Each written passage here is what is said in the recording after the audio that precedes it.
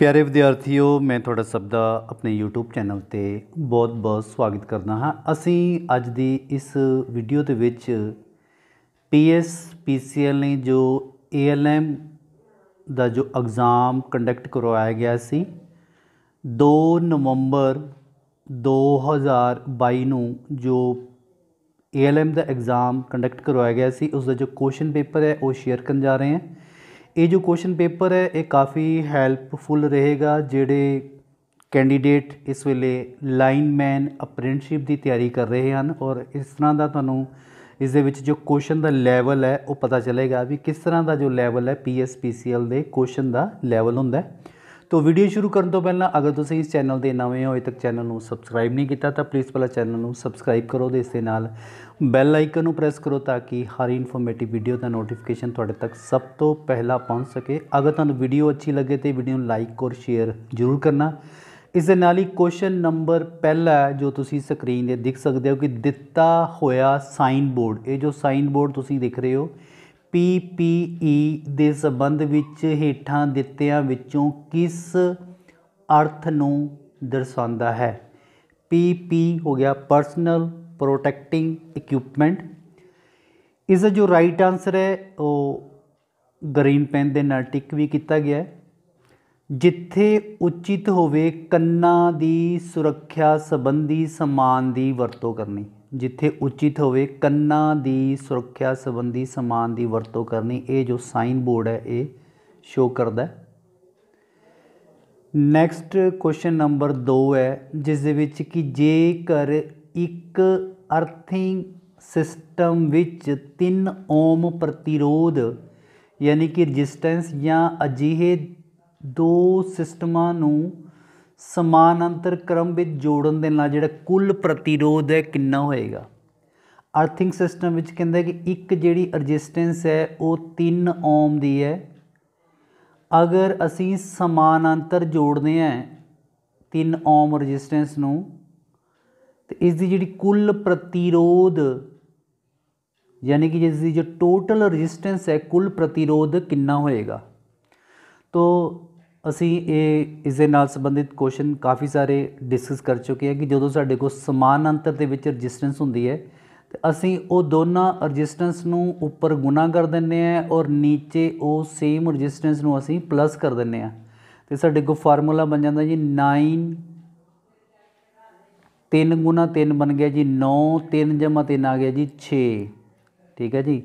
ਇਹ ਆ ਗਿਆ 3 ਤੀ 9 3 ਦੁਨੀ 6 ਆ ਗਿਆ ਸਾਡੇ ਕੋਲ 3 ਵਟਾ 2 ਤੇ 3 ਵਟਾ 2 ਦਾ ਮੀਨਸ ਕਿੰਨਾ ਆ ਗਿਆ? 1 ਵਟਾ, ਯਾਨੀ ਕਿ 1.5 ਜਦੋਂ ਤੁਸੀਂ 3 ਨੂੰ 2 ਦੇ ਨਾਲ ਤਕਸੀਮ ਕਰੋਗੇ, ਤੁਹਾਡੇ ਕੋਲ ਆਨਸਰ ਆ ਜਾਏਗਾ ਜੀ 1.5 ਇੱਥੇ ਡੈਸੀਮਲ ਲੱਗ ਜਾਏਗਾ, ਇੱਥੇ 0 ਲੱਗ ਜਾਣਾ ਤੇ ਇਹ 5 ਦੁਨੀ 10 ਤੋਂ ਇਹ ਕਿੰਨਾ ਆ ਜਾਏਗਾ ਜੀ? 1.5 ਓਮ ਵੈਸੇ ਵੀ ਤੁਸੀਂ ਕਰਨਾ ਕਿ ਜਦੋਂ ਵੀ ਕੋਈ ਦੋ ਰੈਜ਼ਿਸਟੈਂਸ ਅਸੀਂ ਪੈਰਲਲ ਦੇ ਵਿੱਚ ਲਗਾਣੇ ਆ ਤਾਂ ਅਗਰ ਉਹ ਸਪੋਜ਼ ਕਰੋ ਜਿਸ ਤਰ੍ਹਾਂ ਅਸੀਂ ਕਹਿੰਦੇ ਨੇ ਕਿ ਇਹ 5 ਓਮ ਹੈ, ਇਹ 5 ਓਮ ਹੈ। ਜਦੋਂ ਅਸੀਂ ਇਹਨੂੰ ਪੈਰਲਲ ਦੇ ਵਿੱਚ ਲਗਾਵਾਂਗੇ, ਤੇ ਇਹਦੀ ਜਿਹੜੀ ਰੈਜ਼ਿਸਟੈਂਸ ਹੈ, ਉਹ ਹਾਫ ਹੋ ਜਾਂਦੀ ਹੈ। ਜਿਸ ਤਰ੍ਹਾਂ ਮੰਨ ਲਓ 3 ਵਾਲਾ ਅਸੀਂ ਕਰ ਚੁੱਕੇ ਅਗਰ ਅਗੇ ਅਸੀਂ 5 ਵਾਲਾ ਯੂਜ਼ ਕਰੀਏ, ਤੇ ਇਹਨੂੰ ਸਮਾਨ ਅੰਤਰ ਵਿੱਚ ਅਗਰ ਇਹਦੀ ਰੈਜ਼ਿਸਟੈਂਸ ਟੋਟਲ ਨਿਕਾਲਣੀ ਹੈ 5 5 ਥੱਲੇ ਜਮਾ ਆ ਜਾਏਗਾ। ਉੱਪਰ ਕਿੰਨਾ ਆ ਜਾਏਗਾ ਜੀ? 25 ਥੱਲੇ ਕਿੰਨਾ ਆ ਗਿਆ ਜੀ? 10 ਤੇ ਇਹਨੂੰ ਡਿਵਾਈਡ ਕਰਾਂਗੇ ਤੇ ਕਿੰਨਾ ਆ ਜਾਏਗਾ? 2.5 ਤੇ ਟੋਟਲ ਜਿਹੜੀ ਰੈਜ਼ਿਸਟੈਂਸ ਸੀ, ਉਹ ਕਿੰਨੀ ਸੀ? 5 ਓਮ ਤੇ ਯਾਨੀ ਕਿ ਅੱਧੀ ਰੈਜ਼ਿਸਟੈਂਸ ਜਿਹੜੀ ਹੈ, ਹੋ ਜਾਂਦੀ ਹੈ। ਇਹ ਤੁਸੀਂ ਯਾਦ ਰੱਖਣਾ ਕਿ ਜਦੋਂ ਅਸੀਂ ਸਮਾਨ ਅੰਤਰ ਦੇ ਵਿੱਚ ਅਸੀਂ ਰੈਜ਼ਿਸਟੈਂਸ ਜਿਹੜੀ ਜੋੜਦੇ ਹਾਂ ਸਮਾਨ ਅੰਤਰ ਦੇ ਵਿੱਚ, ਤਾਂ ਉਹ ਜਿਹੜੀ ਕੁੱਲ ਜਿਹੜੀ ਇੰਡੀਵਿਜੂਅਲ ਰੈਜ਼ਿਸਟੈਂਸ ਹੁੰਦੀ ਹੈ ਉਸ ਦਾ ਹਾਫ ਹੋ ਜਾਂਦਾ ਹੈ ਤੇ ਇਸ ਕਾਰਨ ਇਸ ਦਾ ਜੋ ਆਨਸਰ ਹੈ ਆਨਸਰ ਸੈਕੰਡ ਇਸ ਦਾ ਜੋ ਹੈ ਰਾਈਟ ਆਨਸਰ ਆਇਆ ਨਾ ਨੈਕਸਟ ਕੁਐਸਚਨ ਨੰਬਰ 3 ਜਿਸ ਦੇ ਵਿੱਚ ਕਿ ਡਾਇਲੈਕਟ੍ਰਿਕ ਸਟਰੈਂਥ ਹੇਠਾਂ ਦਿੱਤਿਆਂ ਵਿੱਚੋਂ ਕਿਸ ਦੇ ਨਾਲ ਸੰਬੰਧਿਤ ਹੈ? ਡਾਇਲੈਕਟ੍ਰਿਕ ਸਟਰੈਂਥ ਜਿਹਨੂੰ ਅਸੀਂ ਮੇਜ਼ਰ ਕਰਦੇ ਹਾਂ ਜੀ ਕਿਲੋ ਵੋਲਟ ਪਰ ਮਿਲੀਮੀਟਰ। ਇਹਨੂੰ ਅਸੀਂ ਕਹਿੰਦੇ ਆ ਯਾਨੀ ਕਿ ਇਹਨੂੰ ਡਾਇਲੈਕਟ੍ਰਿਕ ਸਟਰੈਂਥ ਨੂੰ ਮੇਜ਼ਰ ਕਰਦੇ ਹਾਂ ਕਿਲੋ ਵੋਲਟ ਪਰ ਮਿਲੀਮੀਟਰ ਦੇ ਵਿੱਚ ਡਾਇਲੈਕਟ੍ਰਿਕ ਸਟਰੈਂਥ ਹੁੰਦੀ ਕੀ ਹੈ ਡਾਇਲੈਕਟ੍ਰਿਕ ਸਟਰੈਂਥ ਹੈ ਕਿ ਜਿਸ ਤਰ੍ਹਾਂ ਮੰਨ ਲਓ ਸਾਡੇ ਕੋਲ ਇੱਕ ਹੈ ਥਿਕ ਇਨਸੂਲੇਟਡ ਵਾਇਰ ਹੈ ਇਸ ਦੀ ਜਿਹੜੀ ਥਿਕਨੈਸ ਹੈ ਉਹ 1 mm ਹੈ ਤੋਂ ਇਸ ਦੇ ਵਿੱਚ ਜਿੰਨੀ ਵੋਲਟੇਜ ਇਸ ਦੇ ਵਿੱਚੋਂ ਪਾਸ ਹੋਏਗੀ, ਯਾਨੀ ਕਿ 1 mm ਮੋਟੀ ਪਰਤ ਵਿੱਚੋਂ ਜਿਸ ਵੋਲਟੇਜ ਯਾਨੀ ਕਿ ਜੋ ਵੋਲਟੇਜ ਇਸ ਦੀ ਜੋ ਇਨਸੂਲੇਸ਼ਨ ਦੀ ਪਰਤ ਨੂੰ ਡੈਮੇਜ ਕਰ ਦੇਗੀ, ਉਹ ਇਸ ਦੀ ਡਾਇਲੈਕਟ੍ਰਿਕ ਸਟਰੈਂਥ ਹੋਏਗੀ।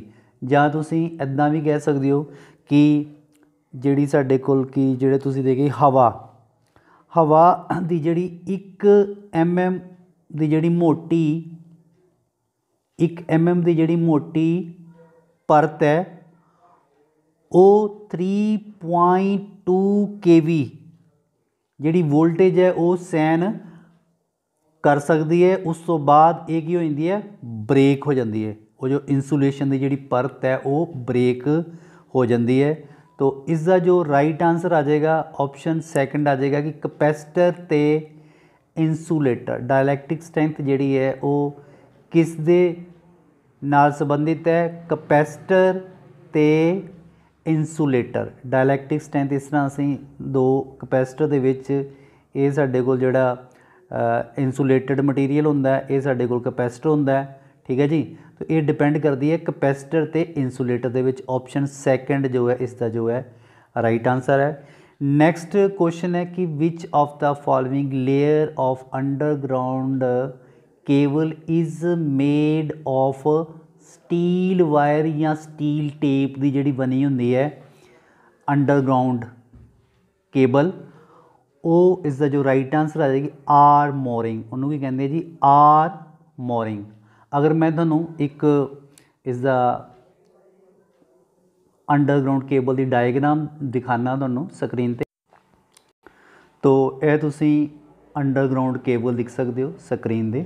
ਜਿਸ ਦੇ ਵਿੱਚ ਇਹ ਸਾਡੇ ਕੋਲ ਕੰਡਕਟਰ ਹੈ, ਇਹ ਸਾਡੇ ਕੋਲ ਪੇਪਰ ਇਨਸੂਲੇ, ਇਨਸੂਲੇਸ਼ਨ ਹੈ, ਉਸ ਤੋਂ ਬਾਅਦ ਲੈਡ ਸ਼ੀਥ ਹੈ, ਉਸ ਤੋਂ ਬਾਅਦ ਇਹ ਬੈਡਿੰਗ ਹੈ ਔਰ ਬੈਡਿੰਗ ਤੋਂ ਬਾਅਦ ਹੈਗੀ ਹੈ ਆਰ ਮੋਰਿੰਗ ਇਹ ਆਰ ਮੋਰਿੰਗ ਹੈ ਜਿਹੜੀ ਕਿ ਸਟੀਲ ਦੀ ਬਣੀ ਹੁੰਦੀ ਹੈ ਔਰ ਇਸ ਦੇ ਉੱਪਰ ਜਿਹੜੀ ਲਾਸਟ ਲੇਅਰ ਹੁੰਦੀ ਹੈ, ਉਹਨੂੰ ਅਸੀਂ ਕਹਿੰਦੇ ਹਾਂ ਜੀ ਸਰਵਿੰਗ तो ਇਸ ਦਾ ਜੋ ਰਾਈਟ ਆਨਸਰ ਆਣਾ ਇਸ ਕੁਐਸਚਨ ਦਾ, ਉਹ ਆ ਜਾਏਗਾ ਜੀ armouring next question number 5 ਹੈ, ਜਿਸ ਦੇ ਵਿੱਚ ਕੀ ਹੇਠਾਂ ਦਿੱਤਿਆਂ ਵਿੱਚੋਂ ਕਿਹੜਾ ਕਥਨ ਓਵਰਹੈੱਡ ਟਰਾਂਸਮਿਸ਼ਨ ਦੇ ਲਈ ਸਬੰਧ ਵਿੱਚ ਸੱਚ ਹੈ? Overhead transmission line. ਠੀਕ ਹੈ ਜੀ। ਇੱਕ ਹੁੰਦਾ ਸਾਡੇ ਕੋਲ ਅੰਡਰਗਰਾਉਂਡ ਸਿਸਟਮ, ਇੱਕ ਹੁੰਦਾ ਓਵਰਹੈੱਡ ਸਿਸਟਮ। ਪਹਿਲਾ ਕਿ ਸੰਚਾਰ ਜਿਹੜੀਆਂ ਟਰਾਂਸਮਿਸ਼ਨ ਲਾਈਨਾਂ ਵਿੱਚ ਕੋਈ ਦਖਲ ਅੰਦਾਜ਼ੀ ਨਹੀਂ ਹੁੰਦੀ। ਕੀ ਦੱਸਣਾ ਸੀ ਕਿ ਹੇਠਾਂ ਦਿੱਤੇ ਵਿੱਚ ਕਿਹੜਾ ਕਥਨ ਓਵਰਹੈੱਡ ਟਰਾਂਸਮਿਸ਼ਨ ਸਿਸਟਮ ਦੇ ਵਿੱਚ ਸੱਚ ਹੈ? ਤੋ ਇਹ ਪਹਿਲਾ ਜੋ ਪੁਆਇੰਟ ਦਿੱਤਾ ਹੈ ਕਿ ਸੰਚਾਰ ਲਾਈਨਾਂ ਵਿੱਚ ਕੋਈ ਦਖਲਅੰਦਾਜ਼ੀ ਨਹੀਂ ਹੁੰਦੀ, ਇਹ ਨਹੀਂ ਹੈ। ਭੂਮੀਗਤ ਸਿਸਟਮ ਦੀ ਤੁਲਨਾ ਵਿੱਚ ਜਿਹੜਾ ਸਰਵਜਨਿਕ ਸੁਰੱਖਿਆ ਜਿਹੜੀ ਹੈ, ਉਹ ਜ਼ਿਆਦਾ ਹੈ। ਇਸ ਦਾ ਜੋ ਰਾਈਟ ਆਨਸਰ ਇਹ ਆ ਜਾਣਾ ਕਿ ਗਲਤੀ ਨੂੰ ਆਸਾਨੀ ਦੇ ਨਾਲ ਲੱਭਿਆ ਜਾਂਦਾ ਇਹਦੇ ਵਿੱਚ ਗਲਤੀ ਯਾਨੀ ਕਿ ਕੋਈ ਵੀ ਜਦੋਂ ਫਾਲਟ ਪੈ ਜਾਂਦਾ ਹੈ ਓਵਰਹੈੱਡ ਲਾਈਨ ਸਿਸਟਮ ਦੇ ਵਿੱਚ ਤੇ ਇਸ ਫਾਲਟ ਨੂੰ ਬੜੀ ਆਸਾਨੀ ਦੇ ਨਾਲ ਲੱਭਿਆ ਜਾ ਸਕਦਾ ਹੈ ਓਵਰਹੈੱਡ ਟਰਾਂਸਮਿਸ਼ਨ ਲਾਈਨ ਦੇ ਵਿੱਚ। ਅੰਡਰਗਰਾਉਂਡ ਲਾਈਨ ਦੇ ਵਿੱਚ ਜਿਹੜਾ ਫਾਲਟ ਲੱਭਣਾ ਬੜਾ ਹੀ ਮੁਸ਼ਕਲ ਹੁੰਦਾ ਹੈ। ਤਾਂ ਇਸ ਦਾ ਜੋ ਸਭ ਤੋਂ ਜਿਹੜਾ ਇਸ ਦਾ ਜੋ ਰਾਈਟ ਆਨਸਰ ਹੈ, ਉਹ ਇਹ ਬੰਦਾ ਹੈ ਕਿ ਓਵਰਹੈੱਡ ਟਰਾਂਸਮਿਸ਼ਨ ਲਾਈਨ ਦੇ ਵਿੱਚ ਅਸੀਂ ਜਿਹੜਾ ਫਾਲਟ ਹੈ, ਉਹ ਬੜੀ ਆਸਾਨੀ ਦੇ ਨਾਲ ਜਿਹੜਾ ਲੱਭ ਸਕਦੇ ਆ ਤੋ next question very very important ਹੈ, ਜਿਸ ਦੇ ਵਿੱਚ ਇੱਕ ਟੈਪ ਚੇਂਜਿੰਗ ਟੈਪ ਚੇਂਜਿੰਗ ਜਿਹੜਾ ਟਰਾਂਸਫਾਰਮਰ ਹੈ ਉਸ ਦਾ ਮੁੱਖ ਉਦੇਸ਼ ਕੀ ਹੁੰਦਾ? ਜਿਹੜਾ ਟੈਪ ਚੇਂਜਰ ਜਿਹੜਾ ਟਰਾਂਸਫਾਰਮਰ ਹੈ ਉਸ ਦਾ ਮੁੱਖ ਉਦੇਸ਼ ਕੀ ਹੁੰਦਾ? ਕਿਸ ਵਾਸਤੇ ਅਸੀਂ ਯੂਜ਼ ਕਰਦੇ ਹਾਂ? ਤੇ ਇਸ ਦਾ ਜੋ ਰਾਈਟ ਆਨਸਰ ਹੈ ਕਿ ਆਊਟਪੁੱਟ ਵੋਲਟੇਜ ਨੂੰ ਕੰਟਰੋਲ ਕਰਨ ਦੇ ਲਈ ਆਊਟਪੁੱਟ ਵੋਲਟੇਜ ਨੂੰ ਕੰਟਰੋਲ ਕਰਨ ਦੇ ਲਈ ਅਸੀਂ ਟੈਪ ਚੇਂਜਰ ਟਰਾਂਸਫਾਰਮਰ ਜਿਹੜਾ ਯੂਜ਼ ਕਰਦੇ ਹਾਂ ਆਊਟਪੁੱਟ ਵੋਲਟੇਜ ਨੂੰ ਚੇਂਜ ਕਰਨ ਦੇ ਲਈ। ਨੈਕਸਟ ਕੁਐਸਚਨ ਹੈ ਕਿ ਜੇਕਰ ਕਿਸੇ ਬਦਲਦੇ ਕਰੰਟ, ਯਾਨੀ ਕਿ ਅਲਟਰਨੇਟਿੰਗ ਕਰੰਟ ਏਸੀ ਕਰੰਟ ਜਾਂ ਤੁਸੀਂ ਕਹਿ ਸਕਦੇ ਹੋ ਅਲਟਰਨੇਟਿੰਗ ਕਰੰਟ ਦਾ ਸ਼ਿਖਰ ਪੀਕ ਵੈਲਿਊ ਜਿਹੜੀ ਹੈ ਉਹ 10 ਐਂਪੀਅਰ ਹੈ ਤੇ ਇਸ ਦਾ ਜਿਹੜਾ ਆਯਾਮ ਜਿਹਨੂੰ ਅਸੀਂ ਐਂਪਲੀਟਿਊਡ ਕਹਿੰਦੇ ਆ ਉਹ ਕਿਸ ਦੇ ਬਰਾਬਰ ਹੋਏਗਾ? ਜਦੋਂ ਅਸੀਂ ਸਾਈਨ ਵੇਵ ਦੀ ਗੱਲ ਕਰਦੇ ਹਾਂ ਸਾਈਨ ਵੇਵ ਜਿਹੜੀ ਸਾਡੇ ਕੋਲ ਇਸ ਤਰ੍ਹਾਂ ਬਣਦੀ ਹੈ, ਔਰ ਇਹ ਜਿਹੜੇ ਮੈਕਸਿਮਮ ਜਿਹੜਾ ਇਹ ਪੁਆਇੰਟ ਹੁੰਦਾ ਹੈ, ਇਹਨੂੰ ਅਸੀਂ ਪੀਕ ਵੈਲਿਊ ਕਹਿੰਦੇ ਆ ਇਹਨੂੰ ਅਸੀਂ ਕੀ ਕਹਿੰਦੇ ਆ ਜੀ? ਪੀਕ ਵੈਲਿਊ ਹੋਰ ਇਸ ਪੁਆਇੰਟ ਨੂੰ ਹੀ ਅਸੀਂ ਕਹਿ ਦਿੰਦੇ ਆ ਜੀ ਮੈਕਸਿਮਮ ਇਹ ਜਿਹੜਾ ਪੁਆਇੰਟ ਹੈ, ਇਹਨੂੰ ਅਸੀਂ ਕਹਿ ਦਿੰਦੇ ਆ ਜੀ ਐਂਪਲੀਟਿਊਡ ਇਸ ਕਾਰਨ ਅਗਰ ਇਸ ਦੀ ਵੈਲਿਊ ਜਿਹੜੀ 10 ਐਂਪੀਅਰ ਹੈ, ਤਾਂ ਇਸ ਦਾ ਜੋ ਐਂਪਲੀਟਿਊਡ ਵੀ ਕਿੰਨਾ ਹੋਏਗਾ, ਉਹ ਵੀ ਕਿੰਨਾ ਹੋਏਗਾ ਜੀ 10 ਐਂਪੀਅਰ ਇਹ ਇਸ ਦਾ ਜੋ ਹੈ ਰਾਈਟ ਆਨਸਰ ਆ ਜਾਏਗਾ ਆਪਸ਼ਨ ਸੈਕੰਡ ਨੈਕਸਟ ਕੁਐਸਚਨ ਹੈ ਵੈਰੀ ਵੈਰੀ ਇੰਪੋਰਟੈਂਟ ਕੁਐਸਚਨ ਹੈ, ਜਿਸ ਦੇ ਵਿੱਚ ਹੈ ਕਿ if each cell shown in figures EMF of 2 volt, then the voltage of the circuit is equal to ਇਹ ਦੇਖੋ ਜੀ, ਇਹ ਸਾਡੇ ਕੋਲ ਚਾਰ ਸੈੱਲ ਲੱਗੇ ਦੇ ਆ, ਉਹ ਚਾਰੋਂ ਹੀ ਸੈੱਲ ਜਿਹੜੇ ਆ 2 ਵੋਲਟ ਦੇ ਆ। ਤੇ ਇਸ ਟਰਮੀਨਲ ਜਿਹੜਾ ਪੋਜ਼ਿਟਿਵ ਤੇ 네ਗੇਟਿਵ ਟਰਮੀਨਲ ਹੈ, ਇਸ ਦੇ ਵਿੱਚ ਜਿਹੜੀ ਹੈ ਕਿੰਨੀ ਵੋਲਟੇਜ ਹੋਏਗੀ? ਤਾਂ ਇਸ ਦਾ ਜੋ ਰਾਈਟ ਆਨਸਰ ਹੈ ਜੀ, ਕੀ ਆ ਜਾਏਗਾ ਜੀ? 2 ਵੋਲਟ ਕਿਉਂ? ਕਿਉਂਕਿ ਤੁਹਾਨੂੰ ਸਾਰਿਆਂ ਨੂੰ ਪਤਾ ਹੈ ਕਿ ਜੋ ਪੈਰਲਲ ਦੇ ਵਿੱਚ ਜਿਹੜੀ ਵੋਲਟੇਜ ਹੈ, ਉਹ ਸੇਮ ਰਹਿੰਦੀ ਹੈ। ਪੈਰਲਲ ਕੇਸ ਦੇ ਵਿੱਚ ਜਿਹੜੀ ਵੋਲਟੇਜ ਹੈ, ਉਹ ਸੇਮ ਰਹਿੰਦੀ ਹੈ। ਤਾਂ ਇਹ ਜਿਹੜੇ ਤੁਸੀਂ ਸੈੱਲ ਦੇਖ ਰਹੇ ਹੋ, ਇਹ ਪੈਰਲਲ ਦੇ ਵਿੱਚ ਕਨੈਕਟ ਹੈ। ਇਸ ਕਰਕੇ ਇਸ ਦੀ ਜੋ ਵੋਲਟੇਜ ਹੈ, ਉਹ 2 ਵੋਲਟ ਹੀ ਰਹੇਗੀ। ਅਗਰ ਅਸੀਂ ਜਿਸ ਤਰ੍ਹਾਂ ਤੁਸੀਂ ਆਪਣੇ ਟਾਰਚ ਵਿੱਚ ਜਾਂ ਬੈਟਰੀ ਵਿੱਚ ਅਸੀਂ ਜਦੋਂ ਅਸੀਂ ਸੈੱਲ ਯੂਜ਼ ਕਰਦੇ ਹਾਂ, ਤਾਂ ਉਹ ਅਸੀਂ ਸੈੱਲ ਜਿਸ ਤਰ੍ਹਾਂ ਇੱਕ ਸੈੱਲ ਦਾ ਇਹ ਪੋਜ਼ਿਟਿਵ ਟਰਮੀਨਲ ਹੈ ਇੱਕ 네ਗੇਟਿਵ ਟਰਮੀਨਲ ਫਿਰ ਇੱਕ ਸੈੱਲ ਦਾ ਜਿਹੜਾ ਪੋਜ਼ਿਟਿਵ ਟਰਮੀਨਲ ਹੁੰਦਾ ਹੈ ਤੇ ਦੂਸਰਾ ਜਿਹੜਾ 네ਗੇਟਿਵ ਟਰਮੀਨਲ ਹੁੰਦਾ ਹੈ, ਇਸ ਤਰ੍ਹਾਂ ਅਸੀਂ ਇਹਨੂੰ ਕਨੈਕਟ ਕਰਦੇ ਹਾਂ। ਤਾਂ ਇਹ ਅਗਰ ਸਾਡੇ ਕੋਲ 1.5 ਵੋਲਟ ਦਾ ਸੈੱਲ ਹੈ, ਇਹ 1.5 ਵੋਲਟ ਦਾ ਸੈੱਲ ਹੈ, ਤਾਂ ਜਦੋਂ ਅਸੀਂ ਸੀਰੀਜ਼ ਦੇ ਵਿੱਚ ਲਗਾਉਂਦੇ ਹਾਂ, ਇਹਦੇ ਵਿੱਚ ਵੋਲਟੇਜ ਜਿਹੜੀ ਹੈ ਇਨਕਰੀਜ਼ ਹੋ ਜਾਂਦੀ ਹੈ, ਕਿੰਨੀ ਹੋ ਜਾਂਦੀ ਹੈ? 3 ਵੋਲਟ ਤਾਂ ਅਗਰ ਅਸੀਂ ਇਹ ਇਹਨਾਂ ਨੂੰ ਪੈਰਲਲ ਦੇ ਵਿੱਚ ਲਗਾਵਾਂਗੇ ਤੇ ਵੋਲਟੇਜ ਜਿਹੜੀ ਹੈ ਸੇਮ ਰਹੇਗੀ। ਇਸ ਕਰਕੇ ਇਸ ਦਾ ਜੋ ਫਰਸਟ ਆਪਸ਼ਨ ਇਸ ਦਾ ਰਾਈਟ ਆਨਸਰ ਆ ਜਾਏਗਾ ਜੀ 2 ਵੋਲਟ। ਇਸ ਦਾ ਜੋ ਰਾਈਟ ਆਨਸਰ ਹੈ। ਨੈਕਸਟ ਕੁਐਸਚਨ ਹੈ ਜੀ ਕੁਐਸਚਨ ਨੰਬਰ ਹੈ 9 ਜਿਸ ਵਿੱਚ ਹੈ ਕਿ ਜੇਕਰ ਇੱਕ ਬਦਲਵੀ ਮਾਤਰਾ ਜਿਹਨੂੰ ਅਸੀਂ ਅਲਟਰਨੇਟਿੰਗ ਕਰੰਟ ਕਹਿ ਸਕਦੇ ਤੁਸੀਂ ਅਲਟਰਨੇਟਿੰਗ ਕਰੰਟ ਪ੍ਰਤੀ ਸੈਕਿੰਡ ਪ੍ਰਤੀ ਸੈਕਿੰਡ 100 ਚੱਕਰ ਪੂਰਾ ਕਰਦੀ ਹੈ, ਤਾਂ ਇੱਕ ਚੱਕਰ ਪੂਰਾ ਕਰਨ ਦੇ ਲਈ ਕਿੰਨਾ ਕਰਨ ਦੇ ਲਈ ਲਿਆ ਗਿਆ ਸਮਾਂ ਡੈਸ਼ ਦੇ ਬਰਾਬਰ ਹੋਏਗਾ। ਮੀਨਸ ਕਿ ਇੱਕ ਸੈਕਿੰਡ ਦੇ ਵਿੱਚ ਕਿੰਨੇ ਚੱਕਰ ਪੂਰਾ ਕਰਦੇ ਆ ਜੀ? 100 ਚੱਕਰ। ਤੁਸੀਂ 100 ਚੱਕਰ ਕਹਿ ਲਓ ਜਾਂ ਰੈਵੋਲੂਸ਼ਨ ਕਹਿ ਸਕਦੇ ਹੋ ਜਾਂ ਚੱਕਰ ਹੋ ਗਿਆ ਜਾਂ ਆ ਗਿਆ ਜੀ ਰੈਵੋਲੂਸ਼ਨ। ਜਦੋਂ ਅਸੀਂ ਇੱਕ ਚੱਕਰ ਦੀ ਵੈਲਿਊ ਕੱਢਣੀ ਹੈ ਤੇ ਇੱਕ ਚੱਕਰ ਦੀ ਜਦੋਂ ਤੁਸੀਂ ਵੈਲਿਊ ਕੱਢੋਗੇ ਤੇ ਇਹ ਕਿੰਨਾ ਆ ਜਾਏਗਾ ਜੀ? 1 ਬਟਾ ਕੀ ਆ ਜਾਏਗਾ ਜੀ? 100 ਤੇ ਨਾਲ ਕੀ ਲੱਗ ਗਿਆ ਜੀ? ਸੈਕਿੰਡ। ਇਹ ਨਾਲ ਕੀ ਲੱਗ ਗਿਆ? ਸੈਕਿੰਡ। ਤਾਂ 1 ਬਟਾ 100 ਦੀ ਜਦੋਂ ਤੁਸੀਂ ਵੈਲਿਊ ਕੈਲਕੂਲੇਸ਼ਨ ਕਰੋਗੇ ਤੇ ਇਹ ਆ ਜਾਏਗਾ ਸਾਡੇ ਕੋਲ 0.001 ਸੈਕਿੰਡ। ਇਹ ਇਸ ਦਾ ਜੋ ਹੈ ਰਾਈਟ ਆਨਸਰ ਆ ਜਾਏਗਾ ਜੀ। ਜਦੋਂ ਤੁਸੀਂ 1 ਬਟਾ 100 ਕਰੋਗੇ ਤੇ ਇਹ ਕਿੰਨਾ ਆ ਜਾਣਾ? ਸਾਡੇ ਕੋਲ ਉੱਪਰ ਡੈਸੀਮਲ ਲੱਗ ਜਾਣਾ 0 ਤੇ 1 ਇਹ ਸਾਡੇ ਕੋਲ ਆ ਜਾਏਗਾ, ਨਾਲ ਲੱਗ ਜਾਏਗਾ ਜੀ ਸੈਕਿੰਡ। ਠੀਕ ਹੈ ਜੀ? ਫਿਰ ਮੈਂ ਇੱਕ ਵਾਰੀ ਰਿਪੀਟ ਕਰ ਦਿੰਨਾ ਕੁਐਸਚਨ ਨੂੰ ਕਿ ਇਸ ਦੇ ਵਿੱਚ 1 ਸੈਕਿੰਡ ਦੇ ਵਿੱਚ ਜਿਹੜੀ ਚੱਕਰ ਹੈ, ਰੈਵੋਲੂਸ਼ਨ ਹੈ 100 ਰੈਵੋਲੂਸ਼ਨਸ ਜਿਹੜੇ 1 ਸੈਕਿੰਡ ਦੇ ਵਿੱਚ ਪੂਰਾ ਹੁੰਦੇ ਆ ਰੈਵੋਲੂਸ਼ਨ ਤੇ ਜਦੋਂ ਅਸੀਂ ਇੱਕ ਰੈਵੋਲੂਸ਼ਨ ਦੀ ਯਾਨੀ ਕਿ ਇੱਕ ਚੱਕਰ ਦੀ ਵੈਲਿਊ ਕੱਢਣੀ ਹੈ ਤੇ ਇਹ 1 ਬਟਾ 100 ਲੱਗ ਜਾਏਗਾ ਤੁਹਾਡੇ ਕੋਲ। 1 ਬਟਾ 100 ਦੇ ਇੱਥੇ ਕੀ ਆ ਜਾਏਗਾ ਤੁਹਾਡੇ ਕੋਲ ਜੀ? ਸੈਕਿੰਡ। ਇੱਕ ਰੈਵੋਲੂਸ਼ਨ ਯਾਨੀ ਕਿ ਇੱਕ ਚੱਕਰ 1 ਬਟਾ 100 ਸੈਕਿੰਡ ਦੇ ਵਿੱਚ ਪੂਰਾ ਹੋਏਗਾ ਤੇ ਇਸ ਦੀ ਵੈਲਿਊ ਜਿਹੜੀ ਆ ਜਾਏਗੀ 0.1 ਸੈਕਿੰਡ। ਇਸ ਦਾ ਜੋ ਰਾਈਟ ਆਨਸਰ ਹੈ।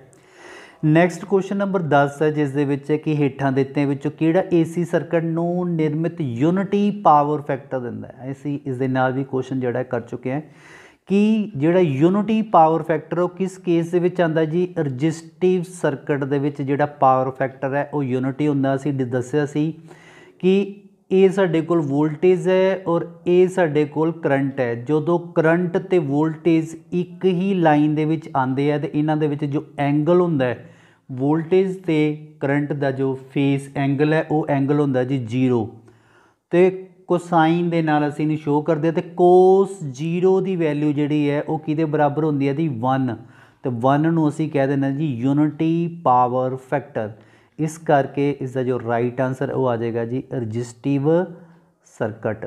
ਦੂਸਰਾ, ਅਗਰ ਅਸੀਂ ਇੰਡਕਟਿਵ ਸਰਕਟ ਦੀ ਗੱਲ ਕਰਦੇ ਹਾਂ, ਤੇ ਇੰਡਕਟਿਵ ਸਰਕਟ ਦੇ ਵਿੱਚ ਕੀ ਹੁੰਦਾ ਸਾਡੇ ਕੋਲ ਜਿਹੜਾ ਕਰੰਟ ਹੈ, ਉਹ ਲੈਗ ਹੁੰਦਾ ਵੋਲਟੇਜ ਦਾ ਕੀ ਹੁੰਦਾ 90 ਡਿਗਰੀ ਲੈਗ ਹੁੰਦਾ ਔਰ ਕੈਪੈਸਿਟਿਵ ਸਰਕਟ ਦੇ ਵਿੱਚ ਕੀ ਹੁੰਦਾ ਜਿਹੜਾ ਕਰੰਟ ਹੈ, ਉਹ ਲੀਡ ਕਰਦਾ ਵੋਲਟੇਜ ਨਾਲੋਂ। ਇਹ ਕਰੰਟ ਹੈ ਤੇ ਇਹ ਵੋਲਟੇਜ ਹੈ। ਉਹ 90 ਡਿਗਰੀ ਕਰੰਟ ਨਾਲੋਂ ਵੋਲਟੇਜ ਨਾਲੋਂ ਜੋ ਕਰੰਟ ਹੈ ਉਹ ਲੀਡ ਕਰਦਾ ਹੈ। ਤੋ ਅਕੋਰਡਿੰਗ ਟੂ 10th ਕੁਐਸਚਨ ਦੇ ਆਨਸਰ ਜੋ ਆ ਜਾਏਗਾ, ਰਜਿਸਟਿਵ ਸਰਕਟ ਜਿਸ ਦੇ ਵਿੱਚ ਜੋ ਪਾਵਰ ਫੈਕਟਰ ਹੈ ਯੂਨਿਟੀ ਪਾਵਰ ਫੈਕਟਰ ਹੈ, ਜਾਂ ਤੁਸੀਂ ਕਹਿ ਸਕਦੇ ਹੋ ਪਾਵਰ ਫੈਕਟਰ 1 ਹੈ। ਨੈਕਸਟ ਕੁਐਸਚਨ ਨੰਬਰ 11 ਜਿਸ ਦੇ ਵਿੱਚ PMMC ਔਜ਼ਾਰ ਵਿੱਚ ਪੀ ਹੇਠਾਂ ਦਿੱਤੇ ਵਿੱਚ ਕਿਸ ਨੂੰ ਦਰਸਾਉਂਦਾ ਹੈ?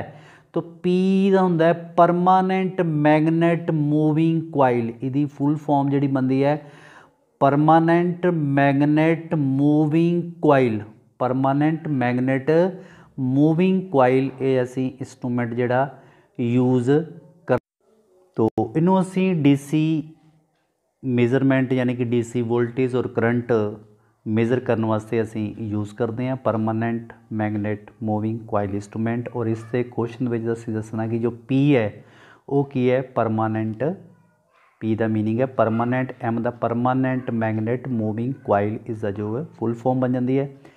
ਨੈਕਸਟ ਕੁਐਸਚਨ ਨੰਬਰ ਹੈ 12 ਜਿਸ ਦੇ ਵਿੱਚ ਕੀ ਹੇਠਾਂ ਦਿੱਤੇ ਵਿੱਚ ਕਿਹੜਾ MOG ਡਿਵਾਈਸ ਦੁਆਰਾ ਸਹੀ ਢੰਗ ਦੇ ਨਾਲ ਮਾਪਿਆ ਜਾਂਦਾ ਹੈ।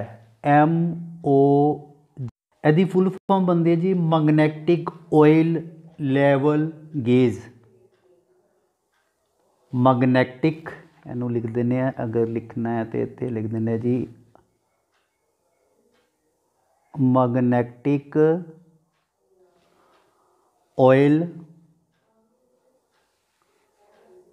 level level gauge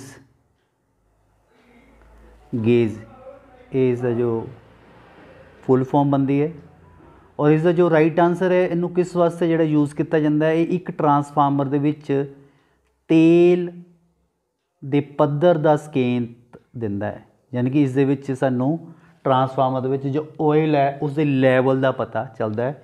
ਇਸ ਕਾਰਨ ਇਸ ਦਾ ਜੋ ਨਾਮ ਵੀ ਹੈ ਮੈਗਨੈਟਿਕ ਆਇਲ ਲੈਵਲ ਗੇਜ। ਇੱਕ ਤਰ੍ਹਾਂ ਦੀ ਗੇਜ ਹੈ। ਜਿੱਥੋਂ ਤੁਹਾਨੂੰ ਪਤਾ ਲੱਗ ਸਕਦਾ ਕਿ ਟਰਾਂਸਫਾਰਮਰ ਦੇ ਵਿੱਚ ਜਿਹੜਾ ਤੇਲ ਦਾ ਲੈਵਲ ਹੈ, ਉਹ ਕਿੰਨਾ ਹੈਗਾ ਤੇ ਆਪਸ਼ਨ 3rd ਇਸ ਦਾ ਜੋ ਹੈ ਰਾਈਟ ਆਨਸਰ ਹੈ।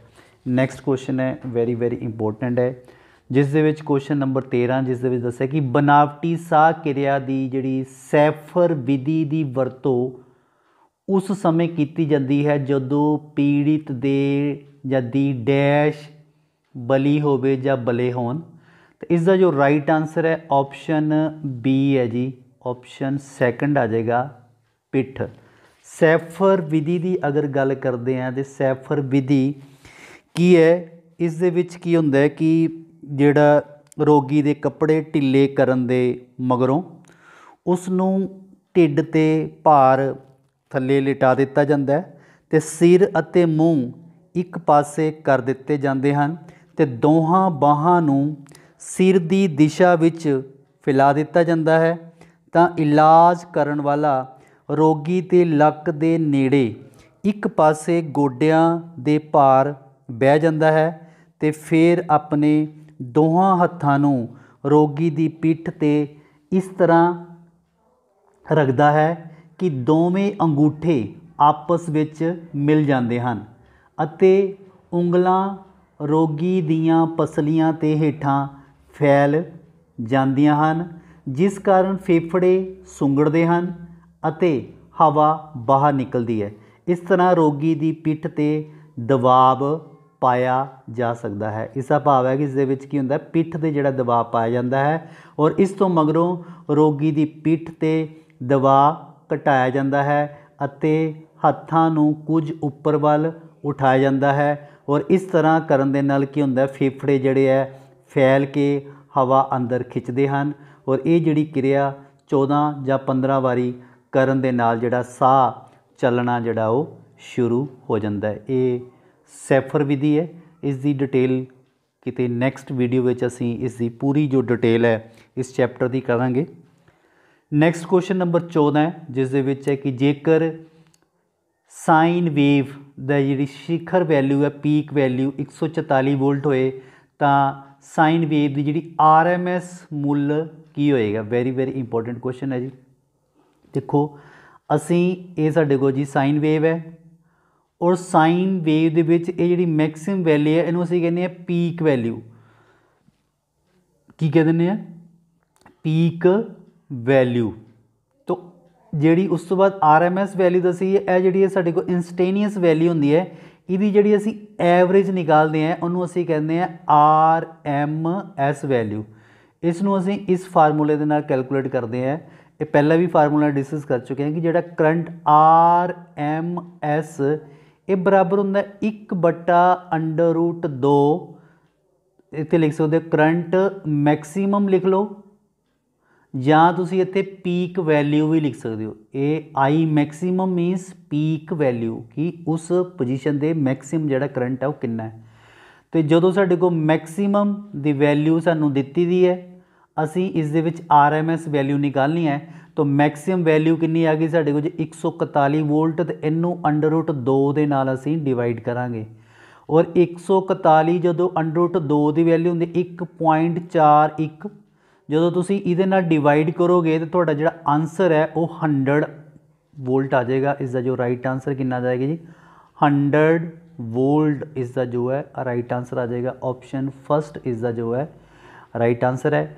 ਤੋ ਨੈਕਸਟ ਕੁਐਸਚਨ ਨੰਬਰ 15 ਜਿਸ ਦੇ ਵਿੱਚ ਹੈ ਕਿ what is the correct unit of power power ਦੀ ਜਿਹੜੀ ਹੈ ਕਰੈਕਟ ਜਿਹੜਾ ਯੂਨਿਟ ਦੱਸਣਾ ਤੁਸੀਂ ਪਾਵਰ ਦਾ ਯੂਨਿਟ ਕੀ ਹੈ? ਆਪਸ਼ਨ ਇਸ ਦੇ ਵਿੱਚ ਜੋ ਰਾਈਟ ਆਨਸਰ ਹੈ, ਉਹ ਹੈ newton metre per second power ਦਾ ਜੋ ਐਸ ਆਈ ਅਗਰ ਅਸੀਂ ਯੂਨਿਟ ਦੀ ਗੱਲ ਕਰਦੇ ਹਾਂ, ਜੋ ਪਾਵਰ ਦਾ ਐਸ ਆਈ ਯੂਨਿਟ ਹੈ, ਉਹ ਆ ਜਾਂਦਾ ਜੀ ਸਾਡੇ ਕੋਲ ਜੀ ਵਾਟ ਸਮਾਲੈਸਟ ਯੂਨਿਟ ਜਿਹੜਾ ਵਾਟ ਆ ਜਾਂਦਾ ਤੇ ਬਿਗੇਸਟ ਯੂਨਿਟ ਜਿਹੜਾ, ਉਹਨੂੰ ਅਸੀਂ ਕਿਲੋਵਾਟ ਦੇ ਵਿੱਚ ਡਿਫਾਈਨਡ ਕਰਦੇ ਹਾਂ। ਹੁਣ ਇਸ ਕੁਐਸਚਨ ਦੇ ਵਿੱਚ ਦੱਸਿਆ ਕਿ ਜਿਹੜਾ ਨਿਊਟਨ ਮੀਟਰ ਪਰ ਸੈਕਿੰਡ, ਅਗਰ ਅਸੀਂ ਇਹਨੂੰ ਥੋੜੀ ਸਿੰਪਲ ਭਾਸ਼ਾ ਵਿੱਚ ਕਰ ਲਈਏ ਕਿ ਨਿਊਟਨ ਕਿਹਦਾ ਯੂਨਿਟ ਹੈਗਾ ਜੀ? ਫੋਰਸ ਦਾ। ਮੀਟਰ ਜਿਹੜਾ ਕਿਹਦਾ ਯੂਨਿਟ ਹੈਗਾ ਜੀ? ਡਿਸਟੈਂਸ ਦਾ ਮੀਟਰ ਦਾ ਔਰ ਐਸ ਕੀ ਆ ਗਿਆ ਸਾਡੇ ਕੋਲ ਜੀ? ਸੈਕਿੰਡ ਐਸ ਕੀ ਆ ਗਿਆ? ਸੈਕਿੰਡ ਕਹਿ ਲਓ ਜਾਂ ਤੁਸੀਂ ਟਾਈਮ ਲਿਖ ਸਕਦੇ ਹੋ। ਟਾਈਮ ਕਰ ਲਓ ਜਾਂ ਸੈਕਿੰਡ ਕਰ ਲਓ। ਹੁਣ ਐਫ ਸਾਡੇ ਕੋਲ ਫੋਰਸ ਹੈ, ਇਹ ਸਾਡੇ ਕੋਲ ਡਿਸਟੈਂਸ ਹੈ, ਇਹ ਸਾਡੇ ਕੋਲ ਟਾਈਮ ਹੈ। ਮੀਨਸ ਤੁਸੀਂ ਇੱਕ ਐਗਜ਼ਾਮਪਲ ਤੋਂ ਸਮਝ ਸਕਦੇ ਹੋ ਕਿ ਇੱਕ ਸਾਡੇ ਕੋਲ, ਇੱਥੇ ਸਾਡੇ ਕੋਲ ਕੋਈ ਬਾਕਸ ਹੈ। ਔਰ ਜਦੋਂ ਅਸੀਂ ਕੋਈ ਨੂੰ ਫੋਰਸ ਲਗਾਉਂਦੇ ਆ ਐਫ ਫੋਰਸ ਲਗਾਉਂਦੇ ਆ ਇਸ ਬਾਕਸ ਨੂੰ ਇਸ ਜਗ੍ਹਾ ਤੋਂ ਉਠਾ ਕੇ ਅਸੀਂ ਇਸ ਜਗ੍ਹਾ ਤੇ ਯਾਨੀ ਕਿ ਨੰਬਰ 2 ਤੇ ਲੈ ਜਾਂਦੇ ਆ ਇਸ ਬਾਕਸ ਨੂੰ। ਤੋ ਕੀ ਹੋਏਗਾ? ਇਹਨੂੰ ਅਸੀਂ ਕਹਿੰਦੇ ਆ ਜੀ ਵਰਕ ਕੀ ਕਵਾਂਗੇ ਜੀ? ਵਰਕ ਤੇ ਵਰਕ ਕਿਸ ਦੇ ਬਰਾਬਰ ਹੁੰਦਾ ਹੈ? ਐਫ ਯਾਨੀ ਕਿ ਜਿੰਨੀ ਅਸੀਂ ਫੋਰਸ ਲਗਾਈ ਹੈ ਤੇ ਜਿੰਨੀ ਅਸੀਂ ਦੂਰੀ ਕਵਰ ਕੀਤੀ ਹੈ, ਤੁਸੀਂ ਡਿਸਟੈਂਸ ਕਰ ਸਕਦੇ ਹੋ। ਫੋਰਸ ਡੀ ਠੀਕ ਹੈ ਜੀ? ਔਰ ਜਦੋਂ ਅਸੀਂ ਵਰਕ ਨੂੰ ਟਾਈਮ ਦੇ ਨਾਲ ਡਿਵਾਈਡ ਕਰਦੇ ਹਾਂ, ਜਦੋਂ ਅਸੀਂ ਵਰਕ ਨੂੰ ਟਾਈਮ ਦੇ ਨਾਲ ਅਸੀਂ ਡਿਵਾਈਡ ਕਰ ਦਿੰਦੇ ਹਾਂ, ਤੇ ਸਾਡੇ ਕੋਲ ਕੀ ਆ ਜਾਂਦਾ ਜੀ? ਸ਼ਕਤੀ, ਜਿਹਨੂੰ ਅਸੀਂ ਕਹਿੰਦੇ ਆ ਜੀ ਪਾਵਰ ਕਿਹਨੂੰ ਅਸੀਂ ਕਹਿੰਦੇ ਨੇ ਜੀ? ਪਾਵਰ ਤਾਂ ਇਸ ਦੇ ਵਿੱਚ ਤੁਹਾਡੇ ਕੋਲ ਜਿਹੜਾ ਯੂਨਿਟ ਹੈ ਵਰਕ ਦਾ ਅਸੀਂ ਯੂਨਿਟ ਕੀ ਦੱਸਿਆ ਸੀ? ਫੋਰਸ ਇਨਟੂ ਡਿਸਟੈਂਸ ਤੇ ਟੀ ਕੀ ਆ ਗਿਆ? ਟਾਈਮ ਤਾਂ ਇਹਨੂੰ ਅਸੀਂ ਮੇਜ਼ਰ ਕਰ ਸਕਦੇ ਹਾਂ ਜੀ ਨਿਊਟਨ ਮੀਟਰ ਪਰ ਸੈਕਿੰਡ ਇਸ ਦਾ ਜੋ ਹੈ ਰਾਈਟ ਆਨਸਰ ਆ ਜਾਏਗਾ। F d ਟੀ ਯਾਨੀ ਕਿ ਨਿਊਟਨ ਮੀਟਰ ਪਰ ਸੈਕਿੰਡ ਇਹ ਇਸ ਦਾ ਜੋ ਹੈ ਰਾਈਟ ਆਨਸਰ ਹੈ। ਨਠਾਂ ਦਿੱਤੀਆਂ ਵਿੱਚੋਂ ਕਿਹੜਾ ਵਿਵਸਾਇਕ ਖਤਰਿਆਂ ਦਾ ਕਾਰਨ ਹੈ। ਆਪਸ਼ਨ ਹੈ ਕਿ ਜ਼ਿਆਦਾ ਸਮੇਂ ਜਾਂ ਘੰਟਿਆਂ ਤੱਕ ਕੰਮ ਕਰਨਾ, ਖਰਾਬ ਰੱਖ ਰਖਾਵ ਸਿਗਰਟ ਬੀੜੀ ਪੀਣਾ ਜਾਂ ਪੀਪੀ, ਪੀਪੀਈ ਦੀ ਕਮੀ। ਤੋ ਇਸ ਦੇ ਵਿੱਚ ਜਿਹੜਾ ਖਤਰਾ ਹੈ, ਉਹ ਆਪਸ਼ਨ ਥਰਡ ਹੈ ਜੀ, ਸਿਗਰਟ ਬੀੜੀ ਪੀਣਾ। ਇਹ ਇਸ ਦਾ ਜੋ ਹੈ ਰਾਈਟ ਆਨਸਰ ਹੈ। ਨੈਕਸਟ ਕੁਐਸਚਨ ਨੰਬਰ 17 ਜਿਸ ਦੇ ਵਿੱਚ ਹੈ ਕਿ ਜੇਕਰ ਸੁਰੱਖਿਆ ਚਿੰਨ ਨੀਲੇ ਰੰਗ ਦਾ ਹੈ, ਤਾਂ ਹੇਠ ਦਿੱਤਿਆਂ ਵਿੱਚੋਂ ਕਿਸ ਦਾ ਵਿਕਲਪ ਦਰਸਾਉਂਦਾ ਹੈ? ਆਪਸ਼ਨ ਹੈ, ਸੁਰੱਖਿਅਤ ਸਥਿਤੀ, ਰੋਕ ਜਾਂ ਮਨਾਹੀ, ਲਾਜ਼ਮੀ, ਚੇਤਾਵਨੀ। ਇਸ ਦਾ ਰਾਈਟ ਆਨਸਰ ਹੈ ਜੀ, ਜਿਹੜਾ ਨੀਲਾ ਰੰਗ ਹੈ, ਉਹ ਲਾਜ਼ਮੀ ਸੁਰੱਖਿਆ ਦਾ ਚਿੰਨ ਹੈ, ਜਿਹਨੂੰ ਅਸੀਂ ਮੈਂਡੇਟਰੀ ਕਹਿ ਦਿੰਦੇ ਆ ਲਾਜ਼ਮੀ ਸੁਰੱਖਿਆ ਦਾ ਚਿੰਨ ਉਹ ਨੀਲੇ ਰੰਗ ਦੇ ਨਾਲ ਦਰਸਾਇਆ ਜਾਂਦਾ ਹੈ। ਉਸ ਤੋਂ ਬਾਅਦ ਅਸ- ਅਗਰ ਅਸੀਂ ਰੋਕ ਜਾਂ ਮਨਾਹੀ ਦੀ ਗੱਲ ਕਰੀਏ ਤੇ ਇਹ ਰੈੱਡ ਕਲਰ ਦੇ ਨਾਲ ਦਰਸਾਇਆ ਜਾਂਦਾ ਹੈ। ਅਗਰ ਕੋਈ ਚੇਤਾਵਨੀ ਦੇਣੀ ਹੈ, ਤਾਂ ਉਹ ਜਿਹੜਾ ਕਲਰ ਹੈ, ਉਹ ਜੈਲੋ ਦੇ ਵਿੱਚ, ਜੈਲੋ ਕਲਰ ਦੇ ਵਿੱਚ ਜਿਹੜਾ ਦਿਖਾਇਆ ਜਾਂਦਾ ਹੈ ਔਰ ਜਿਹੜਾ ਬਲੂ ਕਲਰ ਹੈ, ਯਾਨੀ ਕਿ ਜਿਹੜਾ ਨੀਲਾ ਕਲਰ ਹੈ, ਉਹ ਲਾਜ਼ਮੀ ਦੇ ਵਾਸਤੇ ਹੈ। ਇਹ ਦੇਖੋ ਜਿਹੜਾ ਤੁਸੀਂ ਦੇਖ ਸਕਦੇ ਹੋ, ਇਸ ਦੇ ਵਿੱਚ ਜੋ ਸਾਈਨ ਹੈ, ਸਭ ਤੋਂ ਪਹਿਲਾਂ ਫਲੇਮਲ ਗੈਸ ਜੋ ਰੈੱਡ ਕਲਰ ਦੇ ਵਿੱਚ ਦੱਸਿਆ ਗਿਆ, ਯਾਨੀ ਕਿ ਚੇਤਾਵਨੀ ਹੈ। ਉਸ ਤੋਂ ਬਾਅਦ ਇਹ ਨੀਲਾ ਜਿਹੜਾ ਰੰਗ ਹੈ hearing and eye protecting must be worn ਤੋ ਇਹ ਜਿਹੜਾ ਨੀਲਾ ਰੰਗ ਹੈ, ਇਹ ਕੰਪਲਸਰੀ ਦੇ ਲਈ ਹੈ। ਉਸ ਤੋਂ ਬਾਅਦ ਫਿਰ ਤੁਸੀਂ ਰੈੱਡ ਰੰਗ ਦੇ ਰਹੇ ਹੋ, ਦੇਖ ਰਹੇ ਹੋ, ਜੋ ਕਿ ਫਾਇਰ ਬਲੈਕ ਬਲੈਕੈਂਟ ਹੈ।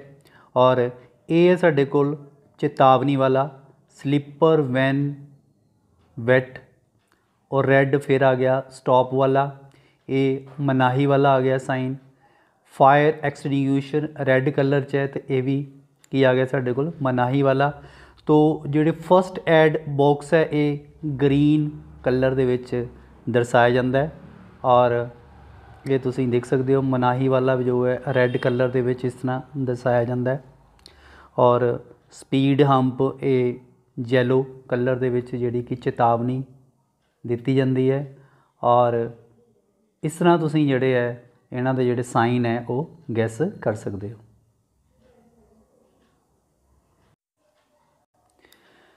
ਨੈਕਸਟ ਕੁਐਸਚਨ ਹੈ ਕਿ ਸਿੰਗਲ ਫੇਸ ਟਰਾਂਸਫਾਰਮਰ ਦੇ ਸ਼ਾਰਟ ਸਰਕਟ ਕਰਨ ਦੇ ਲਈ ਲੋੜੀਂਦੇ ਵਾਟ ਮੀਟਰ ਦੀ ਸਥਿਤੀ ਵਾਟ ਮੀਟਰ ਦੀ ਸੰਖਿਆ ਕਿਸ ਦੇ ਬਰਾਬਰ ਹੁੰਦੀ ਹੈ ਤੇ ਇਸ ਦੇ ਵਿੱਚ ਜਿਹੜਾ ਵਾਟ ਮੀਟਰ ਹੈ ਉਹ ਇੱਕ ਵਾਟ ਮੀਟਰ ਯੂਜ਼ ਕੀਤਾ ਜਾਂਦਾ ਇਸ ਦੇ ਨਾਲ ਬਹੁਤ ਸਾਰੇ ਕੁਐਸਚਨ ਹੋਰ ਵੀ ਬਣਦੇ ਆ। ਇਸ ਦੀ ਡਾਇਗਰਾਮ ਤੋਂ ਅਸੀਂ ਸਮਝਦੇ ਹਾਂ। ਤੋ ਇਹ ਤੁਸੀਂ ਸਿੰਗਲ ਫੇਸ ਟਰਾਂਸਫਾਰਮਰ ਦਾ ਸ਼ਾਰਟ ਸਰਕਟ ਟੈਸਟ ਹੈ, ਜਿਸ ਦੇ ਵਿੱਚ ਦੇਖ ਸਕਦੇ ਹੋ ਤੁਸੀਂ ਵੋਲਟ ਮੀਟਰ ਲੱਗਿਆ ਐਮ ਮੀਟਰ ਲੱਗਿਆ ਔਰ ਇੱਕ ਜਿਹੜਾ ਇਹ ਵਾਟ ਮੀਟਰ ਲੱਗਿਆ ਔਰ ਇਸ ਦੇ ਵਿੱਚ ਜਿਹੜੀ ਪ੍ਰਾਇਮਰੀ ਵਾਈਂਡਿੰਗ ਹੁੰਦੀ ਹੈ, ਉਹ ਹਾਈ ਵੋਲਟੇਜ ਹੁੰਦੀ ਹੈ। ਹਾਈ ਵੋਲਟੇਜ ਦਾ ਮੀਨਸ ਹੈ ਕਿ ਇੱਥੇ ਜਿਹੜੇ ਪ੍ਰਾਇਮਰੀ ਸਾਈਡ ਦੇ ਨੰਬਰ ਆਫ ਟਰਨਸ ਹੋਣੇ ਆ ਨਾ, ਉਹ ਜ਼ਿਆਦਾ ਹੋਣਗੀਆਂ ਕੰਪੇਅਰ ਟੂ ਸਕੈਂਡਰੀ ਉਹ ਸਕੈਂਡਰੀ ਸਾਈਡ ਦੇ ਜਿਹੜੀ ਨੰਬਰ ਆਫ ਟਰਨ ਅਸੀਂ ਘੱਟ ਲੈਂਦੇ ਆ ਉਹਨੂੰ ਅਸੀਂ ਕਹਿੰਦੇ ਕਿ ਲੋ ਵੋਲਟੇਜ ਫਿਰ ਅਸੀਂ ਇਹਨੂੰ ਸ਼ਾਰਟ ਕਰਦੇ ਆ ਔਰ ਇਹਨੂੰ ਅਸੀਂ ਕਹਿੰਦੇ ਜੀ ਸ਼ਾਰਟ ਸਰਕਟ ਟੈਸਟ ਔਰ ਇਹ ਟੈਸਟ ਟਰਾਂਸਫਾਰਮਰ ਦੇ ਵਿੱਚ ਕਾਪਰ ਲਾਸ ਨੂੰ ਫਾਈਂਡ ਆਊਟ ਕਰਨ ਵਾਸਤੇ ਕਾਪਰ ਲਾਸ ਪਤਾ ਕਰਨ ਦੇ ਵਾਸਤੇ ਸ਼ਾਰਟ ਸਰਕਟ ਟੈਸਟ ਜਿਹੜਾ ਕੀਤਾ ਜਾਂਦਾ ਹੈ। ਔਰ ਇੱਕ ਟੈਸਟ ਹੁੰਦਾ ਹੈ ਜਿਹੜਾ ਕਿ ਓਪਨ ਸਰਕਟ ਟੈਸਟ ਹੈ। ਉਸ ਦੇ ਵਿੱਚ ਅਸੀਂ ਆਇਰਨ ਲਾਸ ਜਿਹੜੇ ਹੈ, ਉਹ ਕੈਲਕੂਲੇਟ ਕਰਦੇ ਹਾਂ। ਕਈ ਵਾਰ ਇਸ ਤਰ੍ਹਾਂ ਹੁੰਦਾ ਹੈ ਕਿ ਸ਼ਾਰਟ ਸਰਕਟ ਜਿਹੜਾ ਅਸੀਂ ਟੈਸਟ ਕਰਦੇ ਹਾਂ, ਉਸ ਦੇ ਵਿੱਚ ਅਸੀਂ ਕਿਹਦਾ ਪਤਾ ਕਰਦੇ ਹਾਂ, ਯਾਨੀ ਕਿ ਕੀ ਕਿਹਦੀ ਵੈਲਿਊ ਨਿਕਲਦੀ ਹੈ। ਜਦੋਂ ਸ਼ਾਰਟ ਸਰਕਟ ਟੈਸਟ ਹੈ, ਅਸੀਂ ਕਰਦੇ ਹਾਂ ਕਾਪਰ ਲਾਸ ਫਾਈਂਡ ਆਊਟ ਕਰਨ ਦੇ ਲਈ। Short circuit test copper loss find out ਕਰਨ ਦੇ ਲਈ। ਤੇ ਜਿਹੜਾ ਓਪਨ ਸਰਕਟ ਟੈਸਟ ਹੈ, ਉਹ ਅਸੀਂ ਕਰਦੇ ਹਾਂ ਜੀ। ਆਇਰਨ ਲਾਸ ਫਾਈਂਡ ਕਰਨ ਦੇ ਲਈ। ਤੋ ਇਹ ਜੋ ਤੁਸੀਂ ਡਾਇਗਰਾਮ ਦੇਖ ਰਹੇ ਹੋ, ਇਹ ਹੈ ਓਪਨ ਸਰਕਟ ਟੈਸਟ ਹੁਣ ਇਸ ਦੇ ਵਿੱਚ ਇੱਕ ਵੋਲਟ ਮੀਟਰ ਜਿਹੜਾ ਪੈਰਲਲ ਵਿੱਚ ਲੱਗ ਗਿਆ ਐਮ ਮੀਟਰ ਜਿਹੜਾ ਸੀਰੀਜ਼ ਵਿੱਚ ਲੱਗ ਗਿਆ, ਔਰ ਇੱਕ ਲੱਗ ਗਿਆ ਜੀ ਵਾਟ ਮੀਟਰ ਔਰ ਇਸ ਦੇ ਵਿੱਚ ਤੁਸੀਂ ਦੇਖੋ ਵੀ ਇਸ ਦੇ ਵਿੱਚ ਕੀ ਡਿਫਰੈਂਸ ਹੈ ਓਪਨ ਸਰਕਟ ਤੇ ਸ਼ਾਰਟ ਸਰਕਟ 'ਚ। ਇਸ ਦੇ ਵਿੱਚ ਕੀ ਹੈ ਕਿ ਜਿਹੜੀ ਇਸ ਦੀ ਪ੍ਰਾਇਮਰੀ ਵਾਈਂਡਿੰਗ ਹੈ, ਉਹ ਲੋ ਵੋਲਟੇਜ ਹੈ। ਲੋ ਵੋਲਟੇਜ ਮੀਨਸ ਇੱਥੇ ਨੰਬਰ ਆਫ ਜਿਹੜੀਆਂ ਟਰਨਸ ਹੈਗੀਆਂ, ਘੱਟ ਹੈਗੀਆਂ, ਔਰ ਸੈਕੰਡਰੀ ਦੇ ਵਿੱਚ ਜਿਹੜੀਆਂ ਨੰਬਰ ਆਫ ਟਰਨਸ ਹੈਗੀਆਂ ਕੰਪੇਅਰ ਟੂ ਪ੍ਰਾਇਮਰੀ ਤੋਂ ਜ਼ਿਆਦਾ ਹੈਗੀਆਂ। ਠੀਕ ਹੈ? ਕਈ ਵਾਰੀ ਕੁਐਸਚਨ ਇਹ ਪੁੱਛਿਆ ਜਾਂਦਾ ਵੀ ਕਿਸ ਕੇਸ ਦੇ ਵਿੱਚ ਜਿਹੜੀਆਂ ਪ੍ਰਾਇਮਰੀ ਦੀਆਂ ਨੰਬਰ ਆਫ ਵਾਈਂਡਿੰਗ ਟਰਨ ਜਿਹੜੀਆਂ ਜ਼ਿਆਦਾ ਹੁੰਦੀਆਂ ਜਾਂ ਸੈਕੰਡਰੀ ਦੀ ਨੰਬਰ ਆਫ ਟਰਨ ਜਿਹੜੀ ਹੈ ਜ਼ਿਆਦਾ ਲੈਣੇ ਤਾਂ ਹੁਣ ਇਹ ਜਿਹੜਾ ਓਪਨ ਸਰਕਟ ਟੈਸਟ ਹੈ, ਤੇ ਓਪਨ ਸਰਕਟ ਵਿੱਚ ਤੁਸੀਂ ਦੇਖੋ ਜਿਹੜੀ ਇਹਦੀ ਪ੍ਰਾਇਮਰੀ ਵਾਈਂਡਿੰਗ ਹੈ, ਉਹ ਓਪਨ ਹੈਗੀ ਹੈ। ਤਾਂ ਪਹਿਲਾ ਜਿਹੜਾ ਅਸੀਂ ਡਾਇਗਰਾਮ ਦੇਖਿਆ ਸੀ ਉਸ ਦੇ ਵਿੱਚ ਜਿਹੜੀ ਸੈਕੰਡਰੀ ਵਾਈਂਡਿੰਗ ਸੀ, ਉਹ ਸ਼ਾਰਟ ਸੀ। ਇਸ ਦੇ ਵਿੱਚ ਇਹ ਜੋ ਸੈਕੰਡਰੀ ਵਾਈਂਡਿੰਗ ਹੈ, ਉਹ ਓਪਨ ਹੈ। ਤੇ ਇਹ ਅਸੀਂ ਜਿਹੜਾ ਟੈਸਟ ਹੈ, ਉਹ ਆਇਰਨ ਲੋਸ ਫਾਈਂਡ ਆਊਟ ਕਰਨ ਵਾਸਤੇ ਅਸੀਂ ਕੈਲਕੂਲੇਟ ਕਰਦੇ ਹਾਂ। ਵੈਰੀ ਵੈਰੀ ਇੰਪੋਰਟੈਂਟ ਕੁਐਸਚਨ ਹੈ। ਔਰ ਅਸੀਂ ਵਾਟ ਮੀਟਰ ਦੇ ਨਾਲ ਜਿਹੜੀ ਪਾਵਰ ਹੈ ਉਹ ਕੈਲਕੂਲੇਟ ਕਰਦੇ ਹਾਂ ਤੋ ਜਿਹੜਾ ਸਾਡਾ ਕੁਐਸਚਨ ਹੀ ਇੱਕ ਵਾਰੀ ਫੇਰ ਦੇਖਦੇ ਹਾਂ ਕਿ ਸਿੰਗਲ ਫੇਸ ਟਰਾਂਸਫਾਰਮਰ ਦਾ ਜਿਹੜਾ ਸ਼ਾਰਟ ਸਰਕਟ ਟੈਸਟ ਦੇ ਲਈ ਲੋੜੀਂਦੇ ਵਾਟ ਮੀਟਰਾਂ ਦੀ ਸੰਖਿਆ ਕਿੰਨੀ ਹੁੰਦੀ ਹੈ ਤੇ ਤੁਸੀਂ ਦੇਖ ਹੀ ਲਿਆ ਡਾਇਗਰਾਮ 'ਚ ਵਾਟ ਮੀਟਰ ਦੀ ਸੰਖਿਆ ਕਿੰਨੀ ਹੁੰਦੀ ਹੈ ਜੀ? ਇੱਕ ਸੰਖਿਆ ਹੁੰਦੀ ਹੈ। ਤੋ ਨੈਕਸਟ ਕੁਐਸਚਨ ਹੈ ਕੁਐਸਚਨ ਨੰਬਰ 19 ਹੈ, ਜਿਸ ਦੇ ਵਿੱਚ ਹੈ ਕਿ pole mounted substation pole mounted substation ਜਿਹਦੇ ਵਿੱਚ ਹੈ ਟੀ ਪੀ ਐਮ ਓ ਜਿਸ ਦੀ ਫੁੱਲ ਫਾਰਮ ਹੈਗੀ ਹੈ ਜੀ। ਟੀ ਤੋਂ ਬਣ ਜਾਂਦਾ ਹੈ ਜੀ triple pole manually operated switch switch triple pole manually operated switch ਇਹ ਫੁੱਲ ਫਾਰਮ ਹੈਗੀ ਹੈ ਜੀ ਟੀ ਪੀ ਐਮ ਓ ਦੀ। ਇਸ ਵਿੱਚ ਕਹਿ ਰਿਹਾ ਕਿ ਟੀ ਹੇਠਾਂ ਦਿੱਤਿਆਂ ਵਿੱਚੋਂ ਕਿਸ ਨੂੰ ਦਰਸਾਉਂਦਾ ਹੈ ਤੇ ਟੀ ਜਿਹੜਾ ਇਹ ਦਰਸਾਉਂਦਾ ਹੈ ਜੀ ਟ੍ਰਿਪਲ ਪੋਲ ਇਹ ਤੁਸੀਂ ਮੋਸਟਲੀ ਜੋ ਡਿਸਟ੍ਰੀਬਿਊਸ਼ਨ ਟਰਾਂਸਫਾਰਮਰ ਹੈ, ਜਦੋਂ ਅਸੀਂ ਟਰਾਂਸਫਾਰਮਰ ਨੂੰ ਕੱਟਦੇ ਆਂ ਤੇ ਇਹ ਤੁਹਾਨੂੰ ਨੂੰ ਅਸੀਂ ਮੈਨੂਅਲੀ ਜਿਹੜਾ ਜਦੋਂ ਅਸੀਂ ਕੱਟਦੇ ਹਾਂ ਟਰਾਂਸਫਾਰਮਰ ਦੇ ਵਿੱਚ ਜਦੋਂ ਕੋਈ ਫਾਲਟ ਪੈ ਜਾਂਦਾ ਹੈ ਜਾਂ ਕੋਈ ਅਸੀਂ ਲਾਈਨ ਦੀ ਮੇਨਟੇਨੈਂਸ ਕਰਨੀ ਹੁੰਦੀ ਹੈ, ਤਾਂ ਸਭ ਤੋਂ ਪਹਿਲਾਂ ਅਸੀਂ ਟਰਾਂਸਫਾਰਮਰ ਦਾ ਜਿਹੜਾ ਸਵਿਚ ਆਫ ਕਰਦੇ ਹਾਂ ਗੈਂਗ ਆਪਰੇਟਿੰਗ ਸਵਿਚ ਤੋਂ। ਤਾਂ ਉਹ ਜਿਹੜਾ ਸਵਿਚ ਹੁੰਦਾ ਹੈ, ਉਹਨੂੰ ਅਸੀਂ ਕਹਿੰਦੇ ਆ T P M O triple pole manually operated switch ਤੋ ਇਹ ਤੁਸੀਂ ਡਾਇਗਰਾਮ ਦੇਖ ਸਕਦੇ ਹੋ। Triple pole manually operated switch ਇਹ ਡਿਸਟ੍ਰੀਬਿਊਸ਼ਨ ਜੋ ਪੋਲ ਮਾਊਂਟਡ ਟਰਾਂਸਫਾਰਮਰ ਹੈ, ਉੱਥੇ ਲੱਗਿਆ ਹੁੰਦਾ ਜਦੋਂ ਅਸੀਂ ਟਰਾਂਸਫਾਰਮਰ ਦੀ ਮੇਨਟੇਨੈਂਸ ਕਰਨੀ ਹੈ, ਤਾਂ ਸਭ ਤੋਂ ਪਹਿਲਾਂ ਅਸੀਂ ਜਿਹੜੀ ਮੇਨ ਸਪਲਾਈ ਤੋਂ ਉਹਨੂੰ ਕੱਟ ਕਰਦੇ ਹਾਂ। ਔਰ ਇਹ ਜਿਹੜਾ ਕੱਟ ਕਰਦੇ ਹਾਂ, ਇਹ ਹੈ ਜੀ T P M O triple pole manually operated switch next question ਹੈ ਕਿ ਤਿੰਨ ਫੇਸ ਪਾਵਰ ਸਿਸਟਮ ਦੇ ਵਿੱਚ, ਤਿੰਨ ਫੇਸ ਪਾਵਰ ਸਿਸਟਮ ਦੇ ਵਿੱਚ ਹੇਠ ਲਿਖਿਆ ਕਿਸ ਨੂੰ ਰੇਟਡ ਵੋਲਟੇਜ ਕਿਹਾ ਜਾਂਦਾ ਹੈ ਜੀ? ਤਿੰਨ ਫੇਸ ਪਾਵਰ ਸਿਸਟਮ ਦੇ ਵਿੱਚ ਜਿਹੜਾ ਸਾਡੇ ਕੋਲ ਡੈਲਟਾ ਵਾਲਾ ਕੇਸ ਹੈ ਇਸ ਦੇ ਵਿੱਚ ਤਿੰਨੋਂ ਹੀ ਫੇਸ ਹੁੰਦੇ ਆ ਜੀ। ਇਹਨੂੰ ਅਸੀਂ ਕਹਿੰਦੇ ਆ 3 ਫੇਸ ਸਿਸਟਮ ਜਿਹੜਾ ਸਾਡੇ ਕੋਲ ਡੈਲਟਾ ਕਨੈਕਸ਼ਨ ਹੁੰਦਾ ਹੈ, ਇਹ 3 ਫੇਸ ਹੁੰਦਾ ਹੈ। ਯਾਨੀ ਕਿ ਤਿੰਨ ਫੇਸ ਹੁੰਦੇ ਇਹਦੇ ਵਿੱਚ। ਔਰ ਕੁਐਸਚਨ ਦੇ ਵਿੱਚ ਹੈ ਕਿ ਤਿੰਨ ਫੇਸ ਵਾਲੇ ਜਿਹੜਾ ਪਾਵਰ ਸਿਸਟਮ ਹੈ ਉਸ ਨੂੰ ਜਿਹੜੇ ਰੇਟਡ ਵੋਲਟੇਜ ਵੱਲੋਂ ਕਿਹਨੂੰ ਕਿਹਾ ਜਾਂਦਾ ਹੈ? ਐਵਰੇਜ ਵੋਲਟੇਜ ਜਾਂ RMS line to line voltage RMS voltage ਤੇ ਆਏਗੀ ਕਿ ਜਿਹੜੀ ਤੁਹਾਡੇ ਕੋਲ ਪਹੁੰਚਦੀ ਹੈ ਅਵੇਲੇਬਲ ਹੁੰਦੀ ਹੈ ਔਰ ਇਹ ਚ ਜਿਹੜੀ ਵੋਲਟੇਜ ਹੁੰਦੀ ਹੈ, ਇਹ ਹੁੰਦੀ ਹੈ ਲਾਈਨ ਟੂ ਲਾਈਨ ਵੋਲਟੇਜ ਦੇਖੋ, ਇਹ ਵੀ ਲਾਈਨ ਵੋਲਟੇਜ ਹੈ ਔਰ ਇਹ ਵੀ ਇਹ ਤਿੰਨੋਂ ਹੀ ਫੇਸ ਹੈ, ਇਹਨੂੰ ਅਸੀਂ ਕਹਿੰਦੇ ਲਾਈਨ ਤਾਂ ਫੇਸ ਟੂ ਜਿਹੜੀ ਫੇਸ ਵੋਲਟੇਜ ਹੈ ਇਹਨੂੰ ਅਸੀਂ ਕਹਿੰਦੇ ਜੀ ਲਾਈਨ, ਯਾਨੀ ਕਿ ਤਿੰਨਾਂ ਫੇਸ ਯਾਨੀ ਕਿ ਜਿਹੜੇ ਦੋ, ਕੋਈ ਦੋ ਫੇਸਾਂ ਦੇ ਵਿੱਚ ਜਿਹੜੀ ਵੋਲਟੇਜ ਹੈ, ਇਹਨੂੰ ਅਸੀਂ ਕਹਿੰਦੇ ਜੀ ਲਾਈਨ ਵੋਲਟੇਜ ਚਾਹੇ ਇਹ ਨੀਚੇ ਵਾਲੇ ਦੋ ਫੇਸ ਲੈ ਲਓ, ਚਾਹੇ ਉੱਪਰ ਵਾਲੇ ਲੈ ਲਓ, ਚਾਹੇ ਫਰਸਟ ਵਾਲਾ ਤੇ ਲਾਸਟ ਵਾਲਾ ਲੈ ਲਓ, ਜਿਹੜੀ ਲਾਈਨ ਵੋਲਟੇਜ ਹੈ, ਉਹ ਜਿਹੜੀ ਹੈ, ਤਿੰਨ ਜਿਹੜੀਆਂ ਸਾਡੇ ਕੋਲ ਲਾਈਨ ਹੈ, ਅਲੱਗ-ਅਲੱਗ ਫੇਸ ਤੁਸੀਂ ਕਹਿ ਸਕਦੇ ਇੱਕ ਰੈੱਡ ਹੈ, ਇੱਕ ਜੈਲੋ ਹੈ, ਇੱਕ ਬਲੂ ਹੈ, ਤੇ ਆਰ ਤੇ ਵਾਈ ਜਿਹੜਾ ਫੇਸ ਹੈ, ਇਹਦੇ ਵਿੱਚ ਜਿਹੜੀ ਵੋਲਟੇਜ ਹੈ ਉਹਨੂੰ ਅਸੀਂ ਕਹਿੰਦੇ ਆ ਲਾਈਨ ਟੂ ਲਾਈਨ ਵੋਲਟੇਜ तो इसका जो राइट आंसर ऑप्शन सेकंड आ जाएगा ਨੈਕਸਟ ਕੁਐਸਚਨ ਨੰਬਰ 21 ਹੈ ਜਿਸ ਦੇ ਵਿੱਚ ਹੈ ਕਿ ਇੱਕ ਹੀ ਸਮੱਗਰੀ ਦੀਆਂ ਦੋ ਤਾਰਾਂ ਦੋ ਤਾਰਾਂ ਸਾਡੇ ਕੋਲ ਜਿਨ੍ਹਾਂ ਦੀ ਜਿਹੜੀ ਰੈਜ਼ਿਸਟੈਂਸ ਹੈ ਅਨੁਪਾਤ ਦੱਸਣਾ ਦੋਨਾਂ ਦਾ ਜੇਕਰ ਦੂਜੀ ਤਾਰ ਦੀ ਲੰਬਾਈ ਤੇ ਦੂਜੀ ਤਾਰ ਦਾ ਕ੍ਰਾਸ ਸੈਕਸ਼ਨ ਏਰੀਆ ਪਹਿਲੀ ਨਾਲੋਂ ਦੁੱਗਣਾ ਕਰ ਦਿੱਤਾ ਜਾਏ। ਦੇਖੋ ਜਿਹੜੀ ਰੈਜ਼ਿਸਟੈਂਸ ਹੈ, ਉਹ ਤੁਹਾਨੂੰ ਪਤਾ ਹੈ ਕਿ ਡਾਇਰੈਕਟਲੀ ਪ੍ਰੋਪੋਰਸ਼ਨਲ ਹੁੰਦੀ ਹੈ ਲੈਂਥ ਦੇ ਤੇ ਇਨਵਰਸਲੀ ਪ੍ਰੋਪੋਰਸ਼ਨਲ ਹੁੰਦੀ ਹੈ area of cross section same he material ਹੈ, ਇੱਕ ਦੀ ਰੈਜ਼ਿਸਟੈਂਸ ਇਹ ਹੈ ਤੇ ਦੂਸਰੇ ਦੀ ਕਹਿੰਦਾ ਜਿਹੜੀ ਰੈਜ਼ਿਸਟੈਂਸ ਹੈ, ਅਗਰ ਅਸੀਂ ਲੰਬਾਈ ਨੂੰ ਦੁੱਗਣਾ ਕਰ ਦਾਂਗੇ ਤੇ ਕਿੰਨਾ ਆ ਜਾਏਗਾ? 2L ਅਗਰ ਅਸੀਂ ਉਹਦਾ ਖੇਤਰਫਲ ਕ੍ਰਾਸ ਸੈਕਸ਼ਨ ਏਰੀਆ ਦਾ ਦੁੱਗਣਾ ਕਰ ਦਾਂਗੇ ਤੇ ਕਿੰਨਾ ਆ ਜਾਏਗਾ? 2A ਉੱਪਰ ਵੀ 2 ਹੈ, ਨੀਚੇ ਵੀ 2 ਹੈ ਤੇ ਇਹ ਕੈਨਸਲ ਹੋ ਜਾਣਾ ਹੈ। ਤੇ ਦੋਨੋਂ ਦੀ ਜਿਹੜੀ ਰੈਜ਼ਿਸਟੈਂਸ ਹੈ, ਅਗਰ ਅਸੀਂ ਦੀ ਰੇਸ਼ੋ ਲਵਾਂਗੇ, ਤੇ ਰੇਸ਼ੋ ਕਿੰਨੀ ਆ ਜਾਏਗੀ? ਸਾਡੇ ਕੋਲ 1 ਰੇਸ਼ੋ 1 ਕਿਉਂਕਿ ਦੋਨੋਂ ਚੀਜ਼ਾਂ ਸੇਮ ਹੈ ਕੈਨਸਲ ਹੋ ਜਾਣੀਆਂ ਤੇ ਇਸ ਦਾ ਜੋ ਰਾਈਟ ਆਨਸਰ ਆ ਜਾਏਗਾ ਸਾਡੇ ਕੋਲ ਜੀ 1 ਰੇਸ਼ੋ 1 ਠੀਕ ਹੈ ਜੀ ਕਲੀਅਰ ਹੋ ਗਿਆ। ਇੱਕ ਵਾਰੀ ਫਿਰ ਕਲੀਅਰ ਕਰਾ ਦੇਣਾ ਕਿ ਇੱਕ ਸਾਡੇ ਕੋਲ ਜਿਹੜਾ ਰੈਜ਼ਿਸਟੈਂਸ ਹੈ, ਠੀਕ ਹੈ ਜੀ, ਇਹ ਹੁੰਦਾ ਡਾਇਰੈਕਟਲੀ ਪ੍ਰੋਪੋਰਸ਼ਨਲ ਟੂ ਲੈਂਥ ਤੇ ਇਨਵਰਸਲੀ ਪ੍ਰੋਪੋਰਸ਼ਨਲ ਟੂ ਰਜਿਸਟੈਂਸ ਤੇ ਸੇਮ ਹੀ ਮਟੀਰੀਅਲ ਤੁਸੀਂ ਰਜਿਸਟੀਵਿਟੀ ਵੀ ਨੋਟ ਕਰਨੀ ਹੈ ਤੇ ਨੋਟ ਕਰ ਸਕਦੇ ਹੋ। ਦੂਸਰੀ ਸਾਡੇ ਕੋਲ ਜਿਹੜਾ ਮਟੀਰੀਅਲ ਉਹਦੀ ਜਿਹੜੀ ਰਜਿਸਟੈਂਸ ਇਹਨੂੰ R1 ਕਹਿ ਲਓ, ਇਹਨੂੰ R2 ਕਹਿ ਲਓ ਇਜ਼ ਰੋ ਸੇਮ ਮਟੀਰੀਅਲ ਹੈ। ਇਹਦੇ ਵਿੱਚ ਲੈਂਥ ਡਬਲ ਕਰ ਦਿੰਨੇ ਆ ਏਰੀਆ ਆਫ ਕ੍ਰਾਸ ਸੈਕਸ਼ਨ ਵੀ ਡਬਲ ਕਰ ਦਿੰਨੇ ਇਹ ਕੈਨਸਲ ਹੋ ਗਿਆ ਤੇ ਇਹ ਦੋਨੋਂ ਚੀਜ਼ਾਂ ਜਿਹੜੀਆਂ ਤੁਹਾਡੇ ਕੋਲ ਸੇਮ ਹੋ ਗਈਆਂ ਕੈਨਸਲ ਹੋ ਗਈਆਂ, ਇਸ ਕਰਨੇ ਦੀ ਰੇਸ਼ੋ ਕੀ ਆਏਗੀ? 1 ਬਾਈ 1 ਯਾਨੀ ਕਿ 1 ਰੇਸ਼ੋ 1 ਇਸ ਦਾ ਜੋ ਹੈ ਰਾਈਟ ਆਨਸਰ ਆ ਜਾਏਗਾ।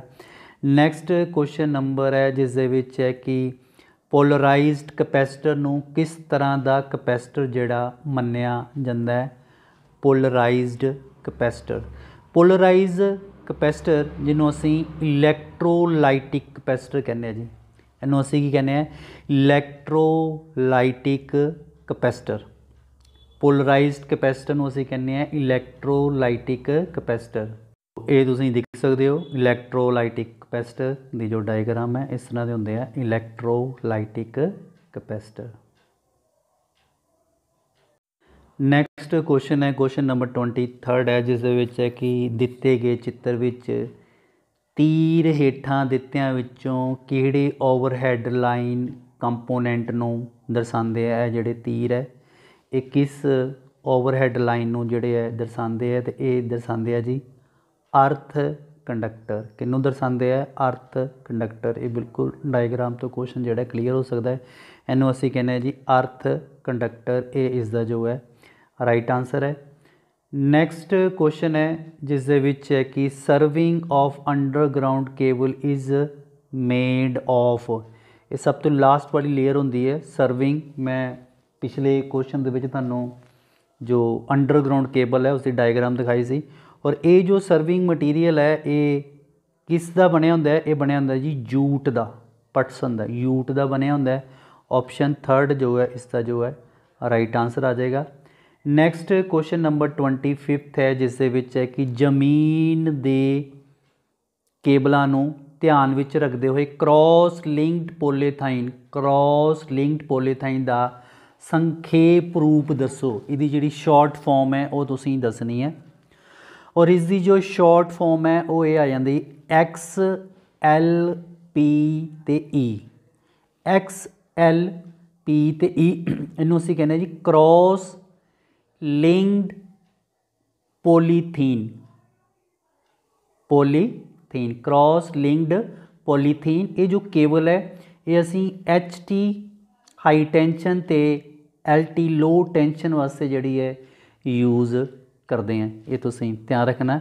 ਇੱਕ ਸਾਡੇ ਕੋਲ ਕੇਬਲ ਅਸੀਂ ਯੂਜ਼ ਕਰਦੇ ਹਾਂ ਜੀ ਪੀ ਬੀ ਸੀ ਇਸ ਦੀ ਵੀ ਫੁੱਲ ਫਾਰਮ ਪੁੱਛੀ ਜਾਂਦੀ ਹੈ। ਇਹਨੂੰ ਅਸੀਂ ਕਹਿੰਦੇ ਆ ਜੀ ਪੋਲੀ ਵਿਨਾਇਲ ਕੋਲੋਰਾਈਡ। ਕੋਲੋਰਾਈਡ ਇਸ ਦੀ ਫੁੱਲ ਫਾਰਮ ਹੈ PVC ਪੋਲੀਵਿਨਾਈਲ ਕਲੋਰਾਈਡ, ਇਸ ਦੀ ਫੁੱਲ ਫਾਰਮ ਇਹ ਹੈ।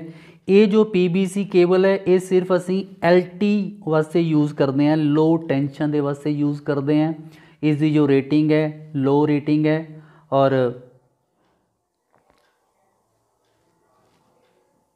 ਠੀਕ ਹੈ ਜੀ ਇਹ ਜੋ ਆ ਗਿਆ ਕ੍ਰਾਸ ਲਿੰਕਡ ਪੋਲੀਥੀਨ ਜੋ ਕੇਬਲ ਹੈ ਇਹ HT ਤੇ LT ਦੇ ਵਾਸਤੇ ਯੂਜ਼ ਜਿਹੜੀ ਹੈ ਅਸੀਂ ਕਰਦੇ ਹਾਂ ਅੰਡਰਗਰਾਉਂਡ ਕੇਬਲ ਦੇ ਵਿੱਚ ਜਿਹੜੇ ਅਸੀਂ ਯੂਜ਼ ਕਰਦੇ ਹਾਂ ਨੈਕਸਟ ਕੁਐਸਚਨ ਹੈ ਜੀ, ਇਹ ਕੁਐਸਚਨ ਹੈ ਜਿਸ ਦੇ ਵਿੱਚ ਹੈ ਕਿ which of the following switches is used when lamp has to control from the more than two way two places ਯਾਨੀ ਅਗਰ ਤੁਸੀਂ ਦੋ ਪਲੇਸ ਤੋਂ ਜ਼ਿਆਦਾ ਕੰਟਰੋਲ ਕਰਨਾ ਤੇ ਕਿਹੜਾ ਸਵਿਚ ਜਿਹੜਾ ਯੂਜ਼ ਕਰੋਗੇ, ਸਭ ਤੋਂ ਪਹਿਲਾਂ ਤੁਹਾਨੂੰ ਪਤਾ ਹੋਣਾ ਕਿ ਇੱਕ ਜਿਹੜਾ ਅਸੀਂ ਘਰਾਂ ਦੇ ਵਿੱਚ ਜੋ ਸਿੰਪਲ ਜਿਹੜੇ ਸਵਿਚ ਯੂਜ਼ ਕਰਦੇ ਆ ਉਹਨੂੰ ਅਸੀਂ ਕਹਿੰਦੇ ਆ ਜੀ ਫਲੈਸ਼ ਟਾਈਪ ਸਵਿਚ ਔਰ ਉਹਨੂੰ ਅਸੀਂ ਵਨ ਵੇ ਸਵਿਚ ਵੀ ਕਹਿੰਦੇ ਆ ਵਨ ਵੇ ਸਵਿਚ ਕਹਿੰਦੇ ਆ ਫਲਸ਼ ਟਾਈਪ ਸਵਿਚ ਕਹਿੰਦੇ ਆ ਔਰ ਉਸ ਤੋਂ ਬਾਅਦ ਸਾਡੇ ਕੋਲ ਆਉਂਦਾ ਜੀ ਟੂ ਵੇ ਸਵਿਚ ਇਹ ਵੀ ਤੁਸੀਂ ਯਾਦ ਰੱਖਣਾ ਟੂ ਵੇ ਸਵਿਚ ਅਸੀਂ ਯੂਜ਼ ਕਰਦੇ ਆਂ ਸਟੇਅਰ ਕੇਸ ਦੇ ਵਿੱਚ। ਯਾਨੀ ਕਿ ਜਦੋਂ ਅਸੀਂ ਪੌੜੀਆਂ ਦੀ ਵਾਇਰਿੰਗ ਕਰਦੇ ਆਂ ਤੇ ਇੱਕ ਲੈਂਪ ਹੁੰਦਾ, ਉਸ ਦੇ ਵਿੱਚ ਉਹਨੂੰ ਦੋ ਜਗ੍ਹਾ ਤੋਂ ਅਸੀਂ ਕੰਟਰੋਲ ਕਰਦੇ ਹਾਂ, ਇੱਕ ਨੀਚੇ ਵਾਲੀ ਸਾਈਡ ਤੋਂ ਤੇ ਇੱਕ ਉੱਪਰ ਵਾਲੀ ਸਾਈਡ ਤੋਂ। ਨੀਚੇ ਤੋਂ ਜਦੋਂ ਕੋਈ ਜਾਂਦਾ ਹੈ ਤੇ ਸਵਿਚ ਔਨ ਕਰੇਗਾ, ਉੱਪਰ ਜਾ ਕੇ ਸਵਿਚ ਨੂੰ ਆਫ ਕਰ ਦੇਗਾ ਸਵਿਚ ਨੂੰ ਆਫ ਕਰੇਗਾ, ਤਾਂ ਬਲਬ ਜਿਹੜਾ ਆਫ ਹੋ ਜਾਏਗਾ। ਇਹਨੂੰ ਅਸੀਂ ਕਹਿੰਦੇ ਹਾਂ ਜੀ, ਉੱਥੇ ਜਿਹੜਾ ਬਲਬ ਯੂਜ਼ ਕੀਤਾ ਜਾਂਦਾ ਹੈ, ਉਹ ਯੂਜ਼ ਕੀਤਾ ਜਾਂਦਾ ਯਾਨੀ ਕਿ ਜਿਹੜਾ ਸਵਿਚ ਉੱਥੇ ਯੂਜ਼ ਕੀਤਾ ਜਾਂਦਾ ਬਲਬ ਨਹੀਂ ਸਵਿਚ ਜਿਹੜਾ ਯੂਜ਼ ਕੀਤਾ ਜਾਂਦਾ ਉਹਨੂੰ ਅਸੀਂ ਕਹਿੰਦੇ ਹਾਂ ਜੀ ਟੂ ਵੇ ਸਵਿਚ ਠੀਕ ਹੈ ਜੀ? ਔਰ ਇਸ ਦੇ ਵਿੱਚ ਕੀ ਫ਼ਰਕ ਹੁੰਦਾ ਜਿਹੜਾ ਆਮ ਸਵਿਚ ਹੁੰਦਾ ਜਿਹਨੂੰ ਅਸੀਂ ਕਹਿੰਦੇ ਹਾਂ ਵਨ ਵੇ ਸਵਿਚ ਜਾਂ ਫਲਸ਼ ਟਾਈਪ ਸਵਿਚ ਇਸ ਦੇ ਵਿੱਚ ਦੋ ਟਰਮੀਨਲ ਹੁੰਦੇ ਜੀ। ਦੋ ਟਰਮੀਨਲ ਹੁੰਦੇ ਆ। ਹੁਣ ਅਸੀਂ ਗੱਲ ਕਰ ਰਹੇ ਹਾਂ ਕਿ ਟੂ ਵੇ ਸਵਿਚ ਦੀ ਤੇ ਟੂ ਵੇ ਸਵਿਚ ਦੇ ਵਿੱਚ ਜਿਹੜੇ ਆ, ਤਿੰਨ ਟਰਮੀਨਲ ਹੁੰਦੇ ਆ ਜੀ। ਤਿੰਨ ਟਰਮੀਨਲ ਦੇ ਵਿੱਚੋਂ ਅਸੀਂ ਇਹਨੂੰ ਕੰਟਰੋਲ ਕਰ ਸਕਦੇ ਹਾਂ। ਅਗਰ ਇਸ ਦੀ ਤੁਸੀਂ ਡਾਇਗਰਾਮ ਦੇਖਣੀ ਹੈ ਪਹਿਲਾਂ ਇਸ ਦੇ ਵਿੱਚ ਅਗਰ ਅਸੀਂ ਦੋ ਲੈਂਪ ਦੀ ਗੱਲ ਕਰ ਰਹੇ ਹਾਂ, ਦੋ ਸਵਿਚ ਦੇ ਨਾਲ ਇੱਕ ਲੈਂਪ ਨੂੰ ਜਦੋਂ ਅਸੀਂ ਕੰਟਰੋਲ ਕਰਨਾ, ਤੇ ਟੂ ਵੇ ਸਵਿਚ ਸਾਡੇ ਕੋਲ ਇਸ ਤਰ੍ਹਾਂ ਆ ਜਾਂਦਾ ਹੈ। ਇਸ ਦੇ ਤਿੰਨ ਟਰਮੀਨਲ ਹੁੰਦੇ ਆ। ਔਰ ਇੱਥੇ ਅਸੀਂ ਸੈਂਟਰ ਵਾਲੇ ਪੁਆਇੰਟ ਦੇ ਵਿੱਚ ਇਹਨੂੰ ਅਸੀਂ ਫੇਸ ਦੇ ਦਿੰਨੇ ਆ ਔਰ ਇਹ ਵਾਲੇ ਪੁਆਇੰਟ ਨੂੰ ਅਸੀਂ ਮਿਲਾ ਦਿੰਨੇ ਆ ਇਸ ਦੇ ਨਾਲ, ਔਰ ਇਹ ਵਾਲਾ ਪੁਆਇੰਟ ਇਸ ਦੇ ਨਾਲ ਮਿਲ ਜਾਂਦਾ ਹੈ। ਔਰ ਇੱਥੇ ਸਾਡੇ ਕੋਲ ਆ ਜਾਂਦਾ ਜੀ lamp.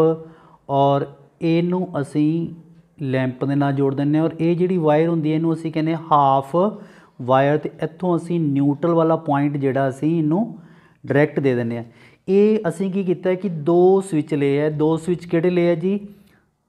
Two way switch two way switch ਦੇ ਨਾਲ ਅਸੀਂ ਕੀ ਕੀਤਾ? ਇੱਕ ਲੈਂਪ ਨੂੰ ਕੰਟਰੋਲ ਕੀਤਾ। ਕਿੰਨੀ ਜਗ੍ਹਾ ਤੋਂ ਕੰਟਰੋਲ ਕੀਤਾ ਜੀ? ਦੋ ਜਗ੍ਹਾ ਤੋਂ ਕੰਟਰੋਲ ਕੀਤਾ। ਅਗਰ ਅਸੀਂ ਲੈਂਪ ਨੂੰ ਦੋ ਤੋਂ ਵੱਧ ਜਗ੍ਹਾ ਤੇ ਕੰਟਰੋਲ ਕਰਨਾ ਹੋਏ, ਤਾਂ ਫਿਰ ਅਸੀਂ ਸਵਿਚ ਯੂਜ਼ ਕਰਦੇ ਹਾਂ ਜੀ ਇੰਟਰਮੀਡੀਏਟ ਸਵਿਚ। ਇੰਟਰਮੀਡੀਏਟ ਸਵਿਚ ਉਸਦੇ ਚਾਰ ਟਰਮੀਨਲ ਹੁੰਦੇ ਆ। ਇਹ ਟਰਮੀਨਲ ਇਸ ਦੇ ਨਾਲ ਲਿੰਕ ਹੁੰਦਾ ਹੈ ਔਰ ਇਹ ਟਰਮੀਨਲ ਇਸ ਦੇ ਨਾਲ ਲਿੰਕ ਹੁੰਦਾ ਇਹਨੂੰ ਅਸੀਂ ਕਹਿੰਦੇ ਹਾਂ ਇੰਟਰਮੀਡੀਏਟ ਸਵਿਚ। ਜਦੋਂ ਅਸੀਂ ਲੈਂਪ ਨੂੰ ਦੋ ਤੋਂ ਵੱਧ ਜਗ੍ਹਾ ਤੇ, ਯਾਨੀ ਕਿ ਤਿੰਨ ਜਗ੍ਹਾ, ਚਾਰ ਜਗ੍ਹਾ, ਪੰਜ ਵਾਰ ਯੂਜ਼ ਕਰਨਾ ਨੂੰ ਤਾਂ ਉਸ ਦੇ ਵਿੱਚ ਅਸੀਂ ਇੰਟਰਮੀਡੀਏਟ ਜਿਹੜਾ ਸਵਿਚ ਹੈ, ਅਸੀਂ ਉਹ ਯੂਜ਼ ਕਰਦੇ ਹਾਂ। ਮੀਨਸ ਕਿ ਅਗਰ ਮੈਂ ਇਸ ਦੀ ਫੇਰ ਅਗਰ ਡਾਇਗਰਾਮ ਬਣਾਵਾਂ, ਇਹ ਸਾਡੇ ਕੋਲ ਆ ਗਿਆ ਜੀ ਨਿਊਟਰਲ ਪੁਆਇੰਟ ਇੱਥੇ ਆ ਗਿਆ ਸਾਡੇ ਕੋਲ ਜੀ ਫੇਸ ਪੁਆਇੰਟ ਇਸ ਦੇ ਵਿੱਚ ਅਸੀਂ ਇੱਥੇ ਦੇ ਦਿੰਦੇ ਆ ਫੇਸ ਇਹ ਸਾਡੇ ਕੋਲ ਆ ਗਿਆ ਜੀ ਟੂ ਵੇ ਸਵਿਚ ਔਰ ਇੱਧਰ ਵੀ ਇੱਕ ਆ ਗਿਆ ਸਾਡੇ ਕੋਲ ਟੂ ਵੇ ਸਵਿਚ ਔਰ ਇਹਦੇ ਵਿੱਚ ਅਸੀਂ ਇੱਕ ਲਗਾ ਦਿੰਦੇ ਆ ਇੰਟਰਮੀਡੀਏਟ ਸਵਿਚ ਦੇ ਦੋ ਟਰਮੀਨਲ ਉੱਪਰ ਹੁੰਦੇ ਆ ਤੇ ਦੋ ਟਰਮੀਨਲ ਜਿਹੜੇ ਆ ਨੀਚੇ ਹੁੰਦੇ ਆ ਔਰ ਇਹ ਟਰਮੀਨਲ ਇਸ ਦੇ ਨਾਲ ਲਿੰਕ ਹੁੰਦਾ ਹੈ ਔਰ ਇਹ ਵਾਲਾ ਟਰਮੀਨਲ ਇਸ ਦੇ ਨਾਲ ਲਿੰਕ ਹੁੰਦਾ ਹੈ। ਔਰ ਇਹਨੂੰ ਅਸੀਂ ਜਦੋਂ ਕਨੈਕਟ ਕਰ ਦਿੰਦੇ ਆ ਇਹਨੂੰ ਅਸੀਂ ਇਸ ਦੇ ਨਾਲ ਕਨੈਕਟ ਕਰ ਦਿੰਦੇ ਆ ਔਰ ਇਹ ਵਾਲਾ ਪੁਆਇੰਟ ਜਿਹੜਾ ਇਸ ਦੇ ਨਾਲ ਕਨੈਕਟ ਹੋ ਜਾਂਦਾ। ਔਰ ਸੇਮ ਹੀ ਜੋ ਨੀਚੇ ਵਾਲਾ ਪੁਆਇੰਟ ਹੈ, ਇਸ ਦੇ ਨਾਲ ਕਨੈਕਟ ਹੋ ਜਾਏਗਾ ਔਰ ਜੋ ਇੱਧਰ ਵਾਲਾ ਪੁਆਇੰਟ ਹੈ, ਇੱਧਰ ਕਨੈਕਟ ਹੋ ਜਾਏਗਾ। ਇਹ ਹਾਫ ਵਾਇਰ ਜਿਹੜੀ ਅਸੀਂ ਬਲਬ ਦੇ ਨਾਲ ਕਨੈਕਟ ਕਰ ਦਿੰਦੇ ਆ ਔਰ ਜਦੋਂ ਇਹ ਜਦੋਂ ਅਸੀਂ ਇਸ ਨੂੰ ਸਪਲਾਈ ਸਿਸਟਮ ਨੂੰ ਔਨ ਕਰਾਂਗੇ ਤੇ ਇਹ ਜਿਹੜਾ ਲੈਂਪ ਹੈ, ਉਹ ਤਿੰਨ ਜਗ੍ਹਾ ਤੋਂ ਕੰਟਰੋਲ ਹੋ ਜਾਏਗਾ। ਇੱਕ ਇੱਥੋਂ ਕੰਟਰੋਲ ਹੋਏਗਾ, ਇੱਕ ਇੱਥੋਂ ਦੀ ਕੰਟਰੋਲ ਹੋ ਜਾਏਗਾ ਤੇ ਇੱਕ ਇੱਥੋਂ ਦੀ ਕੰਟਰੋਲ ਹੋ ਜਾਏਗਾ। ਅਗਰ ਅਸੀਂ ਇੱਕ ਹੋਰ ਜਗ੍ਹਾ ਤੋਂ ਅਸੀਂ ਕੰਟਰੋਲ ਕਰਨਾ ਹੈ, ਪੰਜ ਜਗ੍ਹਾ ਤੋਂ ਕੰਟਰੋਲ ਕਰਨਾ, ਤਾਂ ਇੱਕ ਮੀਡੀਏਟ ਸਵਿਚ ਜਿਹੜਾ ਹੋਰ ਯੂਜ਼ ਹੋ ਜਾਏਗਾ। ਫਿਲਹਾਲ ਇਸ ਕੁਐਸਚਨ ਦੇ ਵਿੱਚ ਇਹੀ ਹੈ ਕਿ ਜਿਹੜਾ ਇੰਟਰਮੀਡੀਏਟ ਸਵਿਚ ਅਸੀਂ ਯੂਜ਼ ਕਰਦੇ ਹਾਂ, ਜਦੋਂ ਲੈਂਪ ਨੂੰ ਦੋ ਤੋਂ ਵੱਧ ਜਗ੍ਹਾ ਤੇ ਕੰਟਰੋਲ ਕਰਨਾ ਹੁੰਦਾ ਹੈ। ਤਾਂ ਇੱਕ ਆ ਗਿਆ ਸਾਡੇ ਕੋਲ ਜੀ ਨਾਈਪ ਸਵਿਚ ਇਹ ਨਾਈਫ ਸਵਿਚ ਹੈ ਜਿਹੜਾ ਅਸੀਂ ਸਰਕਟ ਬ੍ਰੇਕਰ ਦੇ ਵਿੱਚ ਅਸੀਂ ਸਰਕਟ ਨੂੰ ਬ੍ਰੇਕ ਕਰਨ ਵਾਸਤੇ ਜਿਹੜਾ ਨਾਈਪ ਸਵਿਚ ਜਿਹੜਾ ਯੂਜ਼ ਕਰਦੇ ਆ ਇਸ ਦੀ ਡਾਇਗਰਾਮ ਵੀ ਤੁਹਾਨੂੰ ਦਿਖਾ ਦਿੰਨੇ ਆ ਤੋ ਇਹ ਸਾਡੇ ਕੋਲ ਫਲੈਸ਼ ਟਾਈਪ ਸਵਿਚ ਜਾਂ ਤੁਸੀਂ ਕਹਿ ਸਕਦੇ ਹੋ ਸਿੰਗਲ ਵੇ ਸਵਿਚ ਹੈ। ਔਰ ਇਹ ਆ ਗਿਆ ਸਾਡੇ ਕੋਲ ਜੀ ਟੂ ਵੇ ਸਵਿਚ ਜਿਸ ਦੇ ਵਿੱਚ ਹੈ ਤਿੰਨ ਟਰਮੀਨਲ ਹੁੰਦੇ ਆ। ਇਸ ਵਿੱਚ ਟੂ ਵੇ ਸਵਿਚ ਦੇ।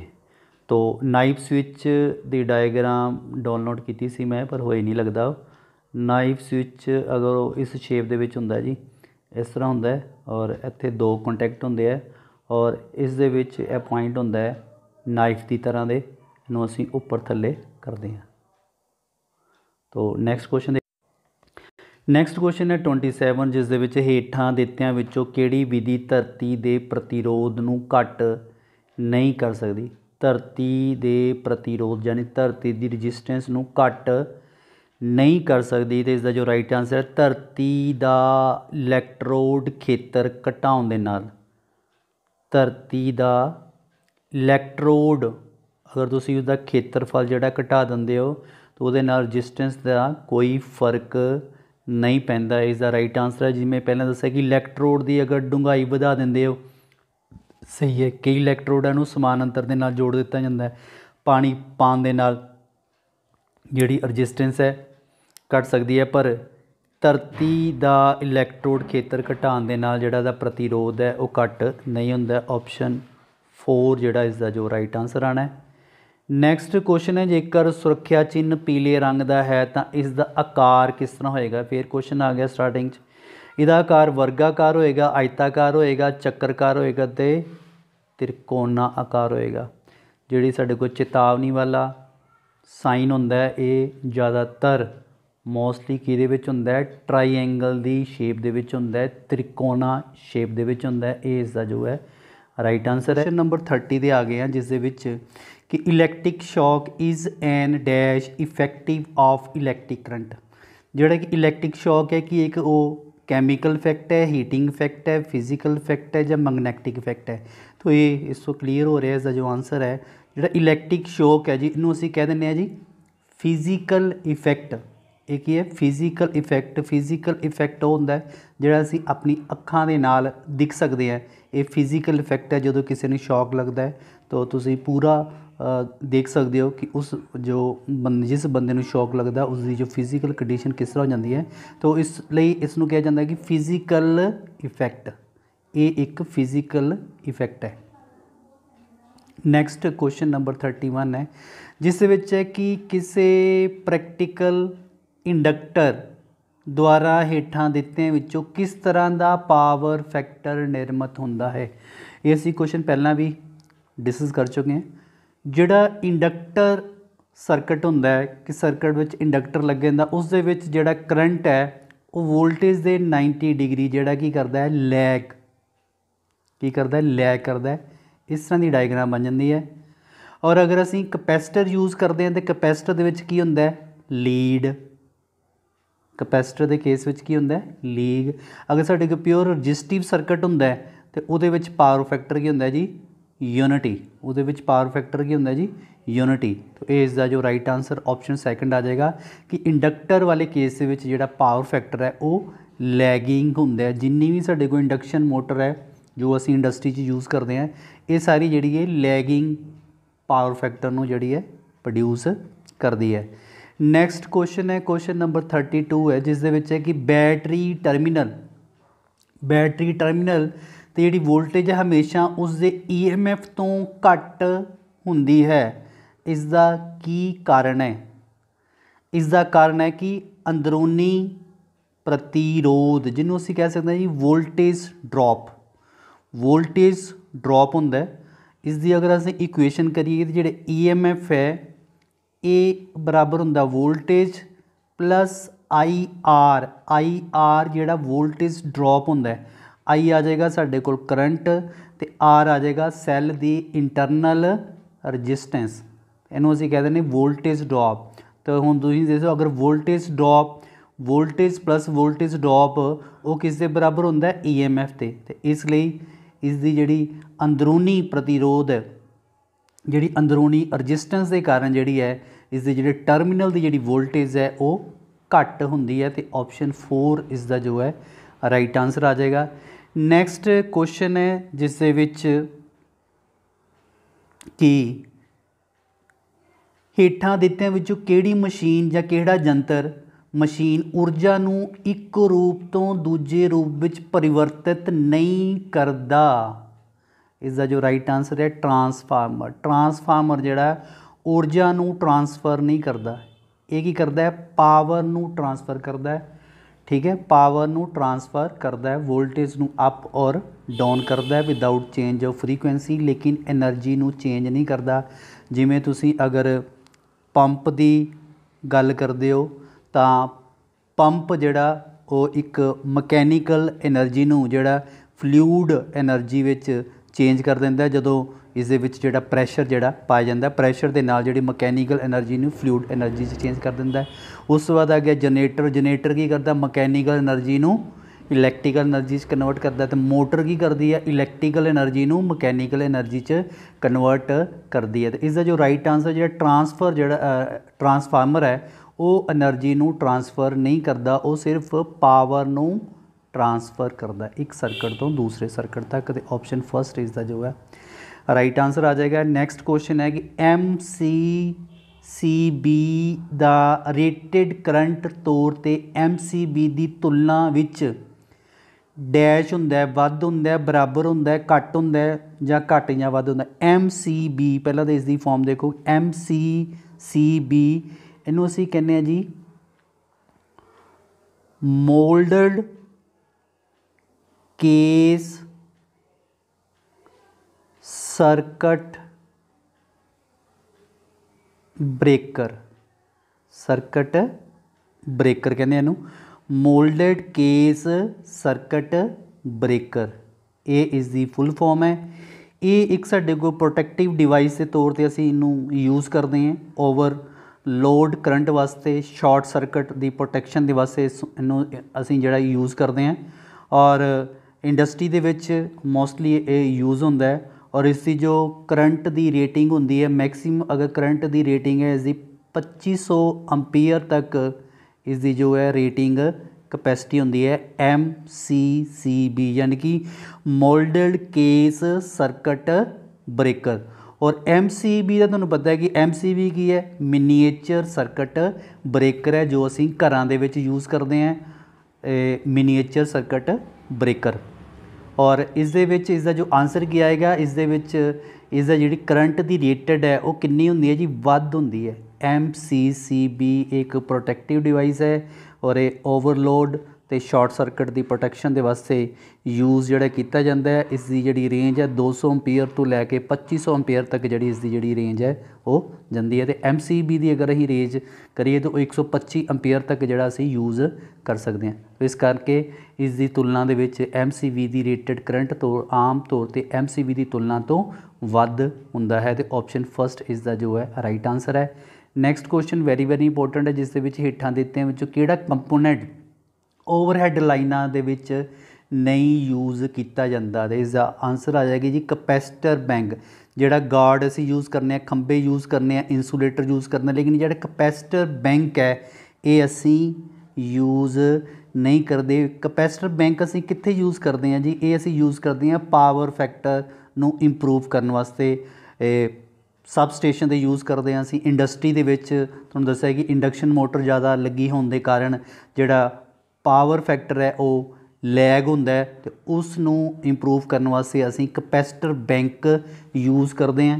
ਜਾਂ ਤੁਸੀਂ ਕਹਿ ਸਕਦੇ ਹੋ ਇੱਕ ਅਸੀਂ ਹੋਰ ਵੀ ਯੂਜ਼ ਕਰਦੇ ਹਾਂ ਸਿੰਕਰੋਨਸ ਮੋਟਰ ਸਿੰਕਰੋਨਸ ਮੋਟਰ ਵੀ ਜਿਹੜੀ ਹੈ ਅਸੀਂ ਪਾਵਰ ਫੈਕਟਰ ਨੂੰ ਇੰਪਰੂਵ ਕਰਨ ਵਾਸਤੇ ਯੂਜ਼ ਕਰਦੇ ਹਾਂ। ਪਰ ਇਸ ਕੁਐਸਚਨ ਦੇ ਵਿੱਚ ਅਸੀਂ ਇਹ ਦੱਸਣਾ ਹੈ ਕਿ ਜਿਹੜਾ ਕਪੈਸਿਟਰ ਬੈਂਕ ਹੈ, ਉਹ ਜਿਹੜਾ ਓਵਰਹੈਡ ਲਾਈਨ ਤੇ ਨਹੀਂ ਵਰਤਿਆ ਜਾਂਦਾ, ਇਹ ਸਬ ਸਟੇਸ਼ਨ ਤੇ ਵਰਤਿਆ ਜਾਂਦਾ ਪਾਵਰ ਫੈਕਟਰ ਨੂੰ ਇੰਪਰੂਵ ਕਰਨ ਵਾਸਤੇ ਜਾਂ nearby the load centre use ਕੀਤਾ ਜਾਂਦਾ ਹੈ ਜਾਂ ਇੰਡਸਟਰੀ ਦੇ ਵਿੱਚ ਯੂਜ਼ ਕੀਤਾ ਜਾਂਦਾ ਤੇ ਇਸ ਦਾ ਰਾਈਟ ਆਪਸ਼ਨ ਹੈ ਜੀ option first capacitor bank next question number 36 ਹੈ, ਜਿਸ ਦੇ ਵਿੱਚ ਹੈ ਕਿ ਟਰਾਂਸਫਾਰਮਰ ਨੂੰ ਠੰਡਾ ਕਰਨ ਦੇ ਲਈ ਹੇਠ ਲਿਖਿਆਂ ਵਿੱਚੋਂ ਕਿਹੜੀ ਵਿਧੀ ਜਿਹੜੀ ਹੈ ਗਲਤ ਹੈ?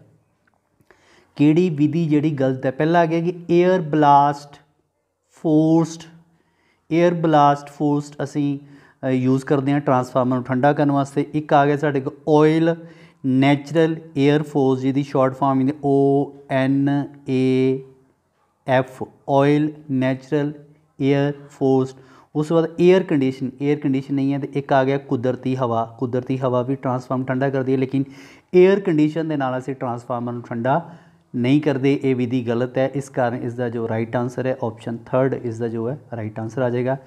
ਨੈਕਸਟ ਕੁਐਸਚਨ ਹੈ ਕੁਐਸਚਨ ਨੰਬਰ 37 ਹੈ ਜਿਸ ਦੇ ਵਿੱਚ ਹੈ ਕਿ ਪ੍ਰਤੀਰੋਧਕ ਦੀ ਪਰਿਵਰਤਨਸ਼ੀਲ ਤਾਪਮਾਨ ਅਤੇ ਨਮੀ ਦੀ ਸਥਿਤੀ ਵਿੱਚ ਸਥਿਰ ਮੁੱਲ ਬਣਾਏ ਰੱਖਣ ਦੇ ਲਈ ਸਮਰੱਥਾ ਨੂੰ ਕੀ ਕਹਿੰਦੇ ਆ? ਸਥਿਰ, ਜਿਹਦੇ ਵਿੱਚ ਸਟੈਬਿਲਿਟੀ ਕਹਿੰਦੇ ਆ ਇਸ ਦਾ ਜੋ ਰਾਈਟ ਆਨਸਰ ਹੈ ਉਹ ਆ ਜਾਏਗਾ ਜੀ ਸਟੈਬਿਲਿਟੀ ਸਟੈਬਿਲਿਟੀ ਦਾ ਮਤਲਬ ਹੈ ਕਿ ਉਹ ਸਿਸਟਮ ਜਿਹਦੇ ਵਿੱਚ ਕਿ ਅਸੀਂ ਉਸ ਦੀ ਜਿਹੜੀ ਆਉਟਪੁੱਟ ਹੈ, ਉਹਨੂੰ ਅਸੀਂ ਕੰਟਰੋਲ ਕਰ ਸਕਦੇ ਹਾਂ, ਉਹਨੂੰ ਅਸੀਂ ਕਹਿੰਦੇ ਹਾਂ ਜੀ ਸਟੈਬਿਲਿਟੀ ਸਟੈਬਿਲਿਟੀ ਨੂੰ ਤੁਸੀਂ ਇਸ ਤਰ੍ਹਾਂ ਡਿਫਾਈਨ ਕਰ ਸਕਦੇ ਹੋ ਕਿ stability if its output is under control ਜਿਹਦੇ ਵਿੱਚ ਜਿਹੜੀ ਆਊਟਪੁੱਟ ਹੈ ਅੰਡਰ ਕੰਟਰੋਲ ਹੁੰਦੀ ਹੈ, ਉਸ ਚੀਜ਼ ਨੂੰ ਅਸੀਂ ਕਹਿ ਦਿੰਦੇ ਹਾਂ ਜੀ ਸਟੈਬਿਲਿਟੀ। ਤੇ ਇਹ ਇਸ ਦਾ ਰਾਈਟ ਆਨਸਰ ਆ ਜਾਏਗਾ। ਆਪਸ਼ਨ ਫਰਸਟ ਇਸ ਦਾ ਜੋ ਹੈ ਰਾਈਟ ਆਨਸਰ ਆ ਜਾਏਗਾ।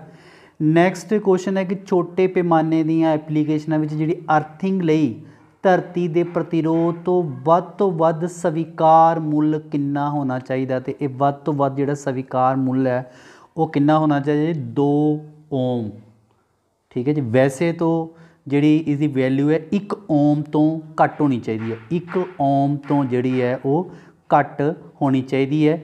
ਠੀਕ ਹੈ ਜੀ, ਵੱਡੇ ਪੈਮਾਨੇ ਦੇ ਤੌਰ ਤੇ। ਤਾਂ ਅਗਰ ਛੋਟੇ ਪੈਮਾਨੇ ਦੇ ਤੌਰ ਤੇ ਅਸੀਂ ਅਰਥਿੰਗ ਯੂਜ਼ ਕਰਦੇ ਹਾਂ ਤਾਂ ਇਸ ਦੀ ਜੋ ਮੈਕਸਿਮਮ ਵੈਲਿਊ ਜਿਹੜੀ ਹੈ 2 ਓਮ ਤੋਂ ਜ਼ਿਆਦਾ ਵੈਲਿਊ ਨਹੀਂ ਹੋਣੀ ਚਾਹੀਦੀ। ਇਸ ਕਾਰਨ ਅਗਰ 1 ਓਮ ਹੈ, ਤਾਂ ਤੁਹਾਡਾ ਉਹ ਆਨਸਰ ਆਏਗਾ। ਅਗਰ 2 ਓਮ ਹੈ, ਤਾਂ ਆਨਸਰ ਤੁਹਾਡੇ ਕੋਲ ਆਏਗਾ ਜੀ 2 ਓਮ ਇਹ ਇਸ ਦਾ ਜੋ ਹੈ ਰਾਈਟ ਆਨਸਰ ਹੈ। ਨੈਕਸਟ ਕੁਐਸਚਨ ਹੈ ਕਿ ਸੈਕੰਡਰੀ ਔਜ਼ਾਰਾਂ ਨੂੰ ਡੈਸ਼ ਪ੍ਰਕਾਰਾਂ ਦੇ ਵਿੱਚ ਪਰਿਵਰਤਿਤ, ਵਰਗੀਕ੍ਰਿਤ ਕੀਤਾ ਜਾਂਦਾ ਹੈ ਆਪਸ਼ਨ 5 3 4 2 ਇਸ ਦਾ ਜੋ ਰਾਈਟ ਆਨਸਰ ਹੈ, ਉਹ ਆਪਸ਼ਨ 3 ਹੈ ਜੀ। ਸੈਕੰਡਰੀ ਔਜ਼ਾਰਾਂ ਨੂੰ ਵਰਗੀਕ੍ਰਿਤ ਕੀਤਾ ਗਿਆ ਹੈ। ਇਹਨੂੰ ਕੀਤਾ ਜਾਂਦਾ ਸਭ ਤੋਂ ਪਹਿਲਾਂ ਆ ਜਾਂਦਾ ਜੀ, ਕੋਈ ਵੀ ਜਿਹੜਾ ਅਸੀਂ ਟੂਲ ਲੈਂਦੇ ਆ ਉਸ ਦੀ ਕੀ ਹੁੰਦੀ ਹੈ ਪਹਿਲਾਂ? ਸਪੈਸੀਫਿਕੇਸ਼ਨ ਸਪੈਸੀਫਿਕੇਸ਼ਨ ਹੁੰਦਾ ਹੈ। ਸਪੈਸੀਫਿਕੇਸ਼ਨ ਵਿੱਚ ਜੋ ਵੀ ਅਸੀਂ ਟੂਲ ਖਰੀਦਦੇ ਆ ਉਸ ਦਾ ਕੀ ਸਾਈਜ਼ ਹੈ ਕਿੰਨੇ ਐਮਐਮ ਦਾ ਸਾਈਜ਼ ਹੈ ਜਾਂ ਇੰਚ ਵਿੱਚ ਕਿੰਨਾ ਉਹਦਾ ਸਾਈਜ਼ ਹੈ ਉਸ ਤੋਂ ਬਾਅਦ ਨੰਬਰ 2 ਤੇ ਆ ਜਾਂਦਾ ਹੈ ਕਿ ਯੂਜ਼ਸ ਇਹਨੂੰ ਅਸੀਂ ਕਿੱਥੇ ਕਿੱਥੇ ਯੂਜ਼ ਕਰ ਸਕਦੇ ਹਾਂ। ਔਰ ਨੰਬਰ 3 ਤੇ ਆ ਜਾਂਦਾ ਹੈ ਕਿ ਉਹਦੀ ਮੇਨਟੇਨੈਂਸ ਕੇਅਰ ਐਂਡ ਮੇਨਟੇਨੈਂਸ ਉਹ ਜਿਹੜਾ ਟੂਲ ਹੈ ਉਸ ਦੀ ਕੇਅਰ ਔਰ ਮੇਨਟੇਨੈਂਸ ਅਸੀਂ ਕਿਸ ਤਰ੍ਹਾਂ ਕਰਨੀ ਹੈ। ਤੇ ਇਹਨੂੰ ਅਸੀਂ ਤਿੰਨ ਕੈਟਾਗਰੀ ਦੇ ਵਿੱਚ ਡਿਫਾਈਨ ਕਰ ਦਿੰਦੇ ਆ ਵੰਡ ਦਿੰਦੇ ਆ ਇੱਕ ਸਪੈਸੀਫਿਕੇਸ਼ਨ ਇੱਕ ਯੂਜ਼ ਤੇ ਇੱਕ ਆ ਜਾਏਗੀ care and maintenance care and maintenance next question ਹੈ ਕੁਐਸਚਨ ਨੰਬਰ ਹੈ ਜੀ 40 ਜਿਸ ਦੇ ਵਿੱਚ ਹੈ ਕਿ ਜੇਕਰ permanent magnet moving coil P M M C ਇਹਦੀ ਫੁੱਲ ਫਾਰਮ ਯਾਦ ਰੱਖਣਾ ਜੀ ਪਰਮਾਨੈਂਟ ਮੈਗਨੇਟ ਮੂਵਿੰਗ ਕੋਇਲ ਔਰ ਇਹ ਪਰਮਾਨੈਂਟ ਮੂਵਿੰਗ ਕੋਇਲ ਜਿਹੜਾ ਇਨਸਟਰੂਮੈਂਟ ਹੈ, ਇਸ ਦੇ ਵਿੱਚ ਅਸੀਂ DC ਵੋਲਟੇਜ ਔਰ ਕਰੰਟ ਨੂੰ ਅਸੀਂ ਮੇਜ਼ਰ ਕਰਦੇ ਹਾਂ ਪਰਮਾਨੈਂਟ ਮੂਵਿੰਗ ਕੋਇਲ ਇਨਸਟਰੂਮੈਂਟ ਦੇ ਨਾਲ। ਪਰ ਇਸ ਕੁਐਸਚਨ ਵਿੱਚ ਹੈ ਕਿ ਪਰਮਾਨੈਂਟ ਮੈਗਨੇਟ ਮੂਵਿੰਗ ਕੋਇਲ ਜਿਹੜਾ ਉਪਕਰਨ ਹੈ ਇਸ ਦੇ ਦੋ ਟਰਮੀਨਲ ਹੁੰਦੇ ਹਨ। ਇਹ ਮੰਨ ਲਓ ਇਹ ਵੋਲਟ ਮੀਟਰ ਹੈ ਇਸ ਦੇ ਕਹਿੰਦਾ ਕਿ ਦੋ ਟਰਮੀਨਲ ਹੁੰਦੇ ਹਨ। ਤਾਂ ਸਰਕਟ ਵਿੱਚ ਕੋਈ ਰੈਜ਼ਿਸਟੈਂਸ ਹੈ, ਕੋਈ ਪ੍ਰਤੀਰੋਧ ਹੈ, ਤੇ ਇਸ ਦੇ ਨਾਲ ਕੀ ਹੋਏਗਾ? ਇਹਨੂੰ ਕਿਸ ਤਰ੍ਹਾਂ ਤੁਸੀਂ ਉਪਕਰਨ ਹੋਣਾ ਚਾਹੀਦਾ ਹੈ? Energy meter watt meter ammeter ਜਾਂ ਵੋਲਟ ਮੀਟਰ ਤੇ ਇਹਦਾ ਕੀ ਆਨਸਰ ਆ ਜਾਏਗਾ ਜੀ? ਇਹ ਆ ਜਾਏਗਾ ਸਾਡੇ ਕੋਲ ਜੀ ਵੋਲਟ ਮੀਟਰ ਇਸ ਦਾ ਜੋ ਰਾਈਟ ਆਨਸਰ ਹੈ, ਇਹ ਕੀ ਆ ਜਾਏਗਾ? ਵੋਲਟ ਮੀਟਰ ਕੀ ਸਰਕਟ ਦੇ ਵਿੱਚ ਕਿਸੇ ਪ੍ਰਤੀਰੋਧ ਦੇ ਨਾਲ ਜੋੜਿਆ ਹੋਏਗਾ ਤਾਂ ਉਹ ਕਿਹੜਾ ਉਪਕਰਨ ਹੋਣਾ ਚਾਹੀਦਾ ਇਹ ਹੋਏਗਾ ਜੀ ਵੋਲਟ ਮੀਟਰ ਹੋਏਗਾ। ਨੈਕਸਟ ਕੁਐਸਚਨ ਹੈ ਕੁਐਸਚਨ ਨੰਬਰ 41 ਹੈ, ਜਿਸ ਦੇ ਵਿੱਚ ਹੈ ਕਿ ਇੱਕ ਬਦਲਤੀ ਮਾਤਰਾ ਜਿਹਨੂੰ ਅਸੀਂ ਕਹਿੰਦੇ ਹਾਂ ਸਾਈਨ ਵੇਵ ਜਾਂ ਤੁਸੀਂ ਕਹਿ ਸਕਦੇ ਹੋ ਅਲਟਰਨੇਟਿੰਗ ਕਰੰਟ ਸਾਈਨ ਵੇਵ ਵਿੱਚ ਦਿੱਤੀਆਂ ਕਿਹੜੀ ਚੀਜ਼ ਜਿਹੜੀ ਹੈ ਸੱਚ ਹੈ? ਵੈਰੀ ਵੈਰੀ ਇੰਪੋਰਟੈਂਟ ਕੁਐਸਚਨ ਹੈ। ਦੇਖੋ ਜੀ, ਜਿਹੜਾ ਅਲਟਰਨੇਟਿੰਗ ਕਰੰਟ ਹੈ ਸਾਡੇ ਕੋਲ, ਜਿਹੜਾ ਅਲਟਰਨੇਟਿੰਗ ਕਰੰਟ ਹੈ, ਇਹ ਕੀ ਕਰਦਾ ਹੈ? ਚੇਂਜ ਇਹਦਾ ਜਿਹੜਾ ਮੈਗਨੀਟਿਊਡ ਹੈ ਚੇਂਜ ਹੁੰਦਾ ਹੈ। ਅਲਟਰਨੇਟਿੰਗ ਕਰੰਟ ਜਿਹੜਾ with respect to time time ਦੇ ਅਕੋਰਡਿੰਗ ਜਿਹੜਾ ਇਹ ਅਲਟਰਨੇਟਿੰਗ ਜਿਹੜਾ ਕਰੰਟ ਹੈ, ਇਹ ਚੇਂਜ ਹੁੰਦਾ ਔਰ ਇਸ ਦੇ ਨਾਲ ਇਹਦੀ ਜਿਹੜੀ ਡਾਇਰੈਕਸ਼ਨ ਵੀ ਹੈ ਚੇਂਜ ਹੁੰਦੀ ਹੈ। ਦੇਖੋ, ਇਹ ਡਾਇਰੈਕਸ਼ਨ ਇਹਦੀ ਆ ਗਈ, ਇਹਨੂੰ ਅਸੀਂ ਕਵਾਂਗੇ ਜੀ ਪੋਜ਼ਿਟਿਵ ਔਰ ਇਹ ਵਾਲਾ ਪਾਰਟ ਆ ਗਿਆ ਸਾਡੇ ਕੋਲ ਜੀ ਨੈਗੇਟਿਵ ਠੀਕ ਹੈ ਜੀ? ਤੋ ਜਦੋਂ ਇਸ ਦੇ ਵਿੱਚ ਅਸੀਂ ਜਦੋਂ ਜਿਹੜੀ ਡਾਇਰੈਕਸ਼ਨ ਹੈ ਹਾਫ ਸਾਈਕਲ ਦੀ, ਮੰਨ ਲਓ ਹਾਫ ਸਾਈਕਲ ਇਹਨੂੰ ਤੁਸੀਂ, ਇਹਨੂੰ ਇਹ ਵਾਲਾ ਪਾਰਟ ਤੇ ਇਹ ਵਾਲਾ ਪਾਰਟ ਇਹਨੂੰ ਤੁਸੀਂ ਕਹੋਗੇ ਹਾਫ ਸਾਈਕਲ ਤੇ ਇਹ ਵੀ ਹਾਫ ਸਾਈਕਲ ਆ ਜਾਏਗਾ। ਇੱਕ ਪੋਜ਼ਿਟਿਵ ਤੇ 네ਗੇਟਿਵ ਜਦੋਂ ਦੋਨੋਂ ਚੀਜ਼ਾਂ ਮਿਲਣਗੀਆਂ ਤੇ ਇੱਕ ਕੰਪਲੀਟ ਤੁਹਾਡਾ ਸਾਈਕਲ ਬਣਨਾ ਇੱਕ ਵਾਰ ਇਹਨੂੰ ਫੇਰ ਥੋੜੀ ਕਲੀਅਰ ਕਰਕੇ ਬਣਾ ਲੈਂਦੇ ਆ ਇਹ ਸਾਡੇ ਕੋਲ ਕਰੰਟ ਹੈ ਇਹ ਇਸ ਦਾ ਜਿਹੜਾ ਮੈਗਨੀਟਿਊਡ ਹੈ ਪੋਜ਼ਿਟਿਵ ਔਰ ਨੈਗੇਟਿਵ ਇਹ ਪਾਰਟ ਸਾਡਾ ਪੋਜ਼ਿਟਿਵ ਆ ਗਿਆ ਇਹ ਪਾਰਟ ਸਾਡਾ ਨੈਗੇਟਿਵ ਆ ਗਿਆ, ਠੀਕ ਹੈ ਜੀ? ਇਹਦੀ ਜਿਹੜੀ ਡਾਇਰੈਕਸ਼ਨ ਹੈ, ਉਹ ਐਵਰੀ ਹਾਫ ਸਾਈਕਲ ਤੋਂ ਬਾਅਦ ਚੇਂਜ ਹੋ ਰਹੀ ਹੈ। ਪਹਿਲਾ ਹਾਫ ਜਿਹੜਾ ਪੋਜ਼ਿਟਿਵ ਹੈ, ਤੇ ਅਗਲਾ ਹਾਫ ਜਿਹੜਾ ਕੀ ਆ ਗਿਆ ਨੈਗੇਟਿਵ ਤੇ ਜਦੋਂ ਇੱਕ ਪੋਜ਼ਿਟਿਵ ਇੱਕ ਨੈਗੇਟਿਵ ਹਾਫ ਆਉਂਦਾ, ਤੇ ਇੱਕ ਪੂਰਾ ਇੱਕ ਸਾਈਕਲ ਬਣ ਜਾਂਦਾ ਇੱਕ ਕੀ ਬਣ ਜਾਂਦਾ, ਪੂਰਾ ਸਾਈਕਲ ਬਣ ਜਾਂਦਾ ਔਰ ਜਦੋਂ ਇਹਦੀ ਅਸੀਂ ਪੋਜ਼ਿਟਿਵ ਦੀ ਐਵਰੇਜ ਵੈਲਿਊ, ਇਹਦੀ ਐਵਰੇਜ ਵੈਲਿਊ ਔਰ 네ਗੇਟਿਵ ਦੀ ਜਦੋਂ ਅਸੀਂ ਐਵਰੇਜ ਵੈਲਿਊ ਲੈਂਦੇ ਆ ਤੇ ਇਹਨਾਂ ਦੋਨਾਂ ਦਾ ਸਮ ਜਿਹੜਾ, ਉਹ ਕੀ ਆਂਦਾ ਹੈ? ਜ਼ੀਰੋ ਆਂਦਾ ਹੈ। ਇਹਦਾ ਦੋਨਾਂ ਦਾ ਜਿਹੜਾ ਸਮ ਕੀ ਆਏਗਾ? ਜ਼ੀਰੋ। ਇਹ ਇਸ ਦਾ ਰਾਈਟ ਆਨਸਰ ਹੈ। ਇਹ ਤੁਸੀਂ ਯਾਦ ਰੱਖਣਾ, ਮੈਂ ਇੱਕ ਵਾਰੀ ਫੇਰ ਇੰਪੋਰਟੈਂਟ ਪੁਆਇੰਟ ਕਲੀਅਰ ਕਰ ਦਿੰਦਾ ਕਿ ਜਿਹੜਾ ਅਲਟਰਨੇਟਿੰਗ ਜਿਹੜਾ ਕਰੰਟ ਹੈ, ਉਹ ਚੇਂਜ ਹੁੰਦਾ ਹੈ ਵਿਦ ਰਿਸਪੈਕਟ ਟੂ ਟਾਈਮ ਤੇ ਨਾਲ ਹੀ ਇਸ ਦੀ ਜਿਹੜੀ ਹੈ ਡਾਇਰੈਕਸ਼ਨ ਜਿਹੜੀ ਹੈ ਚੇਂਜ ਹੁੰਦੀ ਹੈ ਆਫਟਰ ਹਾਫ ਸਾਈਕਲ ਇਹ ਦੇਖੋ, ਇਹ ਹਾਫ ਸਾਈਕਲ ਪੋਜ਼ਿਟਿਵ ਹੈ, ਉਸ ਤੋਂ ਬਾਅਦ ਇਹ ਹਾਫ ਸਾਈਕਲ ਕੀ ਹੋ ਗਿਆ? 네ਗੇਟਿਵ ਜਦੋਂ ਅਸੀਂ ਪੋਜ਼ਿਟਿਵ ਤੇ 네ਗੇਟਿਵ ਦੋਨੋਂ ਹਾਫ ਨੂੰ ਜਦੋਂ ਅਸੀਂ ਪਲੱਸ ਕਰਦੇ ਹਾਂ, ਤੇ ਇਹਦੀ ਜਿਹੜੀ ਵੈਲਿਊ ਹੈ, ਇਹਦਾ ਸਮ ਕੀ ਹੁੰਦਾ ਹੈ? 0 ਜਾਂ ਤੁਸੀਂ ਇਹਨੂੰ ਉਸ ਤਰ੍ਹਾਂ ਵੀ ਸਮਝ ਸਕਦੇ ਹੋ ਕਿ ਮੰਨ ਲਓ, ਇਹ ਸਾਡੇ ਕੋਲ ਵੋਲਟੇਜ ਹੈ 0 ਤੋਂ ਅਸੀਂ ਸਟਾਰਟ ਕਰ ਦਿੰਨੇ ਆ ਕਰੰਟ ਸਾਡੇ ਕੋਲ 0 ਤੋਂ ਕਰੰਟ ਜਿਹੜਾ ਇੱਧਰ ਆ ਜਾਂਦਾ ਸਾਡੇ ਕੋਲ 10 ਐਂਪੀਅਰ ਪਹਿਲਾ ਕਰੰਟ ਜਿਹੜਾ ਪੋਜ਼ਿਟਿਵ ਵਿੱਚ ਚਲ ਜਾਂਦਾ 10 ਐਂਪੀਅਰ ਉਸ ਤੋਂ ਬਾਅਦ ਇਹ ਜਿਹੜਾ ਕਰੰਟ ਹੈ, ਇਸ ਪੁਆਇੰਟ ਤੋਂ ਫਿਰ ਕੀ ਆ ਜਾਂਦਾ ਹੈ? 네ਗੇਟਿਵ 네ਗੇਟਿਵ ਕੀ ਆ ਗਿਆ? 10 ਐਂਪੀਅਰ ਠੀਕ ਹੈ ਜੀ? ਇਹਨੂੰ ਇੱਕ ਵਾਰੀ ਫੇਰ ਇਸ ਤਰ੍ਹਾਂ ਕਰ ਲੈਂਦੇ ਆ ਕਿ ਇਹ ਸਾਡੇ ਕੋਲ ਇੱਕ ਪੁਆਇੰਟ ਹੈ ਜ਼ੀਰੋ ਪੁਆਇੰਟ ਹੈ। ਇੱਥੋਂ ਪਹਿਲਾਂ ਪੋਜ਼ਿਟਿਵ ਵਿੱਚ ਸਾਡਾ ਕਰੰਟ ਗਿਆ 10 ਐਂਪੀਅਰ ਪੋਜ਼ਿਟਿਵ ਉਸ ਤੋਂ ਬਾਅਦ ਫਿਰ 네ਗੇਟਿਵ ਵਿੱਚ ਗਿਆ, ਕਿੰਨਾ ਆ ਗਿਆ? 10 ਐਂਪੀਅਰ ਨੈਗੇਟਿਵ 10 ਐਂਪੀਅਰ ਨੈਗੇਟਿਵ ਅੱਗੇ ਲਗਾ ਲੈਂਦੇ ਆ ਜਦੋਂ ਅਸੀਂ ਇਹ ਫਸਟ ਹਾਫ ਹੈ ਇਹ ਸੈਕੰਡ ਹਾਫ ਹੈ ਠੀਕ ਹੈ ਜਦੋਂ ਦੋਨਾਂ ਹਾਫਾਂ ਨੂੰ ਅਸੀਂ ਪਲੱਸ ਕਰਾਂਗੇ ਤਾਂ ਸਾਡੇ ਕੋਲ ਵੈਲਿਊ ਕਿੰਨੀ ਆਏਗੀ ਇੱਕ ਨੈਗੇਟਿਵ 10 ਐਂਪੀਅਰ ਤੇ ਇੱਕ ਕੀ ਆ ਗਿਆ ਪੋਜ਼ਿਟਿਵ 10 ਐਂਪੀਅਰ ਤੇ ਇਹਦੀ ਵੈਲਿਊ ਕੀ ਆ ਗਈ ਜੀ 0 तो इसका जो राइट आंसर आ जाएगा वेरी वेरी इंपॉर्टेंट क्वेश्चन है ऑप्शन सेकंड है इसकी जो वैल्यू है वो की आ जाएगी जी औसत वैल्यू की आ जाएगी ज़ीरो इसका जो है राइट right आंसर है ਨੈਕਸਟ ਕੁਐਸਚਨ ਨੰਬਰ 42 ਹੈ, ਜਿਸ ਦੇ ਵਿੱਚ ਦਿੱਤੇ ਹੋਏ ਚਿੱਤਰ ਵਿੱਚ ਟਰਾਂਸਫਾਰਮਰ ਦੇ core cross section core cross section ਤੇ ਕੁਆਇਲ ਦੇ ਆਕਾਰ ਦਾ ਜਿਹੜਾ ਵਰਣਨ ਕਰੋ। ਕੋਰ ਕ੍ਰਾਸ ਸੈਕਸ਼ਨ ਤੇ ਕੁਆਇਲ ਦੇ ਆਕਾਰ ਦਾ ਜਿਹੜਾ ਵਰਣਨ ਕਰੋ। ਇਸ ਦਾ ਜੋ ਰਾਈਟ ਆਨਸਰ ਹੈ, ਇਹਨੂੰ ਅਸੀਂ ਕਹਿੰਦੇ ਨੇ ਕੁਰਸੀ ਫੋਮ ਕੋਰ ਉੱਤੇ ਚੱਕਰਾਕਾਰ ਕੁਆਇਲ ਇਹ ਕੁਆਇਲ ਹੈ ਜਿਹੜੀ ਚੱਕਰਾਕਾਰ ਹੈ, ਇਹ ਕੁਰਸੀ ਕੋਰ ਯਾਨੀ ਕਿ ਇਹਦਾ ਟਰਾਂਸਫਾਰਮਰ ਦਾ ਤੁਸੀਂ ਕਹਿ ਸਕਦੇ ਹੋ cross section area cross section area ਤੈਨੂੰ ਕਹਿ ਦਿੰਦੇ ਕੁਰਸੀ ਫਾਰਮ ਕੁਰਸੀ ਦੀ ਸ਼ੇਪ ਦੇ ਵਿੱਚ ਹੈ ਕੋਰ ਔਰ ਇਸ ਦੇ ਉੱਪਰ ਕੀ ਹੈ? ਚੱਕਰਾਕਾਰ ਜਿਹੜੀ ਕੀ ਹੈਗੀ ਹੈ ਕੁਆਇਲ ਹੈਗੀ ਹੈ, ਤੇ ਆਪਸ਼ਨ 3rd ਇਸ ਦਾ ਜੋ ਹੈ ਰਾਈਟ ਆਨਸਰ ਆ ਜਾਏਗਾ। ਨੈਕਸਟ ਕੁਐਸਚਨ ਹੈ, ਜਿਸ ਦੇ ਵਿੱਚ ਹੈ ਕਿ which of the following component of overhead transmission line is meant for reluctance oscillation due to wind ਇਸ ਦੇ ਵਿੱਚ ਇਸ ਦਾ ਜੋ ਰਾਈਟ ਆਨਸਰ ਹੈ, ਉਹ ਅਸੀਂ ਯੂਜ਼ ਕਰਦੇ ਜੀ ਡੈਂਪਰ ਠੀਕ ਹੈ ਜੀ?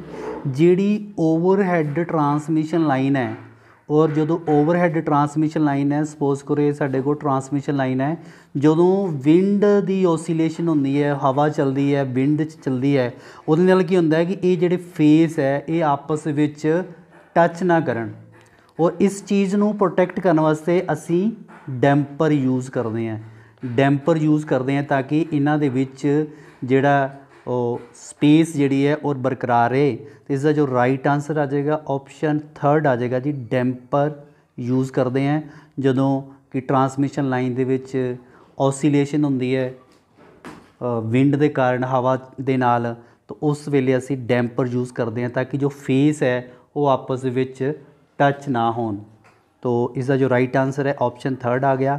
ਨੈਕਸਟ ਕੁਐਸਚਨ ਹੈ ਕਿ ਚੁੰਬਕੀ ਸਰਕਟਾਂ ਦੇ ਵਿੱਚ ਹੇਠ ਦਿੱਤਿਆਂ ਵਿੱਚੋਂ ਕਿਹੜੀ ਉਦਾਹਰਨ ਨੂੰ ਲੋ ਰਿਡਕਟੈਂਸ ਵੱਲੋਂ ਦਰਸਾਇਆ ਜਾ ਲੋ ਰਿਲਕਟੈਂਸ ਦੇਖੋ ਜੀ ਰਿਲਕਟੈਂਸ ਤੁਹਾਨੂੰ ਪਤਾ ਹੋਣਾ ਚਾਹੀਦਾ ਹੈ, ਇਸ ਦਾ ਜੋ ਬੇਸਿਕ ਇਸ ਦਾ ਜੋ ਪੁਆਇੰਟ ਹੈ, ਮੈਂ ਇੱਕ ਅਲੱਗ ਵੀਡੀਓ ਵਿੱਚ ਤੁਹਾਨੂੰ ਇਸ ਦੇ ਯੂਨਿਟ ਔਰ ਇਸ ਦੀ ਜਿਹੜੀ ਇਹ ਪੂਰੀ ਡਿਟੇਲ ਦੱਸਾਂਗਾ।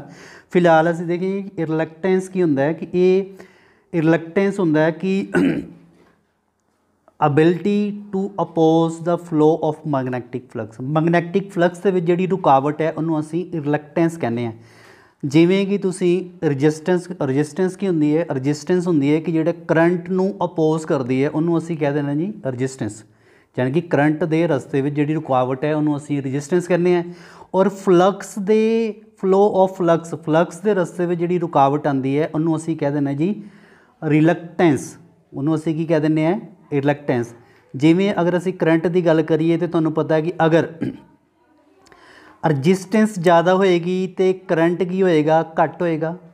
ਅਗਰ ਕਰੰਟ ਜ਼ਿਆਦਾ ਹੋਏਗਾ ਤੇ ਰਜਿਸਟੈਂਸ ਕੀ ਹੋਏਗੀ? ਅਗਰ ਕਰੰਟ ਜ਼ਿਆਦਾ ਹੋਏਗਾ ਤਾਂ ਰਜਿਸਟੈਂਸ ਕੀ ਹੋਏਗੀ? ਘੱਟ ਹੋਏਗੀ। ਸਿਮਿਲਰਲੀ ਜਿਹੜੀ ਰਿਲਕਟੈਂਸ ਹੈ, ਇਹਨੂੰ ਅਸੀਂ RL ਦੇ ਨਾਲ ਸ਼ੋਅ ਕਰ ਲੈਂਦੇ ਆ ਅਗਰ ਤਾਂ ਰਿਲੈਕਟੈਂਸ ਜ਼ਿਆਦਾ ਹੈ, ਤਾਂ ਫਲਕਸ ਕੀ ਹੋਏਗਾ? ਘੱਟ ਹੋਏਗਾ। ਅਗਰ ਰਿਲੈਕਟੈਂਸ ਜਿਹੜੀ ਹੈ ਘੱਟ ਹੈ, ਤੇ ਫਲਕਸ ਜ਼ਿਆਦਾ ਹੋਏਗਾ।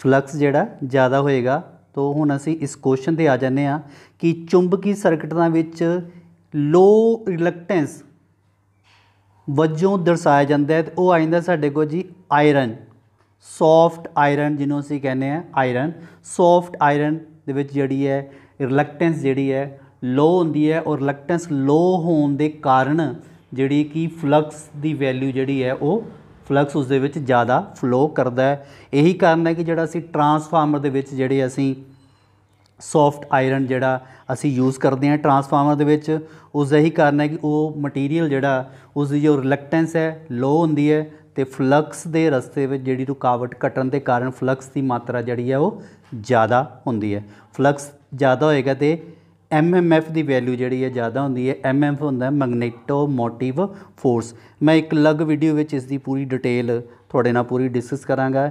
ਇੱਕ ਪਾਸੇ ਇਲੈਕਟ੍ਰੀਕਲ ਸਰਕਟ ਤੇ ਇੱਕ ਪਾਸੇ ਜਿਹੜਾ ਅਸੀਂ ਮੈਗਨੈਟਿਕ ਸਰਕਟ ਦੇ ਨਾਲ ਜਿਹੜਾ ਕੰਪੇਅਰ ਕਰਾਂਗੇ।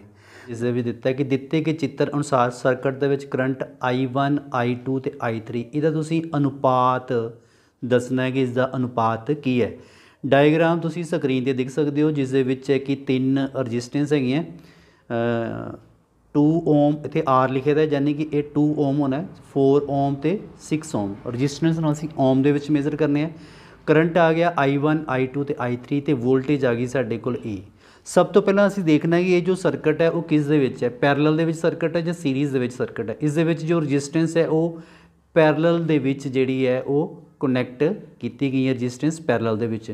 ਤੇ ਪੈਰਲਲ ਦੇ ਵਿੱਚ ਕੀ ਹੁੰਦਾ ਹੈ? ਵੋਲਟੇਜ ਸੇਮ ਰਹਿੰਦੀ ਹੈ। ਪੈਰਲਲ ਦੇ ਵਿੱਚ ਜਿਹੜਾ ਵੋਲਟੇਜ ਸੇਮ ਰਹਿੰਦੀ ਹੈ ਤੇ ਕਰੰਟ ਇਸ ਦੇ ਵਿੱਚ ਡਿਵਾਈਡ ਹੋ ਜਾਂਦਾ ਹੈ। ਤਾਂ ਮੀਨਸ ਇਸ ਕੁਐਸਚਨ 'ਚ ਅਸੀਂ ਕਰੰਟ I1 I2 ਤੇ I3 ਦੀ ਵੈਲਿਊ ਕੈਲਕੂਲੇਟ ਕਰਨੀ ਹੈ। ਅਗਰ ਅਸੀਂ I1 ਦੀ ਵੈਲਿਊ ਕੈਲਕੂਲੇਟ ਕਰੀਏ, ਤੇ ਇਹ ਕਿਸ ਦੇ ਬਰਾਬਰ ਆ ਜਾਏਗੀ? ਵੋਲਟੇਜ ਤੇ ਵੋਲਟੇਜ ਵਿੱਚ ਕੀ ਦਿੱਤੀ ਹੈ? E ਤੇ ਰੈਜ਼ਿਸਟੈਂਸ ਆ ਜਾਏਗੀ ਸਾਡੇ ਕੋਲ ਜੀ R1 ਤੇ R1 ਰੈਜ਼ਿਸਟੈਂਸ ਸਾਨੂੰ ਕਿੰਨੀ ਦਿੱਤੀ ਦੀ ਹੈ? 2 ਓਮ ਉਸ ਤੋਂ ਬਾਅਦ ਅਗਰ ਅਸੀਂ I2 ਕਰੰਟ ਦੀ ਗੱਲ ਕਰਦੇ ਹਾਂ, ਇਸ ਦੇ ਵਿੱਚ ਵੀ ਵੋਲਟੇਜ ਸੇਮ ਆ ਗਈ E2 ਔਰ ਰੈਜ਼ਿਸਟੈਂਸ ਕਿੰਨੀ ਆ ਗਈ ਜੀ? 4 ਔਰ ਅਗਰ ਅਸੀਂ I3 ਦੀ ਗੱਲ ਕਰਦੇ ਹਾਂ, ਤਾਂ ਇਸ ਦੇ ਵਿੱਚ ਵੋਲਟੇਜ E ਆ ਗਈ ਤੇ ਜੋ ਰੈਜ਼ਿਸਟੈਂਸ ਹੈ, ਉਹ ਕਿੰਨੀ ਆ ਗਈ ਜੀ? 6 ਓਮ ਯਾਨੀ ਕਿ 6 ਤੋ ਇਹਦੇ ਵਿੱਚ ਤੁਸੀਂ ਦੇਖ ਸਕਦੇ ਹੋ ਵੋਲਟੇਜ ਤਾਂ ਸਾਨੂੰ ਪਤਾ ਕਿ ਕਨਸਟੈਂਟ ਹੀ ਵੋਲਟੇਜ ਤਾਂ ਸੇਮ ਰਹੇ ਨਹੀਂ ਪੈਰਲਲ ਸਰਕਟ ਦੇ ਵਿੱਚ। ਤੇ ਇਹਨੂੰ ਅਸੀਂ ਇਸ ਤਰ੍ਹਾਂ ਕਰਕੇ ਲਿਖ ਸਕਦੇ ਹਾਂ ਕਿ ਜਿਹੜਾ I1 ਹੈ ਉਹ ਸਾਡੇ ਕੋਲ ਆ ਜਾਏਗਾ ਜੀ 1/2 ਉਸ ਤੋਂ ਬਾਅਦ ਆ ਗਿਆ I2 ਸਾਡੇ ਕੋਲ ਆ ਗਿਆ 1/4 ਤੇ I3 ਜਿਹੜਾ ਉਹ ਸਾਡੇ ਕੋਲ ਆ ਗਿਆ 1/6 ਇਹਦੀ ਵੈਲਿਊ ਆ ਗਈ। ਹੁਣ ਅਸੀਂ ਇਸ ਦੀ ਜੋ ਜੋ ਕਰੰਟ ਦਾ ਪੂਰਾ ਅਨੁਪਾਤ ਹੈ, ਉਹ ਕੈਲਕੂਲੇਟ ਕਰਨਾ ਹੁਣ ਅਸੀਂ I1 ਪੂਰਾ ਕੈਲਕੂਲੇਟ ਕਿਸ ਤਰ੍ਹਾਂ ਕਰਾਂਗੇ? ਹੁਣ ਦੇਖੋ 1/2 ਹੈ 1/4 ਹੈ ਤੇ 1/6 ਹੈ। ਅਗਰ ਅਸੀਂ ਇਸ ਦਾ ਐਲਸੀਐਮ ਲਈਏ, ਜਿਸ ਤਰ੍ਹਾਂ ਅਸੀਂ ਰੇਸ਼ੋ ਇਕੁਅਲ ਕਰਦੇ ਹਾਂ, ਜਦੋਂ ਅਸੀਂ ਰੇਸ਼ੋ ਦਾ ਕੁਐਸਚਨ ਕੈਲਕੂਲੇਟ ਕਰਦੇ ਹਾਂ, ਤੇ ਉਸ ਦੇ ਵਿੱਚ ਕੀ ਕਰਾਂਗੇ? 1/2 ਤੇ 1/4 ਜਾਂ ਤੁਸੀਂ ਇਦਾਂ ਕਰ ਲਓ ਕਿ ਤੁਸੀਂ ਕਰ ਲਓ ਕਿ 2 4 ਤੇ 6 ਦਾ। ਜੋ ਤੁਸੀਂ ਇਹਦਾ ਲਘੁੱਤਮ ਕੱਢੋਗੇ ਤੇ ਇਹਦਾ ਲਘੁੱਤਮ ਕਿੰਨਾ ਆ ਜਾਣਾ ਸਾਡੇ ਕੋਲ 12 ਹੁਣ ਅਸੀਂ I1 ਦੀ ਜਿਹੜੀ ਹੈ ਕੈਲਕੂਲੇਸ਼ਨ ਪੂਰੀ ਨਿਕਾਲਣੀ ਹੈ, ਹੁਣ ਅਸੀਂ ਕਿਸ ਤਰ੍ਹਾਂ ਕਰਾਂਗੇ? ਇਹ ਆ ਗਿਆ ਸਾਡੇ ਕੋਲ ਜੀ I1 ਠੀਕ ਹੈ ਜੀ? I1 ਸਾਡੇ ਕੋਲ ਕਿੰਨਾ ਹੀ I1 ਦੀ ਵੈਲਿਊ ਆਈ 1/2 ਤੇ ਸਾਡਾ ਲਘੁੱਤਮ ਕਿੰਨਾ ਆ ਗਿਆ? 12 ਇਹਨੂੰ 12 ਬਣਾਉਣ ਵਾਸਤੇ ਕੀ ਕਰਾਂਗੇ ਅਸੀਂ? 6 ਨਾਲ ਮਲਟੀਪਲਾਈ ਕਰਾਂਗੇ ਤਾਂ ਕਿ 12 ਆ ਜਾਏਗਾ।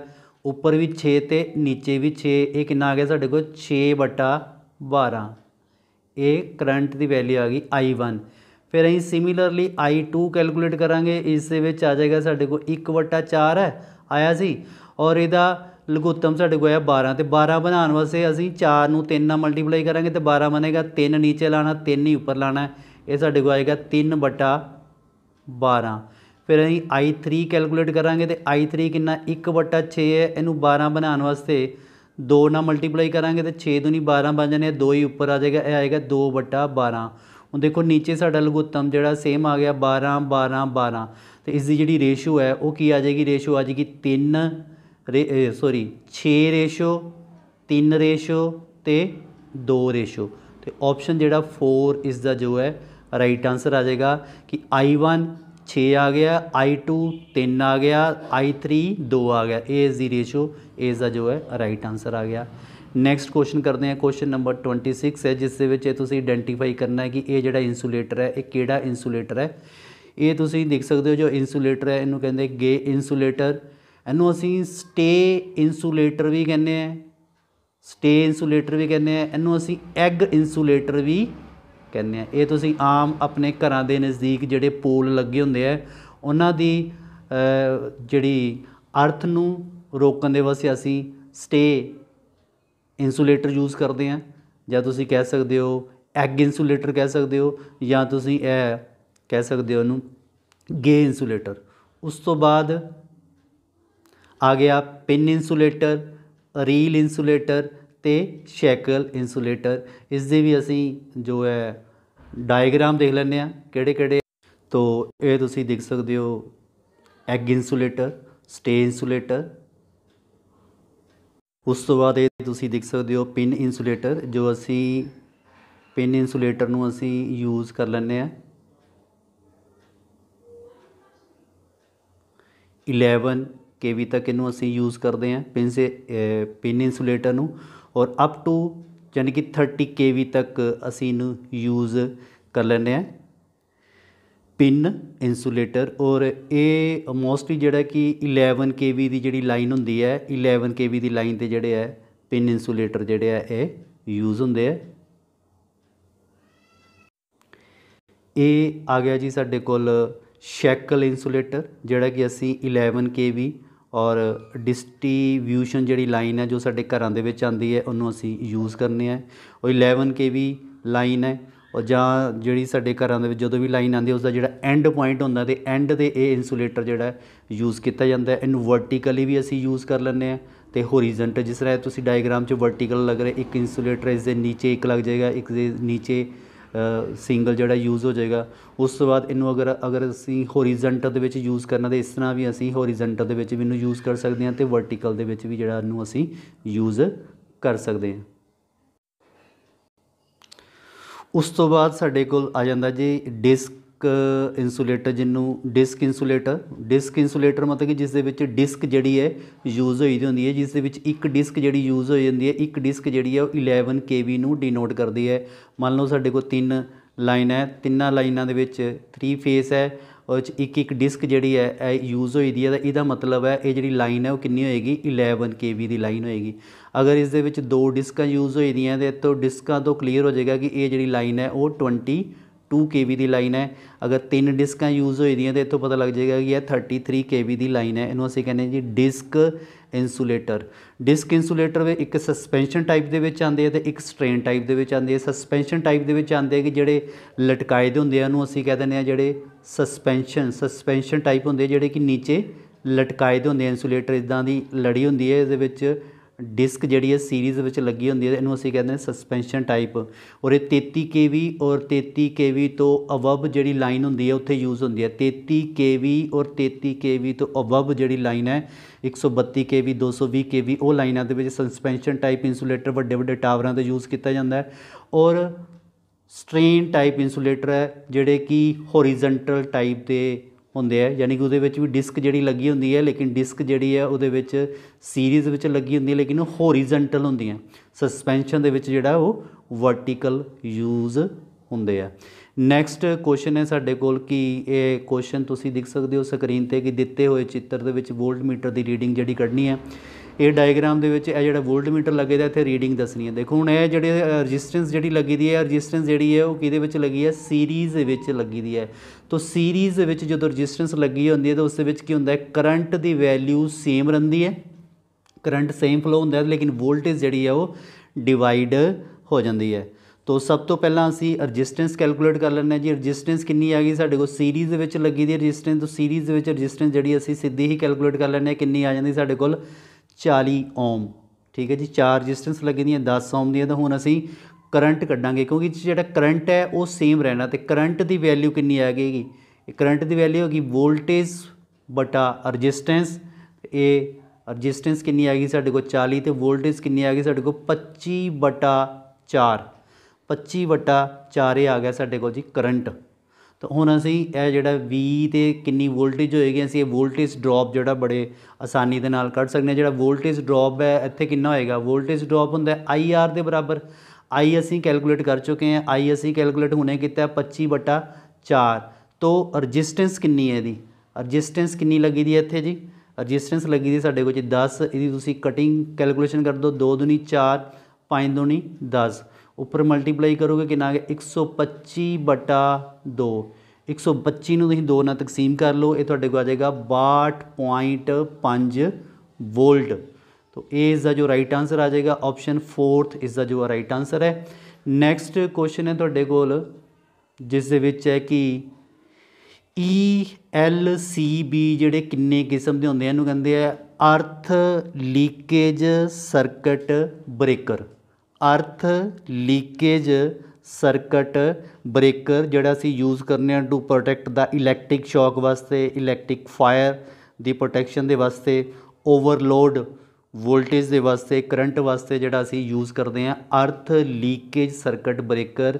ਤੇ ਇਹ ਕਹਿ ਰਿਹਾ ਕਿ ਕਿੰਨੀ ਕਿਸਮ ਦੇ ਹੁੰਦੇ ਹਨ, ਇਹ ਦੋ ਕਿਸਮ ਦੇ ਹੁੰਦੇ ਆ। ਇੱਕ ਹੁੰਦਾ ਜੀ ਅਰਥ, ਲੀਕੇਜ, ਸਰਕਟ ਬ੍ਰੇਕਰ ਤੇ ਇੱਕ ਹੁੰਦਾ ਆ, ਸੀ ਸੀ, ਬੀ, ਜਿਹਨੂੰ ਅਸੀਂ ਕਹਿੰਦੇ ਆ residual current circuit breaker. R ਤੋਂ ਬਣ ਜਾਂਦਾ ਰੈਜ਼ੀਡੂਅਲ ਰੈਜ਼ੀਡਿਊਲ ਸਰਕਟ ਬ੍ਰੇਕਰ। ਤੋ ਇਹ ਦੋ ਟਾਈਪ ਦੇ ਜਿਹੜੇ ਅਸੀਂ ਸਰਕਟ ਬ੍ਰੇਕਰ ਜਿਹੜੇ ਅਸੀਂ ਯੂਜ਼ ਕਰਨੇ ਆ ਅਰਥ ਸਰਕਟ ਬ੍ਰੇਕਰ ਤੇ ਇੱਕ ਆ ਗਿਆ ਸਾਡੇ ਕੋਲ।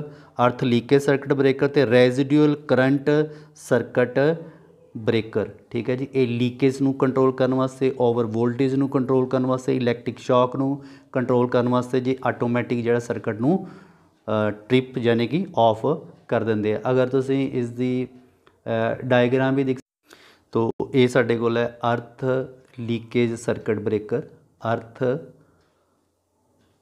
ਈ ਐਲ ਸੀ ਯਾਨੀ ਕਿ ਅਰਥ ਲੀਕੇਜ ਸਰਕਟ ਬ੍ਰੇਕਰ ਤੋ ਇਹ ਵਾਲਾ ਤੁਸੀਂ ਦੇਖ ਸਕਦੇ ਹੋ, ਇਹ ਹੈ R C C B residual circuit breaker.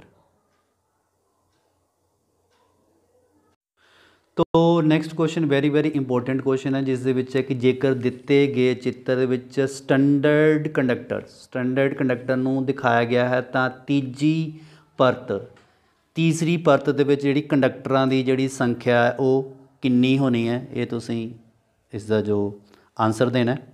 ਔਰ ਬਹੁਤ ਹੀ ਵੈਰੀ ਵੈਰੀ ਇੰਪੋਰਟੈਂਟ ਕੁਐਸਚਨ ਹੈ। ਇਸ ਦਾ ਜੋ ਕੰਡਕਟਰਾਂ ਦੀ ਜਿਹੜੀ ਗਿਣਤੀ ਹੈ, ਉਹ ਸਾਡੇ ਕੋਲ ਇੱਕ ਫਾਰਮੂਲੇ ਨਾਲ ਅਸੀਂ ਕੈਲਕੂਲੇਟ ਕਰ ਦਿੰਦੇ ਨੇ। ਇਹਦਾ ਫਾਰਮੂਲਾ ਹੁੰਦਾ ਜੀ 3x ਸਕੁਅਰ 3x 1 ਇਸ ਫਾਰਮੂਲੇ ਦੇ ਨਾਲ ਅਸੀਂ ਜਿਹੜਾ ਕੈਲਕੂਲੇਟ ਕਰ ਸਕਦੇ ਹਾਂ। ਇਸ ਦੇ ਵਿੱਚ ਜਿਹੜਾ x ਹੈ, x ਨੂੰ ਅਸੀਂ ਕਿਹਦੇ ਨਾਲ ਡਿਨੋਟ ਕਰਦੇ ਹਾਂ? x ਆ ਜਾਂਦਾ ਸਾਡੇ ਕੋਲ ਨੰਬਰ ਆਫ ਲੇਅਰ ਕਿ ਅਸੀਂ ਕਿੰਨੀ ਲੇਅਰ ਦੀ ਗੱਲ ਕਰੇ ਕਰਦੇ ਹਾਂ। ਲੇਅਰ 1 ਦੀ ਗੱਲ ਕਰੇ ਹਾਂ ਲੇਅਰ 2 ਦੀ ਗੱਲ ਕਰੇ ਕਰਦੇ ਹਾਂ ਲੇਅਰ 3 ਦੀ ਗੱਲ ਕਰਦੇ ਹਾਂ। ਤੇ n ਦੀ ਇਹ ਜਿਹੜਾ ਫਾਰਮੂਲਾ ਹੁੰਦਾ, n ਦੇ ਬਰਾਬਰ ਹੁੰਦਾ ਤੇ n ਦਾ ਮਤਲਬ ਹੁੰਦਾ ਟੋਟਲ ਸਟ੍ਰੈਂਡ ਇਸ ਦੇ ਵਿੱਚ ਟੋਟਲ ਸਟ੍ਰੈਂਡ ਕਿੰਨੇ ਹੋਣਗੇ? ਯਾਨੀ ਕਿ ਕਿੰਨੀ ਨੰਬਰ ਆਫ ਲੇਅਰ ਹੋਏਗੀ ਤੇ ਟੋਟਲ ਸਟੈਂਡ ਕਿੰਨੇ ਹੋਣਗੇ? ਕ੍ਰਾਸ ਸੈਕਸ਼ਨ ਏਰੀਆ ਕਿੰਨਾ ਹੋਏਗਾ? ਇਸ ਦਾ। ਤੇ ਨੰਬਰ ਆਫ ਸਟੈਂਡ ਜਿਹੜੇ ਆ, ਕਿੰਨੇ ਹੋਣਗੇ। ਸਭ ਤੋਂ ਪਹਿਲਾਂ ਅਸੀਂ ਇਹਨੂੰ ਥੋੜਾ ਇੱਥੇ ਡਿਸਕਸ ਕਰ ਲੈਂਦੇ ਆ ਉਸ ਤੋਂ ਬਾਅਦ ਅਸੀਂ ਇਸ ਦੀ ਜੋ ਯਾਨੀ ਕਿ ਡਾਇਗਰਾਮ ਤੋਂ ਵੀ ਤੁਸੀਂ ਇਹਨੂੰ ਸਮਝ ਸਕੋਗੇ। ਸਭ ਤੋਂ ਪਹਿਲਾਂ ਅਗਰ ਅਸੀਂ ਟੋਟਲ ਸਟੈਂਡਰਡ ਦੀ ਗੱਲ ਕਰਦੇ ਹਾਂ ਵੀ ਕਿੰਨੇ ਇਹਦੇ ਸਟੈਂਡਰਡ ਹੋਣਗੇ, ਤੇ ਇਹਦਾ ਫਾਰਮੂਲਾ ਅਗਰ ਸਾਡੇ ਕੋਲ ਅਸੀਂ ਇੱਕ ਲੇਅਰ ਦੀ ਗੱਲ ਕਰਦੇ ਹਾਂ, ਤੇ ਫਾਰਮੂਲਾ ਮੈਂ ਤੁਹਾਨੂੰ ਦੱਸਿਆ ਕਿ 3x ਸਕੁਅਰ 3x 1 ਅਗਰ ਸਾਡੇ ਕੋਲ ਜਿਹੜੀ ਲੇਅਰ ਹੈ, ਉਹ ਲੇਅਰ ਹੈਗੀ ਇੱਕ ਤੇ ਇੱਕ ਦਾ ਸਕੁਅਰ ਕਰਾਂਗੇ, ਇੱਕ ਆ ਜਾਣਾ, ਇੱਥੇ ਇੱਕ ਦਾ ਸਕੁਅਰ ਕਰਾਂ, ਇੱਕ ਇੱਥੇ ਸਕੁਅਰ ਨਹੀਂ ਹੈ, x ਹੀ ਇਕੱਲਾ, ਇਹ ਸਾਡੇ ਕੋਲ ਆ ਗਿਆ 1 3 3 ਇਹ ਕੈਨਸਲ ਹੋ ਗਿਆ, ਇੱਧਰ ਸਾਡੇ ਕੋਲ 1 ਬਚ ਗਿਆ।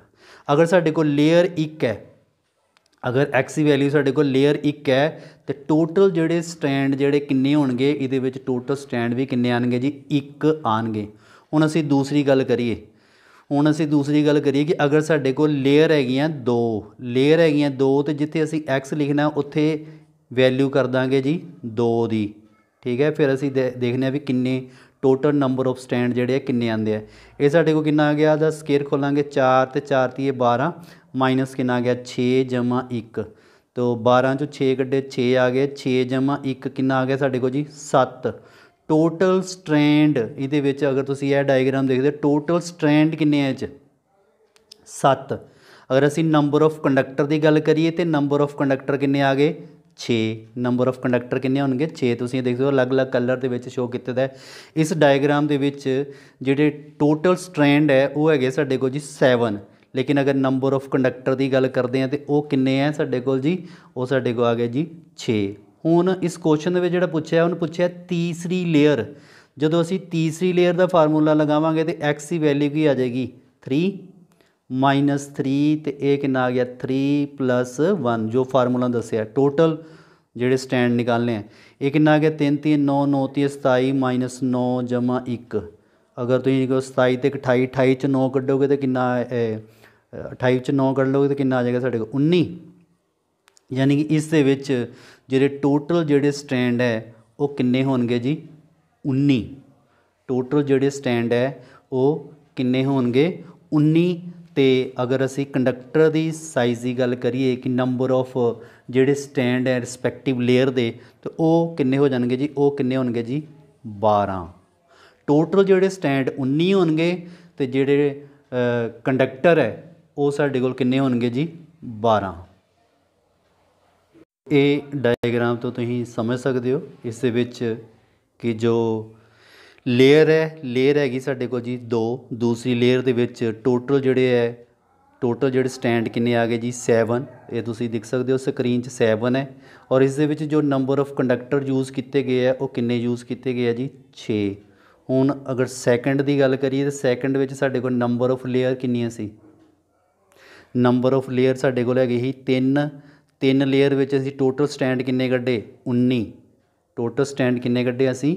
19 ਤੇ ਇਸ ਦੇ ਵਿੱਚ ਜਿਹੜੇ ਕੰਡਕਟਰ ਹੈ, ਉਹ ਕੰਡਕਟਰ ਕਿੰਨੇ ਯੂਜ਼ ਹੋਣਗੇ ਜੀ? ਇਹਦੇ ਵਿੱਚ ਕੰਡਕਟਰ ਕਿੰਨੇ ਯੂਜ਼ ਹੋਣਗੇ? ਇਹਦੇ ਵਿੱਚ ਕੰਡਕਟਰ ਯੂਜ਼ ਹੋਣਗੇ ਜੀ 12 ਤੋਂ ਇਹ ਇਸ ਦਾ ਜੋ ਹੈ ਰਾਈਟ ਆਨਸਰ ਹੈ। ਉਸ ਤੋਂ ਬਾਅਦ ਸਾਡੇ ਕੋਲ ਆ ਗਿਆ ਨੈਕਸਟ ਕੁਐਸਚਨ ਇਸ ਦਾ 50 ਕੁਐਸਚਨ ਹੈ। ਕੁਐਸਚਨ ਨੰਬਰ 50 ਜਿਸ ਦੇ ਵਿੱਚ ਦਿੱਤਾ ਹੋਏ ਚਿੱਤਰ ਦੇ ਵਿੱਚ ਹੇਠਾਂ ਦਿੱਤਿਆਂ ਵਿੱਚ ਕਿਸ ਪ੍ਰਕਾਰ ਦਾ ਜੇ 에ਅਰ ਸਰਕਟ ਬ੍ਰੇਕਰ ਜਿਹੜਾ ਯੂਜ਼ ਕੀਤਾ ਗਿਆ ਇਹ ਤੁਸੀਂ ਡਾਇਗਰਾਮ ਦੇਖ ਸਕਦੇ ਹੋ। ਜੋ ਸਰਕਟ ਬ੍ਰੇਕਰ ਹੈ, ਇਸ ਦੇ ਵਿੱਚ ਇੱਕ ਫਿਕਸਡ ਕੰਟੈਕਟ ਹੈ ਤੇ ਇੱਕ ਮੂਵਿੰਗ ਕੰਟੈਕਟ ਹੈ ਤੇ ਇਸ ਦੇ ਵਿੱਚ ਇਹ ਗੈਪ ਜਿਹੜਾ ਦੇਖ ਸਕਦੇ ਹੋ। ਉਹ ਜਦੋਂ ਵੋਲਟੇਜ ਯਾਨੀ ਕਿ ਕੋਈ ਸ਼ਾਰਟ ਸਰਕਟ ਹੁੰਦਾ ਹੈ ਤੇ ਜਾਂ ਇਹਦੇ ਵਿੱਚ ਜਿਹੜਾ ਆਟੋਮੈਟਿਕ ਜਿਹੜਾ ਗੈਪ ਜਿਹੜਾ ਪੈ ਜਾਂਦਾ ਹੈ ਸਰਕਟ ਜਦੋਂ ਬ੍ਰੇਕ ਹੁੰਦਾ ਹੈ ਤਾਂ ਇਸ ਦੇ ਵਿੱਚ ਜੋ ਅਸੀਂ ਇਸ ਦੇ ਵਿੱਚ ਜਿਹੜੀ ਫਾਇਰ ਯਾਨੀ ਕਿ ਅੱਗ ਜਿਹੜੀ ਪ੍ਰੋਡਿਊਸ ਹੁੰਦੀ ਹੈ, ਉਹਨੂੰ ਰੋਕਣ ਵਾਸਤੇ ਅਸੀਂ 에ਅਰ ਬਲਾਸਟ ਜਿਹੜੀ ਹੈ ਯੂਜ਼ ਕਰਦੇ ਹਾਂ। ਔਰ ਇਹ ਕਿਹੜਾ ਸਰਕਟ ਹੈ? ਇਹ ਦੱਸਣਾ ਹੈ ਕਿ ਇਹ ਜਿਹੜੀ ਡਾਇਗਰਾਮ ਹੈ, ਕਿਸ ਸਰਕਟ ਦੀ ਹੈ? ਤਾਂ ਇਹ ਜੋ ਡਾਇਗਰਾਮ ਤੁਸੀਂ ਦੇਖੀਏ ਸਕਰੀਨ ਤੇ ਇਹ ਹੈਗੇ ਹੈ ਜੀ axial blast air circuit breaker ਇਹਨੂੰ ਅਸੀਂ ਕਹਿੰਦੇ ਆ axial blast air circuit breaker ਇਹ ਏਅਰ ਸਰਕਟ ਬ੍ਰੇਕਰ ਦੀ ਹੀ ਟਾਈਪ ਹੈ। ਏਅਰ ਸਰਕਟ ਬ੍ਰੇਕਰ ਦੇ ਵਿੱਚ ਤਿੰਨ ਸਰਕਟ ਬ੍ਰੇਕਰ ਅਸੀਂ ਪੜ੍ਹਦੇ ਹਾਂ।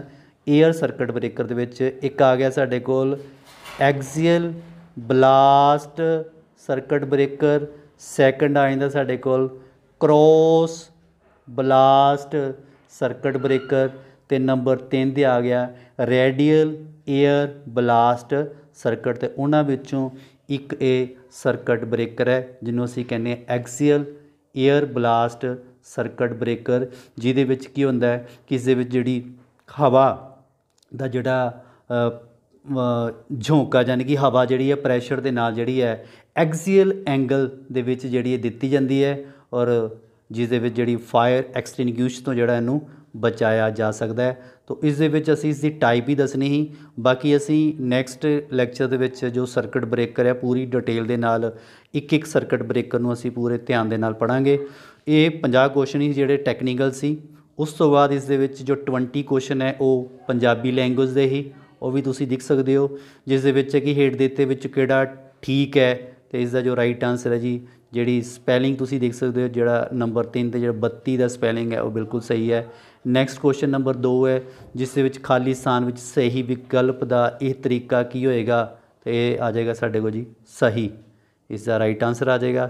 ਇਸ ਤਰ੍ਹਾਂ ਦਾ ਤੁਹਾਨੂੰ ਪੰਜਾਬੀ ਦੇ ਵੀ ਕੁਐਸਚਨ ਤੁਸੀਂ ਤਿਆਰ ਕਰੋਗੇ, ਜਿਸ ਦੇ ਵਿੱਚ ਹੇਠ ਲਿਖਿਆ ਵਿੱਚ ਮੋਤੀ ਸ਼ਬਦ ਦਾ ਸਮਾਨ ਅਰਥੀ ਸ਼ਬਦ ਤੇ ਇਹਨੂੰ ਅਸੀਂ ਕਹਿੰਦੇ ਹਾਂ ਜੀ ਮੋਤੀ ਸ਼ਬਦ ਨੂੰ ਕਹਿ ਦਿੰਦੇ ਹਾਂ ਅਸੀਂ ਮਨਕਾ। ਨੈਕਸਟ ਕੁਐਸਚਨ ਹੈ, ਹੇਠਾਂ ਲਿਖਿਆਂ ਵਿੱਚੋਂ ਜਿਹੜਾ ਸਹੀ ਸ਼ਬਦ ਸਪੈਲਿੰਗ ਦਾ ਧਿਆਨ ਰੱਖਣਾ ਹੈ ਕਿ ਸਹੀ ਸ਼ਬਦ ਪ੍ਰੀਤਮ ਨੂੰ ਕਿਸ ਤਰ੍ਹਾਂ ਲਿਖਦੇ ਆ ਇਹ ਤੁਹਾਨੂੰ ਸਪੈਲਿੰਗ ਦੇ ਨਾਲ ਰਿਲੇਟਡ ਜਿਹੜੇ ਕੁਐਸਚਨ ਹੈ, ਕਾਫੀ ਸਾਰੇ ਆਏ ਹੈ। ਨੈਕਸਟ ਕੁਐਸਚਨ ਨੰਬਰ 5 ਹੈ, ਜਿਸ ਦੇ ਵਿੱਚ ਹੇਠ ਲਿਖਿਆ ਵਿੱਚ ਕਾਲਾ ਸ਼ਬਦ ਦਾ ਜਿਹੜਾ ਵਿਰੋਧੀ ਹੈ, ਉਹ ਕੀ ਹੁੰਦਾ ਜੀ? ਗੋਰਾ। ਨੈਕਸਟ ਕੁਐਸਚਨ ਨੰਬਰ 6 ਹੈ, ਜਿਸ ਦੇ ਵਿੱਚ ਦੱਸਿਆ ਕਿ ਹੇਠ ਲਿਖੇ ਮੁਹਾਵਰੇ ਹੱਥਾਂ ਦੇ, ਹੱਥਾਂ ਤੇ ਸਰੋ ਜਮਾਨਾ, ਇਹ ਪੂਰਾ ਮੁਹਾਵਰਾ ਹੋ ਜਾਂਦਾ ਹੈ। ਹੱਥਾਂ ਤੇ ਸਰੋਂ ਜਮਾਨਾ। ਹੇਠ ਲਿਖਿਆਂ ਵਿੱਚੋਂ ਸਹੀ ਸ਼ਬਦ ਦੀ ਚੋਣ ਕਰੋ। ਸਹੀ ਸ਼ਬਦ ਹੈ ਜੀ, ਤਿਨਕਾ।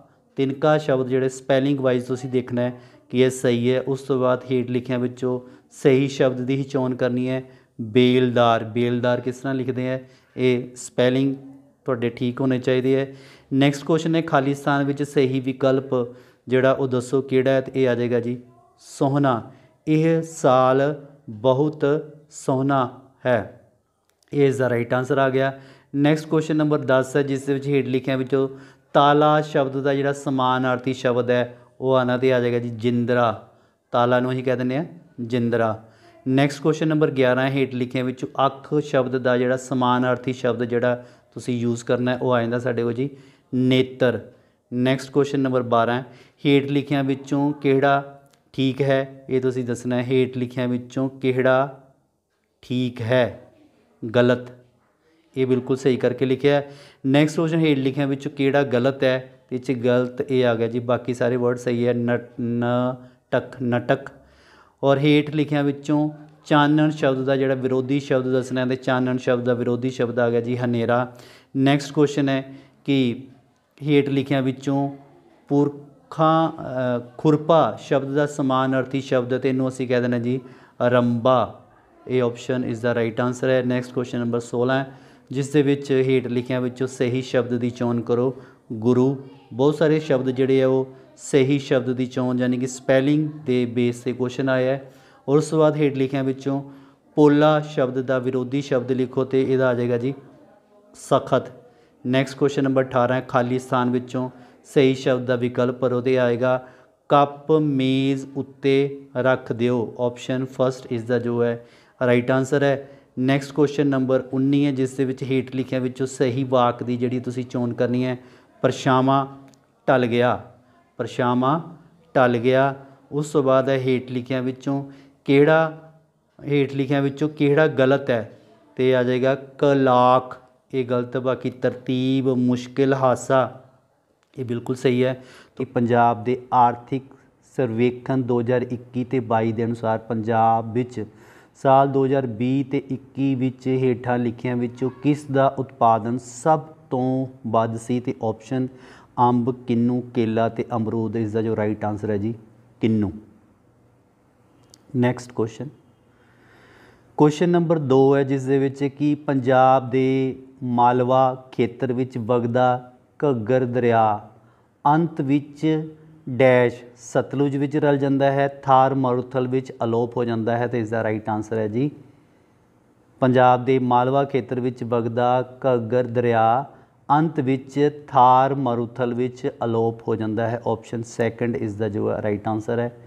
ਨੈਕਸਟ ਕੁਐਸਚਨ ਹੈ ਕਿ ਹਾਲ ਵਿੱਚ ਹੋਈਆਂ ਪੰਜਾਬ ਵਿਧਾਨ ਸਭਾ ਦੀਆਂ ਜੋ ਚੋਣਾਂ 2022 ਦੇ ਵਿੱਚ ਆਮ ਆਦਮੀ ਪਾਰਟੀ ਨੇ ਕਿੰਨੀਆਂ ਸੀਟਾਂ ਜਿੱਤੀਆਂ ਸੀ? ਇਸ ਦਾ ਜੋ ਰਾਈਟ ਆਨਸਰ ਹੈ ਜੀ 92 ਟੋਟਲ ਸੀਟਾਂ 117 ਹੁੰਦੀਆਂ ਜੀ, ਪੰਜਾਬ ਦੀਆਂ, ਵਿਧਾਨ ਸਭਾ ਦੀਆਂ, ਜਿਹਦੇ ਵਿੱਚੋਂ ਆਪ ਦੀ ਜਿਹੜੀ ਪਾਰਟੀ ਹੈ, ਉਹਨ 92 ਸੀਟਾਂ ਜਿਹੜੀਆਂ ਜਿੱਤੀਆਂ। ਨੈਕਸਟ ਕੁਐਸਚਨ ਨੰਬਰ 4 ਹੈ, ਜਿਸ ਦੇ ਵਿੱਚ ਹੈ ਕਿ ਪੰਜਾਬ ਦੇ ਕਬਾਇਲੀ ਖੇਤਰਾਂ ਵਿੱਚ ਮੁੱਖ ਤੌਰ ਤੇ ਰਾਏ ਸਿੰਘ ਬਾਜ਼ੀਕਰ ਸਾਂਸੀ ਅਤੇ ਲੋਬਾਨਾ ਕਬੀਲੇ ਦੀਆਂ ਔਰਤਾਂ ਦੁਆਰਾ ਹੇਠ ਲਿਖਿਆਂ ਵਿੱਚੋਂ ਕਿਹੜਾ ਲੋਕ ਨਾਚ ਕੀਤਾ ਜਾਂਦਾ ਹੈ ਤੇ ਇਹ ਆ ਜਾਂਦਾ ਇਸ ਦਾ ਆਨਸਰ ਜੀ, ਸੰਮੀ ਸੰਮੀ ਲੋਕ ਨਾਚ। ਨੈਕਸਟ ਕੁਐਸਚਨ ਹੈ, ਪੰਜਾਬੀ ਭਾਸ਼ਾ ਹੇਠ ਲਿਖੀਆਂ ਭਾਸ਼ਾਵਾਂ ਦੇ ਕਿਹੜੇ ਪਰਿਵਾਰ ਦੇ ਨਾਲ ਸੰਬੰਧਿਤ ਹੈ ਤੇ ਇਹ ਹੈ ਜੀ Indo European Indo European first is the ਜੋ ਹੈ ਰਾਈਟ ਆਨਸਰ ਹੈ। ਨੈਕਸਟ ਕੁਐਸਚਨ ਹੈ ਕਿ ਪੰਜਾਬ ਸਰਕਾਰ ਨੇ ਰਾਸ਼ਟਰਮੰਡਲ ਖੇਡਾਂ 2022 ਦੇ ਵਿੱਚ ਕਾਂਸੀ ਤਗਮਾ ਜਿੱਤਣ ਵਾਲੇ weight ਲਿਫਟਰ ਲਈ 40 ਲੱਖ ਰੁਪਏ ਦੇ ਨਗਦ ਰਿਕਾਰਡ ਦੀ ਘੋਸ਼ਣਾ ਕੀਤੀ ਸੀ। ਤਾਂ ਉਹ ਖਿਲਾੜੀ ਦਾ ਕੀ ਨਾਮ ਸੀ? ਆਪਸ਼ਨ ਥਰਡ ਹੈ ਜੀ, ਹਰਜਿੰਦਰ ਕੌਰ। ਹਰਜਿੰਦਰ ਕੌਰ ਆਪਸ਼ਨ ਥਰਡ ਇਸ ਦਾ ਜੋ ਹੈ ਰਾਈਟ ਆਨਸਰ ਹੈ। ਨੈਕਸਟ ਕੁਐਸਚਨ ਹੈ ਕਿ ਮੁਦਗੀ ਦੀ ਜਿਹੜੀ ਲੜਾਈ ਹੈ ਕਦੋਂ ਸ਼ੁਰੂ ਹੋਈ? ਤੇ ਇਸ ਦਾ ਜੋ ਰਾਈਟ ਆਨਸਰ ਹੈ ਜੀ, ਇਹ ਲੜਾਈ ਜੀ 1845 ਈਸਵੀ ਦੇ ਵਿੱਚ ਸ਼ੁਰੂ ਹੋਈ। ਇਹ ਜੋ ਲੜਾਈ ਹੈ ਈਸਟ ਇੰਡੀਆ ਕੰਪਨੀ ਜੋ ਅੰਗਰੇਜ਼ਾਂ ਦੀ ਈਸਟ ਇੰਡੀਆ ਕੰਪਨੀ ਔਰ ਸਿੱਖਾਂ ਦੇ ਵਿਚਕਾਰ ਇਹ ਜਿਹੜੀ ਲੜਾਈ ਹੋਈ ਔਰ ਮੁਦਗੀ ਜਿਹੜਾ ਸ਼ਹਿਰ ਹੈ ਜਾਂ ਨਗਰ ਕਹਿ ਲਓ, ਇਹ ਜਿਹੜਾ ਸ਼ਹਿਰ ਫਿਰੋਜ਼ਪੁਰ, ਪੰਜਾਬ ਦੇ ਜੋ ਫਿਰੋਜ਼ਪੁਰ ਜ਼ਿਲ੍ਹੇ ਦੇ ਵਿੱਚ ਇਹ ਇੱਕ ਸ਼ਹਿਰ ਦਾ ਨਾਂ ਹੈ ਮੁਦਗੀ ਤੇ ਉੱਥੇ ਜਿਹੜੀ ਹੈ ਲੜਾਈ 1845 ਦੇ ਵਿੱਚ ਹੋਈ।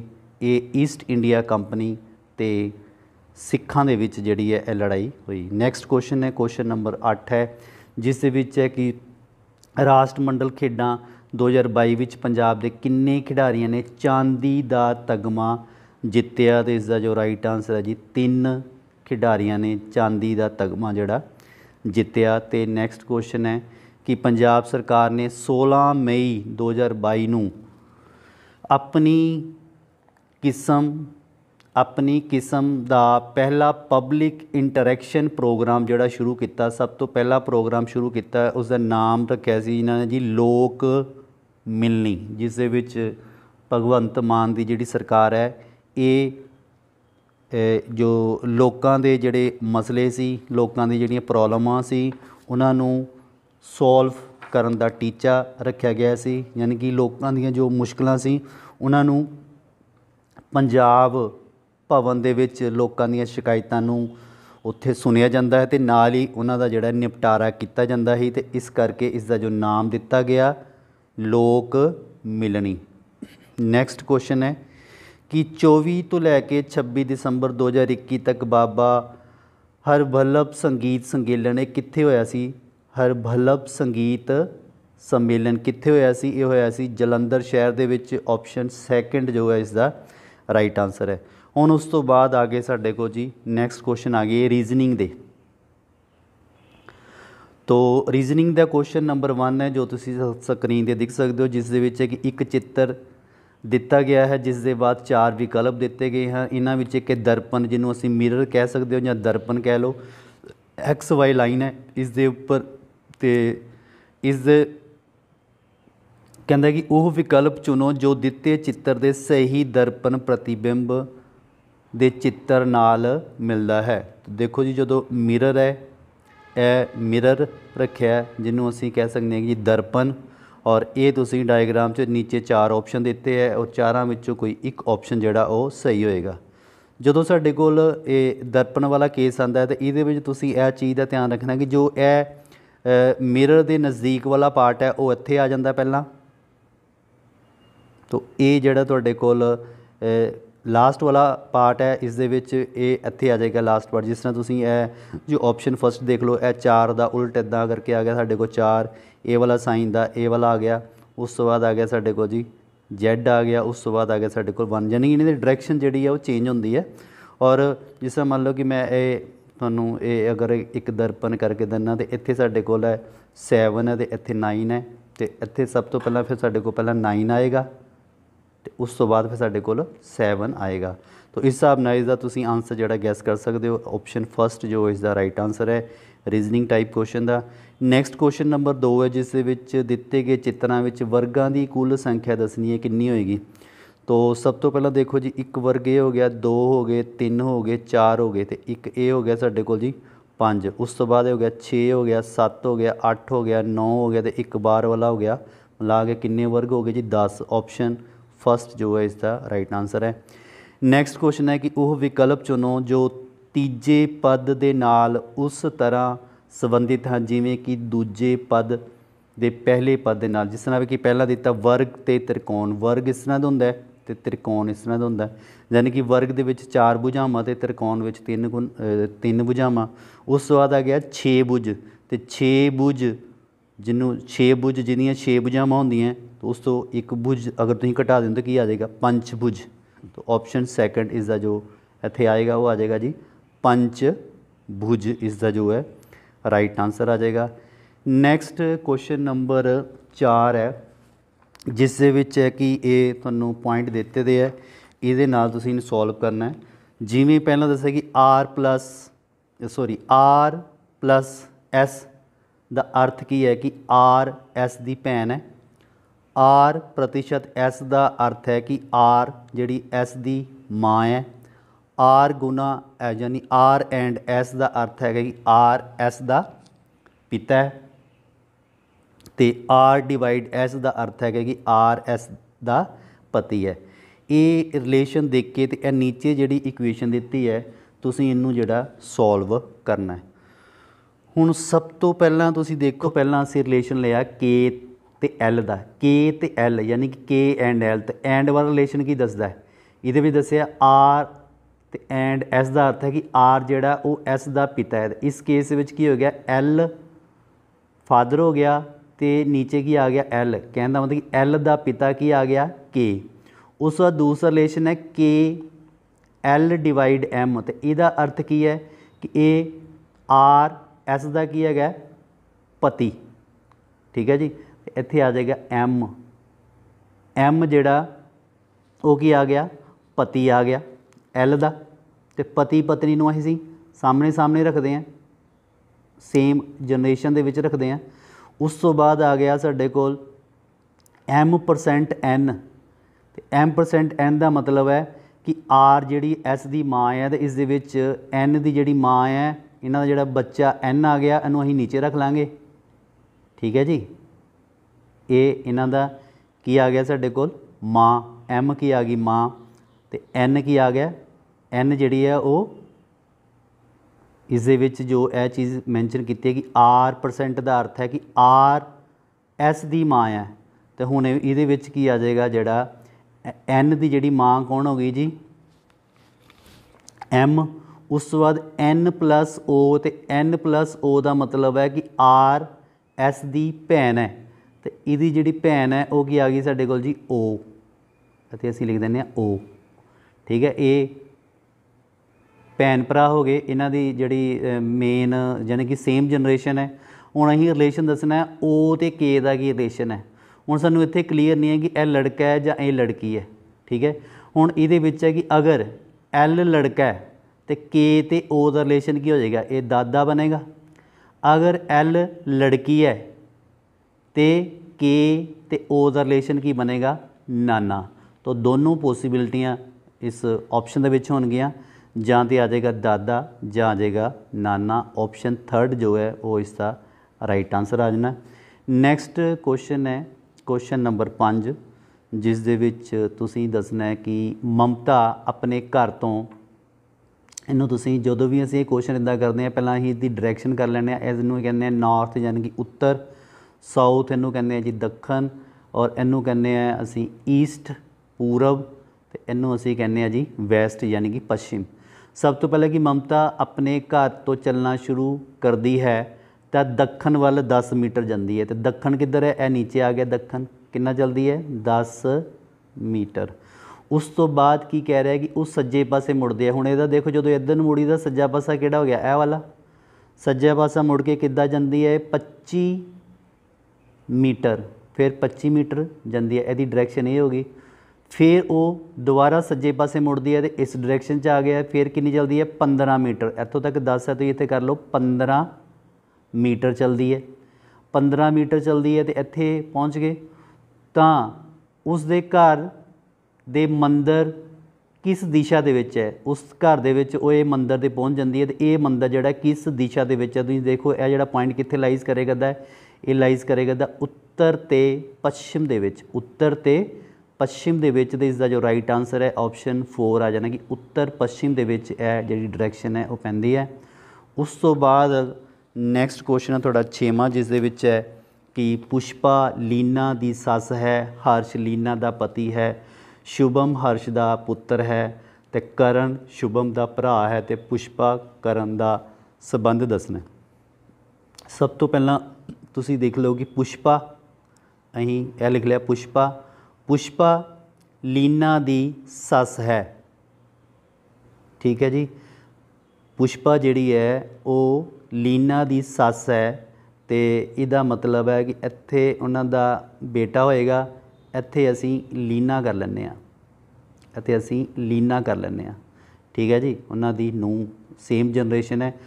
ਹਰਸ਼ ਲੀਨਾ ਦਾ ਪਤੀ ਹੈ ਤੇ ਇੱਥੇ ਆ ਗਿਆ ਹਰਸ਼। ਠੀਕ ਹੈ ਜੀ। ਹਰਸ਼ ਆ ਗਿਆ। ਉਸ ਤੋਂ ਬਾਅਦ ਸ਼ੁਭਮ ਤੇ ਹਰਸ਼।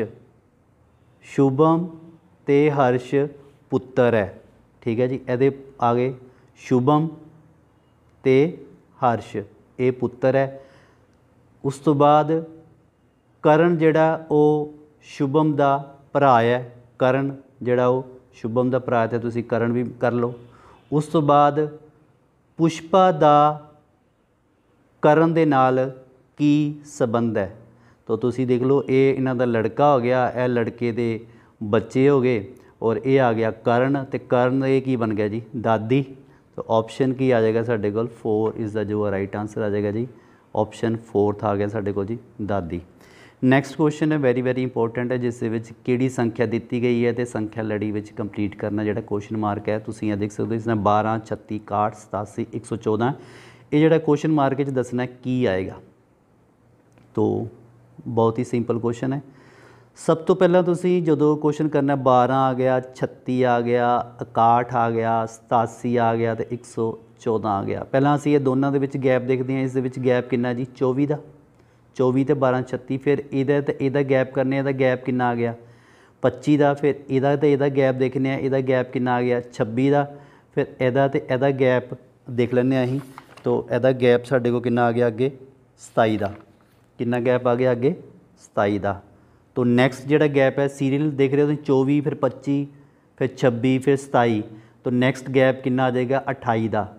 ਤਾਂ ਤੁਸੀਂ 114 ਵਿੱਚ ਜਦੋਂ ਤੁਸੀਂ 28 ਨੂੰ ਪਲੱਸ ਕਰੋਗੇ ਤੇ ਕੀ ਆ ਜਾਏਗਾ? 8 ਤੇ 4 12 3 ਤੇ 1 4 142 ਆਨਸਰ ਆ ਜਾਏਗਾ। ਆਪਸ਼ਨ ਸੈਕੰਡ ਇਸ ਦਾ ਜੋ ਹੈ ਉਹ ਰਾਈਟ ਆਨਸਰ ਆ ਗਿਆ।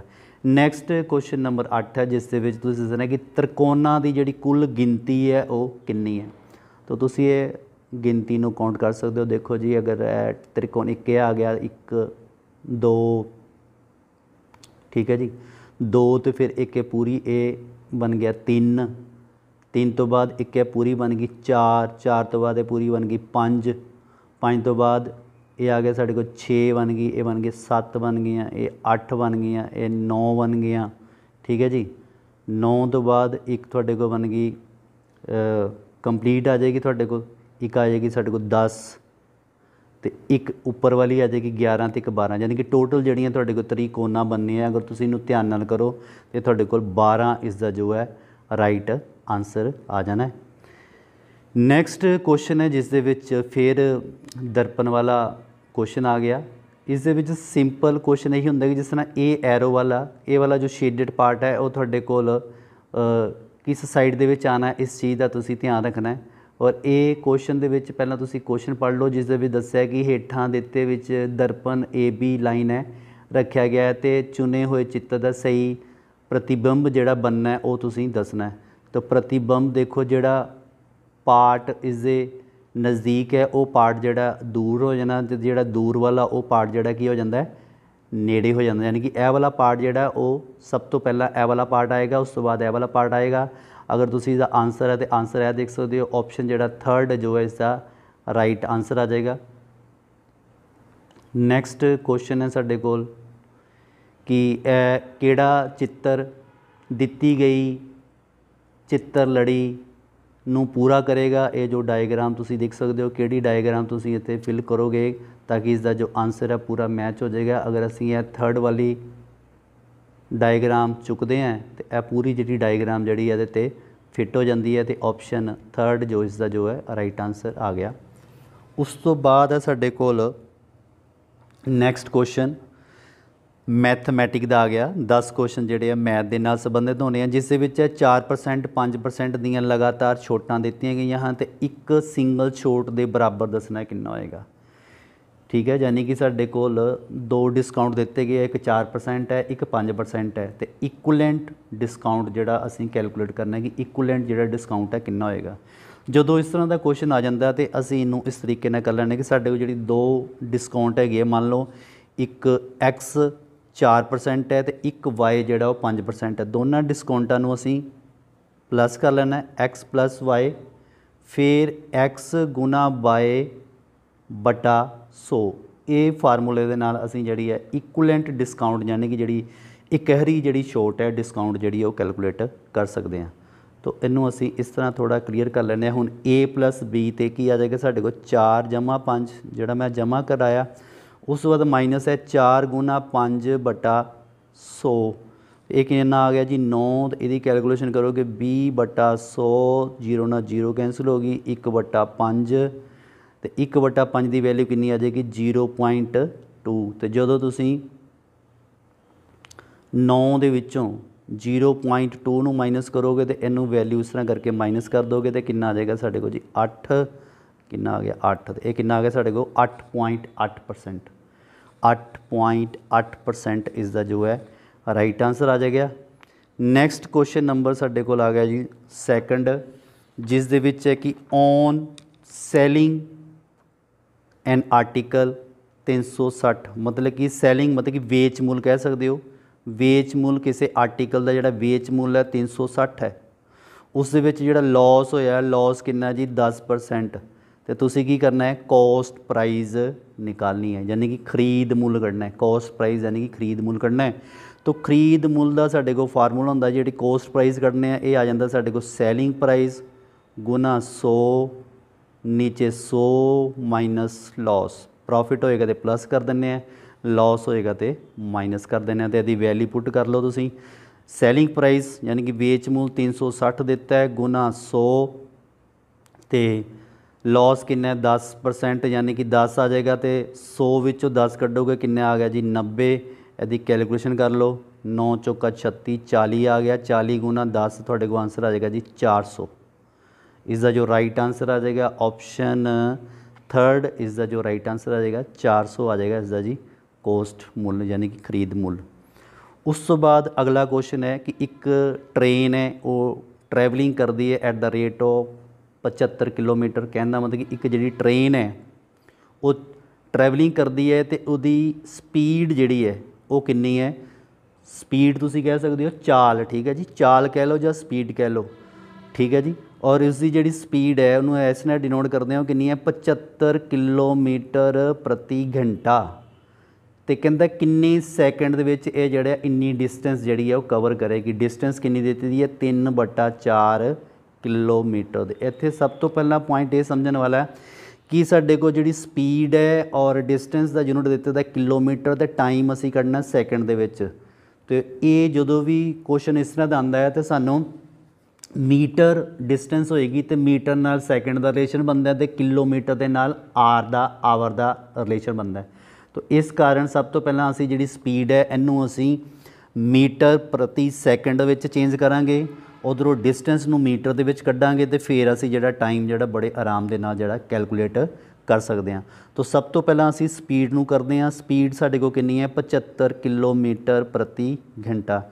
ਤੇ ਜਦੋਂ ਅਸੀਂ ਇਹਨੂੰ ਮੀਟਰ ਪ੍ਰਤੀ ਸੈਕਿੰਡ ਦੇ ਵਿੱਚ ਕੱਢਣਾ ਤੇ ਇਹਨੂੰ ਅਸੀਂ ਕੀ ਕਰ ਦਿੰਨੇ ਆ ਗੁਣਾ ਕਰ ਦਿੰਨੇ ਆ 75 ਗੁਣਾ 5 ਬਟਾ 18 ਦੇ ਨਾਲ ਗੁਣਾ ਕਰ ਲਓ ਤੇ ਇਹ ਬਣ ਜਾਂਦਾ ਮੀਟਰ ਪਰ ਸੈਕਿੰਡ। ਇਹਨੂੰ ਤੁਸੀਂ ਮਲਟੀਪਲਾਈ ਕਰੋਗੇ ਤੇ ਆ ਗਿਆ ਤੁਹਾਡੇ ਕੋਲ 375 ਬਟਾ 18 ਮੀਟਰ ਪਰ ਸੈਕਿੰਡ। ਇਹ ਆ ਗਈ ਇਹਦੀ ਜੀ ਸਪੀਡ। ਹੁਣ ਅਸੀਂ ਡਿਸਟੈਂਸ ਕੈਲਕੂਲੇਟ ਕਰ ਲਈਏ। ਡਿਸਟੈਂਸ ਸਾਨੂੰ ਡੀ ਨਾਲ ਡਿਨੋਟ ਕਰ ਲੈਣੇ ਆ ਕਿੰਨਾ ਦੀ 3 ਬਟਾ 4 ਕਿਲੋਮੀਟਰ। ਤੇ ਕਿਲੋਮੀਟਰ ਨੂੰ ਮੀਟਰ ਚ ਕਨਵਰਟ ਕਰਾਂਗੇ ਤੇ 1000 ਮੀਟਰ ਆ ਗਿਆ। ਇਹਨੂੰ ਕੈਂਸਲ ਕਰ ਦਿਓ। 25 ਚੌਕਾ 100 250 250 ਗੁਣਾ 3 ਡਿਸਟੈਂਸ ਕਿੰਨੀ ਆ ਗਈ ਸਾਡੇ ਕੋਲ? 750 ਮੀਟਰ। ਹੁਣ ਅਸੀਂ ਟਾਈਮ ਜਿਹੜਾ ਕੈਲਕੂਲੇਟ ਕਰ ਸਕਦੇ ਹਾਂ। ਠੀਕ ਹੈ ਜੀ? ਟਾਈਮ ਬੇਸਿਕ ਫਾਰਮੂਲਾ ਹੁੰਦਾ ਕਿ ਜਿਹੜਾ ਸਪੀਡ ਕਿਹਦੇ ਬਰਾਬਰ ਹੁੰਦੀ ਹੈ? ਸਪੀਡ ਦਾ ਫਾਰਮੂਲਾ ਹੁੰਦਾ ਡਿਸਟੈਂਸ ਬਾਏ ਟਾਈਮ ਇਹ ਤਾਂ ਫਾਰਮੂਲਾ ਯਾਦ ਰੱਖੋ। ਜਦੋਂ ਅਸੀਂ ਇਸ ਦੇ ਵਿੱਚ ਟਾਈਮ ਕੱਢਾਂਗੇ ਤਾਂ ਟਾਈਮ ਦੀ ਵੈਲਿਊ ਕੀ ਆ ਜਾਏਗੀ? ਡਿਸਟੈਂਸ ਬਾਏ ਸਪੀਡ ਤਾਂ ਅਸੀਂ ਡਿਸਟੈਂਸ ਵੀ ਕੈਲਕੂਲੇਟ ਕਰ ਚੁੱਕੇ ਹਾਂ ਸਪੀਡ ਵੀ ਕੈਲਕੂਲੇਟ ਕਰ ਚੁੱਕੇ ਹਾਂ ਤੇ ਇੱਥੇ ਅਸੀਂ ਫਾਰਮੂਲਾ ਲਗਾ ਲੈਂਦੇ ਆ ਇਹ ਆ ਜਾਏਗਾ ਸਾਡੇ ਕੋਲ ਡਿਸਟੈਂਸ ਬਾਏ ਸਪੀਡ ਤੇ ਡਿਸਟੈਂਸ ਕਿੰਨੀ ਆ ਗਈ ਜੀ? 750 ਤੇ ਸਪੀਡ ਅਸੀਂ ਕੈਲਕੂਲੇਟ ਕੀਤੀ ਸੀ 375 375 ਬਟਾ 18 ਤੇ ਜਦੋਂ ਤੁਸੀਂ ਇਹਦੀ ਕੈਲਕੂਲੇਸ਼ਨ ਕਰੋਗੇ 750 ਇਹ ਆ ਗਿਆ 18 ਉੱਪਰ ਆ ਗਿਆ ਤੇ 375 ਥੱਲੇ ਆ ਜਾਣਗੇ। ਤੁਸੀਂ 15 ਨਾਲ ਕੈਂਸਲ ਕਰ ਦਿਓ। 15 5 ਇਹ ਇਹਨੂੰ ਤੁਸੀਂ ਕੈਂਸਲ ਕਰ ਦਿਓ।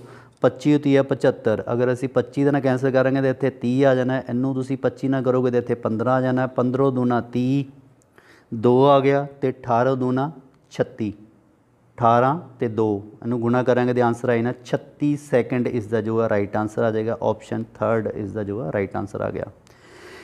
ਨੈਕਸਟ ਕੁਐਸਚਨ ਨੰਬਰ 4 ਹੈ ਜਿਸ ਦੇ ਵਿੱਚ ਹੈ ਕਿ ਇੱਕ ਦੁਕਾਨਦਾਰ ਆਪਣੇ ਮਾਲ ਤੇ ਖਰੀਦ ਮੁੱਲ ਤੋਂ 5% ਵੱਧ ਅੰਕਿਤ ਕਰਦਾ ਹੈ ਪਰ ਨਗਦੀ ਲਈ ਉਹ 10% ਦੀ ਛੋਟ ਦਿੰਦਾ ਹੈ ਤੇ ਉਸ ਦਾ ਸ਼ੁੱਧ ਘਾਟਾ ਪ੍ਰਤੀਸ਼ਤ ਜਿਹੜਾ ਉਹ ਕਿੰਨਾ ਹੋਏਗਾ ਇਹ ਤੁਸੀਂ ਇਸ ਕੁਐਸਚਨ ਦੇ ਵਿੱਚ ਦੱਸਣਾ ਅਗਰ ਅਸੀਂ ਮੰਨ ਲਓ ਕਿ ਕੋਸਟ ਪ੍ਰਾਈਸ ਕੋਈ ਵੀ ਅਹ, ਚੀਜ਼ ਦਾ ਜਿਹੜਾ ਕੋਸਟ ਪ੍ਰਾਈਸ ਦਾ ਮਤਲਬ ਕਿ ਖਰੀਦ ਮੁੱਲ ਖਰੀਦ ਮੁੱਲ ਅਗਰ ਅਸੀਂ 100 ਕਰ ਲੈਂਦੇ ਆ ਤੇ ਇਹਦਾ ਜਿਹੜਾ ਮਾਰਕੀਟ ਪ੍ਰਾਈਸ ਹੋਏਗਾ, ਜਿਹਨੂੰ ਅੰਕਿਤ ਮੁੱਲ ਕਹਿ ਰਿਹਾ ਮਾਰਕੀਟ ਪ੍ਰਾਈਸ ਕਿੰਨਾ ਬਣੇਗਾ? 100 ਗੁਣਾ 5% ਉਹਨ ਵਧਾਇਆ। ਠੀਕ ਹੈ ਨਹੀਂ ਇਹਨੂੰ ਤੁਸੀਂ ਇੰਨਾ ਕਰ ਲਓ 100 ਜਮਾ 5% ਉਹਨੇ ਵਧਾਇਆ ਤੇ 5 ਵਟਾ 100 ਗੁਣਾ 100 ਇਹਨੂੰ ਕੈਂਸਲ ਕਰੋਗੇ ਕਿੰਨਾ ਆਇਆ ਨਾ? 5 ਹੀ ਆਇਆ ਨਾ।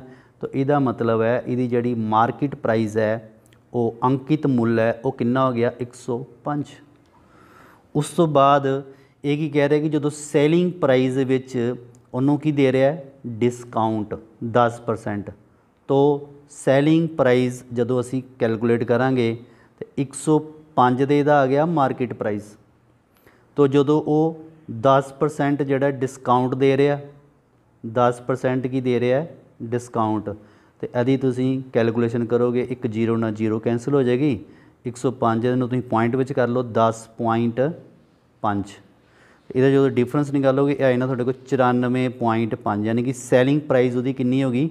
94.5 ਤਾਂ ਹੁਣ ਚੀਜ਼ ਕਲੀਅਰ ਹੋ ਗਈ, ਜਿਹੜੀ ਚੀਜ਼ ਹੁਣ ਵੇਚੀ ਹੈ, ਉਹ ਹੈ 94.5 ਠੀਕ ਹੈ ਜੀ? ਤੇ ਉਹਦੀ ਜਿਹੜੀ ਕੋਸਟ ਪ੍ਰਾਈਸ ਕਿੰਨੀ ਸੀ? ਉਹ ਕੋਸਟ ਪ੍ਰਾਈਸ ਹੀ 100 ਅਗਰ ਤੁਸੀਂ ਇਹਨਾਂ ਦਾ ਡਿਫਰੈਂਸ ਕਰੋਗੇ ਤਾਂ ਇਹ ਕਿੰਨਾ ਆ ਜਾਏਗਾ? 5.5 5.5 ਇਹ ਕੀ ਹੋ ਗਿਆ ਇਹਦਾ? ਲਾਸ 5 ਪੁਆਇੰਟ ਲਾਸ ਜਦੋਂ ਅਸੀਂ ਲਾਸ ਪਰਸੈਂਟ ਕੱਢਦੇ ਆ ਤੇ ਫਾਰਮੂਲਾ ਕੀ ਹੁੰਦਾ? ਲਾਸ ਗੁਣਾ ਕੋਸਟ ਪ੍ਰਾਈਸ ਕੋਸਟ ਪ੍ਰਾਈਸ ਸਾਡੇ ਕੋਲ 100 ਸੀ ਖਰੀਦ ਮੁੱਲ ਬਟ ਆ ਜਾਂਦਾ 100 100 ਨਾਲ 100 ਕੈਂਸਲ ਹੋ ਗਿਆ, ਆ ਗਿਆ 5.5 ਪ੍ਰਤੀਸ਼ਤ, ਤੇ ਆਪਸ਼ਨ 3rd ਇਸ ਦਾ ਜੋ ਹੈ ਰਾਈਟ ਆਨਸਰ ਆ ਗਿਆ। ਨੈਕਸਟ ਕੁਐਸਚਨ ਨੰਬਰ 5 ਹੈ, ਜਿਸ ਦੇ ਵਿੱਚ ਕਿ ਉਹ ਸੰਖਿਆ ਪਤਾ ਕਰੋ, ਜਿਸ ਨੂੰ 300 ਦੇ 10% ਵਿੱਚ ਜੋੜਨ ਦੇ ਨਾਲ ਪ੍ਰਾਪਤ ਸੰਖਿਆ ਦਾ 600 ਦਾ 30% ਹੋਏ। ਸਭ ਤੋਂ ਪਹਿਲਾਂ ਤੁਸੀਂ ਇਹਦੀ ਕੈਲਕੂਲੇਸ਼ਨ ਕਰੋ ਕਿ 300 ਦਾ 10% ਅਗਰ ਅਸੀਂ ਇਹਦੀ ਕੈਲਕੂਲੇਸ਼ਨ ਕਰੀਏ 300 ਦਾ 10% ਸਾਡੇ ਕੋਲ ਵੈਲਿਊ ਆ ਜਾਂਦੀ ਹੈ ਇਹਦੀ ਜੀ 30 ਅਗਰ ਤੁਸੀਂ ਕੈਲਕੂਲੇਟ ਕਰਨਾ ਤੇ ਕੈਲਕੂਲੇਟ ਕਰ ਸਕਦੇ ਹੋ 300 ਦਾ 10% ਯਾਨੀ ਕਿ 300 10% ਬਟਾ 100 ਆ ਗਿਆ। 0 ਨਾਲ 0 ਕੈਂਸਲ ਹੋ ਗਈ, ਇਹਨੂੰ ਮਲਟੀਪਲਾਈ ਕੀਤਾ ਤੇ ਕਿੰਨਾ ਆ ਗਿਆ ਸਾਡੇ ਕੋਲ 30 ਇਸ ਤਰ੍ਹਾਂ ਹੀ ਤੁਸੀਂ ਇਹਦੀ ਵੈਲਿਊ ਕੱਢੋਗੇ 600 ਦਾ 30% ਤੇ ਇਹਦੀ ਵੈਲਿਊ ਕਿੰਨੀ ਆ ਜਾਣੀ ਹੈ ਜੀ? 180 ਤੇ ਹੁਣ ਅਸੀਂ ਇਕੁਏਸ਼ਨ ਬਣਾ ਸਕਦੇ ਤੁਸੀਂ ਕਿ ਕਹਿੰਦਾ ਕਿ ਉਹ ਸੰਖਿਆ ਪਤਾ ਕਰੋ ਜਿਸ ਦੇ ਵਿੱਚ ਇਹ ਜੋੜਨ ਦੇ ਨਾਲ। ਕੋਈ ਸੰਖਿਆ ਜੋੜਦੇ, ਕਿਹਦੇ ਚ ਸੰਖਿਆ ਜੋੜਦੇ ਆ? 300 ਦਾ 30% ਇਹ 'ਚ ਸੰਖਿਆ ਜੋੜ ਦਿੰਦੇ ਹੈ ਕੋਈ x ਤੇ ਜਿਹੜੀ ਸਾਡੇ ਕੋਲ ਸੰਖਿਆ ਪ੍ਰਾਪਤ ਹੁੰਦੀ ਹੈ, ਉਹ ਕਿੰਨੀ ਆਂਦੀ ਹੈ ਜੀ? 180 ਜੋ ਇਹਦੀ ਕੈਲਕੂਲੇਸ਼ਨ ਹੈ। ਇਹਦੇ ਵਿੱਚੋਂ ਤੁਸੀਂ x ਦੀ ਵੈਲਿਊ ਕੈਲਕੂਲੇਟ ਕਰ ਲਓ 180 ਵਿੱਚੋਂ -30 ਕਢਾ ਲਓ, ਕਿੰਨਾ ਆ ਗਿਆ? 150 ਤੇ ਆਪਸ਼ਨ ਸੈਕੰਡ ਇਸ ਦਾ ਜੋ ਹੈ ਰਾਈਟ ਆਨਸਰ ਆ ਗਿਆ। ਨੈਕਸਟ ਕੁਐਸਚਨ ਨੰਬਰ ਹੈ ਸਾਡੇ ਕੋਲ ਜੀ 6 ਕਿ ਜੇਕਰ 10 ਵਸਤੂਆਂ ਦਾ ਖਰੀਦ ਮੁੱਲ 7 ਹੈ 10 ਵਸਤੂਆਂ ਦਾ ਜਿਹੜਾ ਖਰੀਦ ਮੁੱਲ ਹੈ, ਉਹ 7 ਵਸਤੂਆਂ ਦੇ ਵੇਚ ਮੁੱਲ ਦੇ ਬਰਾਬਰ ਹੈ। ਤੇ ਤੁਸੀਂ ਦੱਸੋ ਲਾਭ ਜਾਂ ਘਾਟਾ ਪ੍ਰਤੀਸ਼ਤ ਦੱਸੋ ਕਿ ਲਾਭ ਹੋਏਗਾ ਜਾਂ ਘਾਟਾ ਹੋਏਗਾ। ਬਹੁਤ ਹੀ ਸਿੰਪਲ ਕੁਐਸਚਨ ਹੈ। ਹੁਣ ਇਸ ਕੁਐਸਚਨ ਨੂੰ ਕਰਨ ਦੇ ਵਿੱਚ ਕੀ ਹੈ ਕਿ ਅਗਰ ਖਰੀਦ ਮੁੱਲ ਹੈ, ਉਹਨੂੰ ਅਸੀਂ ਕਹਿੰਦੇ ਹਾਂ ਕੋਸਟ ਪ੍ਰਾਈਸ ਖਰੀਦ ਮੁੱਲ ਅਗਰ ਅਸੀਂ ਇੱਕ ਆਰਟੀਕਲ ਦਾ ਖਰੀਦ ਮੁੱਲ ਨੂੰ ਮੰਨ ਲੈਂਦੇ ਕਿ 1 ਰੁਪਈਆ ਹੈਗਾ, ਇੱਕ ਆਰਟੀਕਲ ਦਾ ਜਿਹੜਾ ਮੁੱਲ ਹੈਗਾ ਕੋਸਟ ਪ੍ਰਾਈਸ ਹੈਗੀ ਹੈ 1 ਤੇ ਅਗਰ ਸਾਡੇ ਕੋਲ ਆਰਟੀਕਲ 10 ਆਰਟੀਕਲ ਹੈ 10 ਵਸਤੂਆਂ ਜਿਹੜਾ ਖਰੀਦ ਮੁੱਲ ਉਹ ਕਿੰਨਾ ਹੋਏਗਾ? ਉਹ ਵੀ ਕਿੰਨਾ ਹੋਏਗਾ ਜੀ? 10 ਰੁਪਏ। ਉਸ ਤੋਂ ਬਾਅਦ ਉਹਨੇ ਕਿਹਾ ਹੈ ਕਿ ਸੈਲਿੰਗ ਪ੍ਰਾਈਸ ਕਿ ਇਹਦੇ 'ਚ ਜਿਹੜਾ 10 ਵਸਤੂ ਜਿਹੜਾ ਖਰੀਦ ਮੁੱਲ ਹੈ, ਉਹ 7 ਵਸਤੂਆਂ ਦੇ ਸੈਲਿੰਗ ਮੁੱਲ ਦੇ ਬਰਾਬਰ ਹੈ। ਤਾਂ ਇਹਦਾ ਮਤਲਬ ਹੈ ਸੈਲਿੰਗ ਪ੍ਰਾਈਸ ਆਫ 7 ਆਰਟੀਕਲ ਦਾ ਸੈਲਿੰਗ ਪ੍ਰਾਈਸ ਆ, ਉਹ ਕਿੰਨਾ ਹੋਏਗਾ? 10 ਦੇ ਬਰਾਬਰ, ਕਿਉਂਕਿ ਕੁਐਸਚਨ ਦੇ ਵਿੱਚ ਗਿਵਨ ਦਿੱਤਾ ਗਿਆ ਹੈ ਕਿ 10 ਵਸਤੂਆਂ ਜਿਹੜਾ ਖਰੀਦ ਮੁੱਲ ਹੈ 7 ਵਸਤੂਆਂ ਦੇ ਵੇਚ ਮੁੱਲ ਦੇ ਬਰਾਬਰ ਹੈ। ਤੇ 7 ਵਸਤੂਆਂ ਜਿਹੜਾ ਵੇਚ ਮੁੱਲ ਹੈ, ਉਹ 10 ਵਸਤੂਆਂ ਦੇ ਖਰੀਦ ਮੁੱਲ ਆ ਗਿਆ। ਹੁਣ ਜਦੋਂ ਅਸੀਂ ਕੋਸ ਇਹ ਸੈਲਿੰਗ ਪ੍ਰਾਈਸ ਹੋ ਗਈ ਸਾਡੇ ਕੋਲ ਹੁਣ ਇੱਥੇ ਕਰ ਲੈਂਦੇ ਆ ਸੈਲਿੰਗ ਪ੍ਰਾਈਸ ਹੋ ਗਈ ਸਾਡੇ ਕੋਲ ਕਿ ਸੈਲਿੰਗ ਪ੍ਰਾਈਸ ਜਿਹੜੇ 7 ਆਰਟੀਕਲ ਹੈ, ਇਹਨਾਂ ਦਾ ਰੇਟ ਆ ਗਿਆ ਜੀ 10 ਕੋਸਟ ਪ੍ਰਾਈਸ ਅਗਰ ਅਸੀਂ 7 ਆਰਟੀਕਲ ਦਾ ਕੱਢਾਂਗੇ ਤੇ ਉਹ ਕਿੰਨਾ ਆ ਜਾਣਾ? 7 ਕਿਉਂਕਿ ਇੱਕ ਆਰਟੀਕਲ ਦੀ ਕੋਸਟ ਜਿਹੜੀ ਅਸੀਂ 1 ਰੁਪਿਆ ਲੇਟ ਕੀਤੀ ਹੈ। ਤੇ ਇਹਨਾਂ ਦਾ ਤੁਸੀਂ ਦੇਖ ਲਓ ਹੁਣ, ਇਹ ਸੈਲਿੰਗ ਪ੍ਰਾਈਸ ਜ਼ਿਆਦਾ ਹੈ ਕੋਸਟ ਪ੍ਰਾਈਸ ਜਿਹੜੀ ਘੱਟ ਹੈ ਤੇ ਇਸ ਕੇਸ ਵਿੱਚ ਕੀ ਹੋਏਗਾ ਸਾਨੂੰ? ਪ੍ਰੋਫਿਟ ਪ੍ਰੋਫਿਟ ਕਿੰਨਾ ਹੋ ਗਿਆ? 10 ਵਿੱਚੋਂ 7 ਘਟਾ ਲਓ, ਕਿੰਨਾ ਆ ਗਿਆ? 3 ਤੇ ਇਹ ਤੁਸੀਂ ਪਰਸੈਂਟੇਜ ਨਿਕਾਲਣਾ ਇਹਦਾ। ਤੇ ਪਰਸੈਂਟੇਜ ਦਾ ਫਾਰਮੂਲਾ ਹੁੰਦਾ ਕਿ ਜਿੰਨੀ ਸਾਡੇ ਕੋਲ ਪ੍ਰੋਫਿਟ ਆਇਆ ਤੇ ਬਟਾ ਸਾਡੇ ਕੋਲ ਆ ਜਾਏਗਾ ਕੋਸਟ 100 ਤੇ ਨੀਚੇ ਕੀ ਆ ਜਾਏਗਾ ਸਾਡੇ ਕੋਲ ਕੋਸਟ ਪ੍ਰਾਈਸ ਤੇ ਕੋਸਟ ਪ੍ਰਾਈਸ ਕਿੰਨੇ ਆਰਟੀਕਲ ਦੀ ਲੈ ਰਹੇ ਹਾਂ ਅਸੀਂ? 7 ਆਰਟੀਕਲ ਦੀ ਗੱਲ ਕਰੇ ਕਰਨੇ ਆ, ਤੇ ਇਹ ਆ ਜਾਏਗਾ ਸਾਡੇ ਕੋਲ 300 ਬਟਾ 7 ਤੇ 300 ਬਟਾ 7 ਨੂੰ ਜਦੋਂ ਤੁਸੀਂ ਤਕਸੀਮ ਕਰੋਗੇ ਤੇ ਇਹਦਾ ਆਨਸਰ ਆ ਜਾਏਗਾ ਆਪਸ਼ਨ 4th ਜਿਵੇਂ ਕਿ 300 ਨੂੰ ਤੁਸੀਂ 7 ਦੇ ਨਾਲ ਡਿਵਾਈਡ ਕਰੋ 7 ਚੋਂ 28 ਇਹ ਆ ਜਾਏਗਾ ਸਾਡੇ ਕੋਲ 2 ਤੇ 7 ਦੁਨੀ 14 ਇਹ ਬਚ ਗਿਆ ਜੀ 6 ਤੇ ਇਹਨੂੰ ਅਸੀਂ ਲਿਖਦੇ ਹਾਂ 42 ਸਹੀ 6 ਬਟਾ 7% ਤੇ ਇਹ ਲਾਭ ਦੇ ਵਿੱਚ ਆਏਗਾ ਕਿਉਂਕਿ ਇਸ ਕੇਸ ਵਿੱਚ ਕੀ ਹੋ ਗਿਆ? ਪ੍ਰੋਫਿਟ ਆਪਸ਼ਨ 4th ਇਸ ਦਾ ਜੋ ਹੈ ਰਾਈਟ ਆਨਸਰ ਆ ਗਿਆ। ਉਸ ਤੋਂ ਬਾਅਦ ਨੈਕਸਟ ਕੁਐਸਚਨ ਹੈ ਕਿ ਇੱਕ ਵਿਅਕਤੀ 3 ਕਿਲੋਮੀਟਰ ਪ੍ਰਤੀ ਘੰਟਾ ਦੀ ਚਾਲ ਦੇ ਨਾਲ 9 ਕਿਲੋਮੀਟਰ ਤੇ 5 ਕਿਲੋਮੀਟਰ ਪ੍ਰਤੀ ਘੰਟਾ ਦੀ ਚਾਲ ਦੇ ਨਾਲ 25 ਕਿਲੋਮੀਟਰ 10 ਕਿਲੋਮੀਟਰ ਪ੍ਰਤੀ ਘੰਟਾ ਦੀ ਚਾਲ ਦੇ ਨਾਲ 30 ਕਿਲੋਮੀਟਰ ਦਾ ਫਾਸਲਾ ਤੈਅ ਕਰਦਾ ਹੈ। ਇਹਦੀ ਤੁਸੀਂ ਔਸਤ ਕੱਢਣੀ ਹੈ ਐਵਰੇਜ ਸਪੀਡ ਔਸਤ ਐਵਰੇਜ ਸਪੀਡ ਇਹਦਾ ਫਾਰਮੂਲਾ ਕੀ ਹੁੰਦਾ? ਐਵਰੇਜ ਸਪੀਡ ਦਾ ਫਾਰਮੂਲਾ ਹੁੰਦਾ ਸਾਡੇ ਕੋਲ, ਅਸੀਂ ਟੋਟਲ ਡਿਸਟੈਂਸ ਕੱਢ ਲਈਏ ਤੇ ਨੀਚੇ ਕੱਢ ਲਈਏ ਟੋਟਲ ਟਾਈਮ ਟੋਟਲ ਡਿਸਟੈਂਸ ਨੂੰ ਟੋਟਲ ਟਾਈਮ ਦੇ ਨਾਲ ਡਿਵਾਈਡ ਕਰ ਦਿਓ, ਸਾਡੇ ਕੋਲ ਐਵਰੇਜ ਆ ਜਾਂਦੀ ਹੈ, ਜਿਹਨੂੰ ਅਸੀਂ ਕਹਿੰਦੇ ਹਾਂ ਜੀ ਔਸਤ। ਸਭ ਤੋਂ ਪਹਿਲਾਂ ਅਸੀਂ ਇਹ ਕੱਢ ਲੈਂਦੇ ਹਾਂ ਟੋਟਲ ਡਿਸਟੈਂਸ ਟੋਟਲ ਡਿਸਟੈਂਸ ਕਿੰਨੀ ਹੈ? 9 ਕਿਲੋਮੀਟਰ ਇੱਕ ਹੈ 25 ਕਿਲੋਮੀਟਰ ਇੱਕ ਹੈ ਤੇ 30 ਕਿਲੋਮੀਟਰ ਇੱਕ ਹੈ। ਇਹਨਾਂ ਨੂੰ ਸਾਰਿਆਂ ਨੂੰ ਅਗਰ ਅਸੀਂ ਟੋਟਲ ਕਰੀਏ ਤਾਂ ਸਾਡਾ ਟੋਟਲ ਕਿੰਨਾ ਆ ਜਾਂਦਾ ਹੈ? 64 64 ਕਿਲੋਮੀਟਰ ਆਂਦਾ ਹੁਣ ਅਸੀਂ ਕੱਢਣਾ ਜੀ ਟਾਈਮ ਤੇ ਟਾਈਮ ਸਾਨੂੰ ਪਤਾ ਹੈ ਕਿਹਦੇ ਬਰਾਬਰ ਹੁੰਦਾ ਹੈ? Distance by speed distance by speed ਤੇ ਹੁਣ ਦੇਖੋ, ਪਹਿਲੇ ਕੇਸ ਵਿੱਚ ਡਿਸਟੈਂਸ ਕਿੰਨੀ ਹੈ? 9 ਸਪੀਡ ਕਿੰਨੀ ਹੀ 3 ਟਾਈਮ ਨਿਕਲ ਗਿਆ। ਦੂਸਰੇ ਕੇਸ ਵਿੱਚ ਵੀ ਟਾਈਮ ਕੱਢ ਲਓ। ਦੂਸਰੇ ਵਿੱਚ ਡਿਸਟੈਂਸ ਕਿੰਨੀ ਹੈ? ਇਹਦੇ ਨਾਲ ਹੀ ਪਲੱਸ ਕਰ ਦਿੰਦੇ ਆ 25 ਹੀ ਤੇ ਸਪੀਡ ਕਿੰਨੀ ਸੀ? 5 ਫਿਰ ਤੀਸਰਾ ਕੇਸ ਆ ਗਿਆ। ਡਿਸਟੈਂਸ ਕਿੰਨੀ ਸੀ? 30 ਸਪੀਡ ਕਿੰਨੀ ਹੀ 10 ਠੀਕ ਹੈ ਜੀ? ਹੁਣ ਸਾਡੇ ਕੋਲ ਜਿਹੜੀ ਕੈਲਕੂਲੇਸ਼ਨ ਜਿਹੜਾ ਸਾਡੇ ਕੋਲ ਟਾਈਮ ਆ ਗਿਆ, ਇੱਕ ਆ ਗਿਆ ਜੀ 9 ਵਟਾ 3 ਅਗਰ ਤੁਸੀਂ ਇਹਨੂੰ ਇਦਾਂ ਵੀ ਕੈਲਕੂਲੇਸ਼ਨ ਕਰ ਲਓ, ਸਿੱਧੀ ਕਰ ਲਓ ਕਿ 9 ਵਟਾ 3 ਜਮਾ 25 ਵਟਾ 5 ਇਹ ਅਸੀਂ ਟਾਈਮ ਦੀ ਗੱਲ ਕਰੇ ਕਰਨੇ ਆ। ਜਮਾ ਆ ਗਿਆ 30 ਵਟਾ 10 33 ਇਹ 9 ਇਹ ਆ ਗਿਆ। ਇਹਨੂੰ ਡਿਵਾਈਡ ਕੀਤਾ 55 25 ਇਹ ਆ ਗਿਆ। ਤੇ ਇਹ 0 ਨਾਲ 0 ਕੈਂਸਲ ਹੋ, ਕਿੰਨਾ ਆ ਗਿਆ ਸਾਡੇ ਕੋਲ? ਟਾਈਮ ਆ ਗਿਆ ਸਾਡੇ ਕੋਲ ਜੀ 11 ਤੇ ਅਸੀਂ ਹੁਣ ਇਹ ਜਿਹੜੀ ਐਵਰੇਜ ਕੱਢਣੀ ਹੈ, ਤੋ ਐਵਰੇਜ ਦਾ ਜਿਹੜਾ ਫਾਰਮੂਲਾ ਅਸੀਂ ਲਗਾਉਂਦੇ ਆ ਐਵਰੇਜ ਸਪੀਡ ਕੱਢਣ ਦਾ ਫਾਰਮੂਲਾ, ਇਹ ਹੁੰਦਾ ਟੋਟਲ ਡਿਸਟੈਂਸ ਟੋਟਲ ਡਿਸਟੈਂਸ 64 ਆ ਗਈ।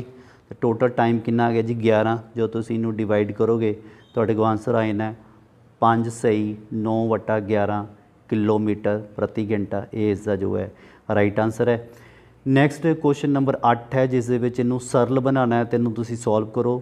1 1 ਬਟਾ, ਇਹਨੂੰ ਤੁਸੀਂ ਨੀਚੇ ਵਾਲੇ ਪਾਰਟ ਨੂੰ ਸੋਲਵ ਕਰੋਗੇ ਤੇ ਐਲਸੀਐਮ ਲਓਗੇ, ਇਹ ਕਿੰਨਾ ਆਏਗਾ? ਤੁਹਾਡੇ ਕੋਲ ਜੀ 3 ਬਟਾ 2 ਤੋ ਇਹਨੂੰ ਜਦੋਂ ਫ੍ਰੈਕਸ਼ਨ ਦੇ ਨੀਚੇ ਫਿਰ ਫ੍ਰੈਕਸ਼ਨ ਆ ਜਾਂਦਾ ਤੇ ਇਹ ਫ੍ਰੈਕਸ਼ਨ ਰਿਵਰਸ ਹੋ ਜਾਣਾ, ਇਹ 3 2 ਬਟਾ 3 ਆ ਜਾਣਾ। ਇਹਦਾ ਫਿਰ ਤੁਸੀਂ ਅੱਗੇ ਲਘੁੱਤਮ ਲਵੋਗੇ 3 ਤੇ 3 ਜਮਾ 2 ਇਹਨੂੰ ਤੁਸੀਂ ਕੈਲਕੂਲੇਸ਼ਨ ਕਰੋ ਕਿੰਨਾ ਇਹਨਾਂ 5 ਬਟਾ 3 ਆਪਸ਼ਨ 4 ਇਸ ਦਾ ਜੋ ਰਾਈਟ ਆਨਸਰ ਆ ਜਾਏਗਾ 5 ਵਟਾ 3 ਇਸ ਦਾ ਜੋ ਹੈ ਰਾਈਟ ਆਨਸਰ ਹੈ।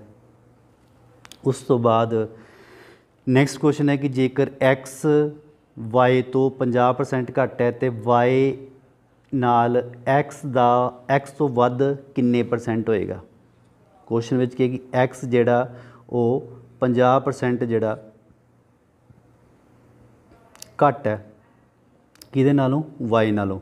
ਤੇ ਮੰਨ ਲਓ ਅਗਰ ਅਸੀਂ y ਨੂੰ ਲੈਟ ਕਰ ਲੈਂਦੇ ਆ 100 ਤੇ x ਦੀ ਵੈਲਿਊ ਕਿੰਨੀ ਹੋਏਗੀ? 50 ਕਿਉਂਕਿ ਇਹ 50% ਘੱਟ ਹੈ। ਤੇ ਜੋ ਤੁਸੀਂ ਟੋਟਲ ਇਹਦੀ ਪਰਸੈਂਟੇਜ ਵਿੱਚ ਅਗਰ ਵੈਲਿਊ ਨਿਕਾਲਣੀ ਹੈ 50 ਬਟਾ 50 ਟੋਟਲ 50 ਹੀ ਗੁਣਾ 100 ਕੈਲਕੂਲੇਸ਼ਨ ਕਰੋਗੇ ਤਾਂ ਕਿੰਨਾ ਆ ਗਿਆ? 50 ਨਾਲ 50 ਕੈਂਸਲ ਹੋ ਜਾਣਾ, ਕਿੰਨਾ ਆਇਆ ਨਾ ਜੀ? 100% ਇਸ ਦਾ ਜੋ ਹੈ ਰਾਈਟ ਆਨਸਰ ਆ ਜਾਣਾ।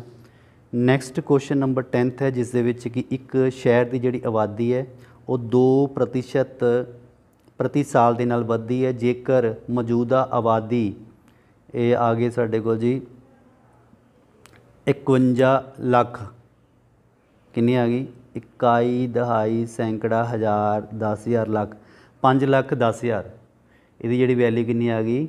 5 ਲੱਖ 10000 ਹੈ।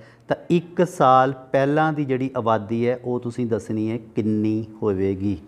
ਤੋ ਇਹਨੂੰ ਕੁਐਸਚਨ ਨੂੰ ਬੜੇ ਆਸਾਨੀ ਦੇ ਨਾਲ ਤੁਸੀਂ ਬਹੁਤ ਹੀ ਸਿੰਪਲ ਢੰਗ ਦੇ ਨਾਲ ਕੈਲਕੂਲੇਟ ਕਰ ਸਕਦੇ ਹੋ। ਤੁਸੀਂ ਮੰਨ ਲਓ ਕਿ ਇਹਦੀ ਜਿਹੜੀ ਟੋਟਲ ਆਬਾਦੀ ਅਸੀਂ ਲੈਟ ਕਰ ਲੈਂਦੇ ਕਿ 100% ਹੀ। ਹਰ ਸਾਲ ਜਿਹੜੀ ਹੈ ਕਿੰਨੀ ਵੱਧਦੀ ਹੈ? 2% ਤਾਂ 100 ਦਾ ਜਦੋਂ 2% ਕੱਢੋਗੇ ਤੇ 2 ਹੋ ਜਾਏਗਾ, ਤੇ ਟੋਟਲ ਕਿੰਨਾ ਹੋ ਗਿਆ? 102% ਠੀਕ ਹੈ ਜੀ? 102% ਤਾਂ 102% ਜਿਹੜਾ 100 100 ਜਿਹੜਾ 2% ਹੈ, ਇਹ ਕਿਹਦੇ ਬਰਾਬਰ ਆਣਾ? ਇਹ ਬਰਾਬਰ ਆਣਾ ਜੀ 5 ਲੱਖ 10 ਹਜ਼ਾਰ ਦੇ ਇਕੁਅਲ ਆਣਾ। ਤੇ ਅਗਰ ਅਸੀਂ 1% ਦੀ ਵੈਲਿਊ ਕੱਢਾਂਗੇ, ਤੇ 1% ਦੀ ਵੈਲਿਊ ਕਿੰਨੀ ਆਏਗੀ?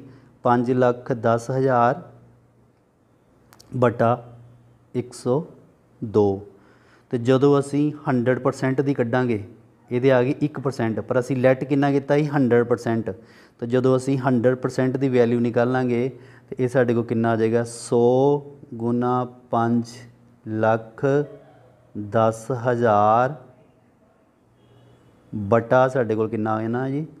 102 1% ਦਾ। ਇੰਨਾ ਹੀ, ਤੇ ਜਦੋਂ 100% ਦਾ ਕੱਢਾਂਗੇ ਤਾਂ 100 ਨਾਲ ਮਲਟੀਪਲਾਈ ਹੋ ਜਾਣਾ। ਹੈ ਇਹਦੀ ਤੁਸੀਂ ਕਟਿੰਗ ਕਰੋਗੇ ਤਾਂ ਤੁਹਾਡੇ ਕੋਲ ਆਨਸਰ ਆਇਆ ਨਹੀਂ 5 ਲੱਖ ਆਪਸ਼ਨ ਥਰਡ ਇਸ ਦਾ ਜੋ ਹੈ ਰਾਈਟ ਆਨਸਰ ਆ ਜਾਣਾ।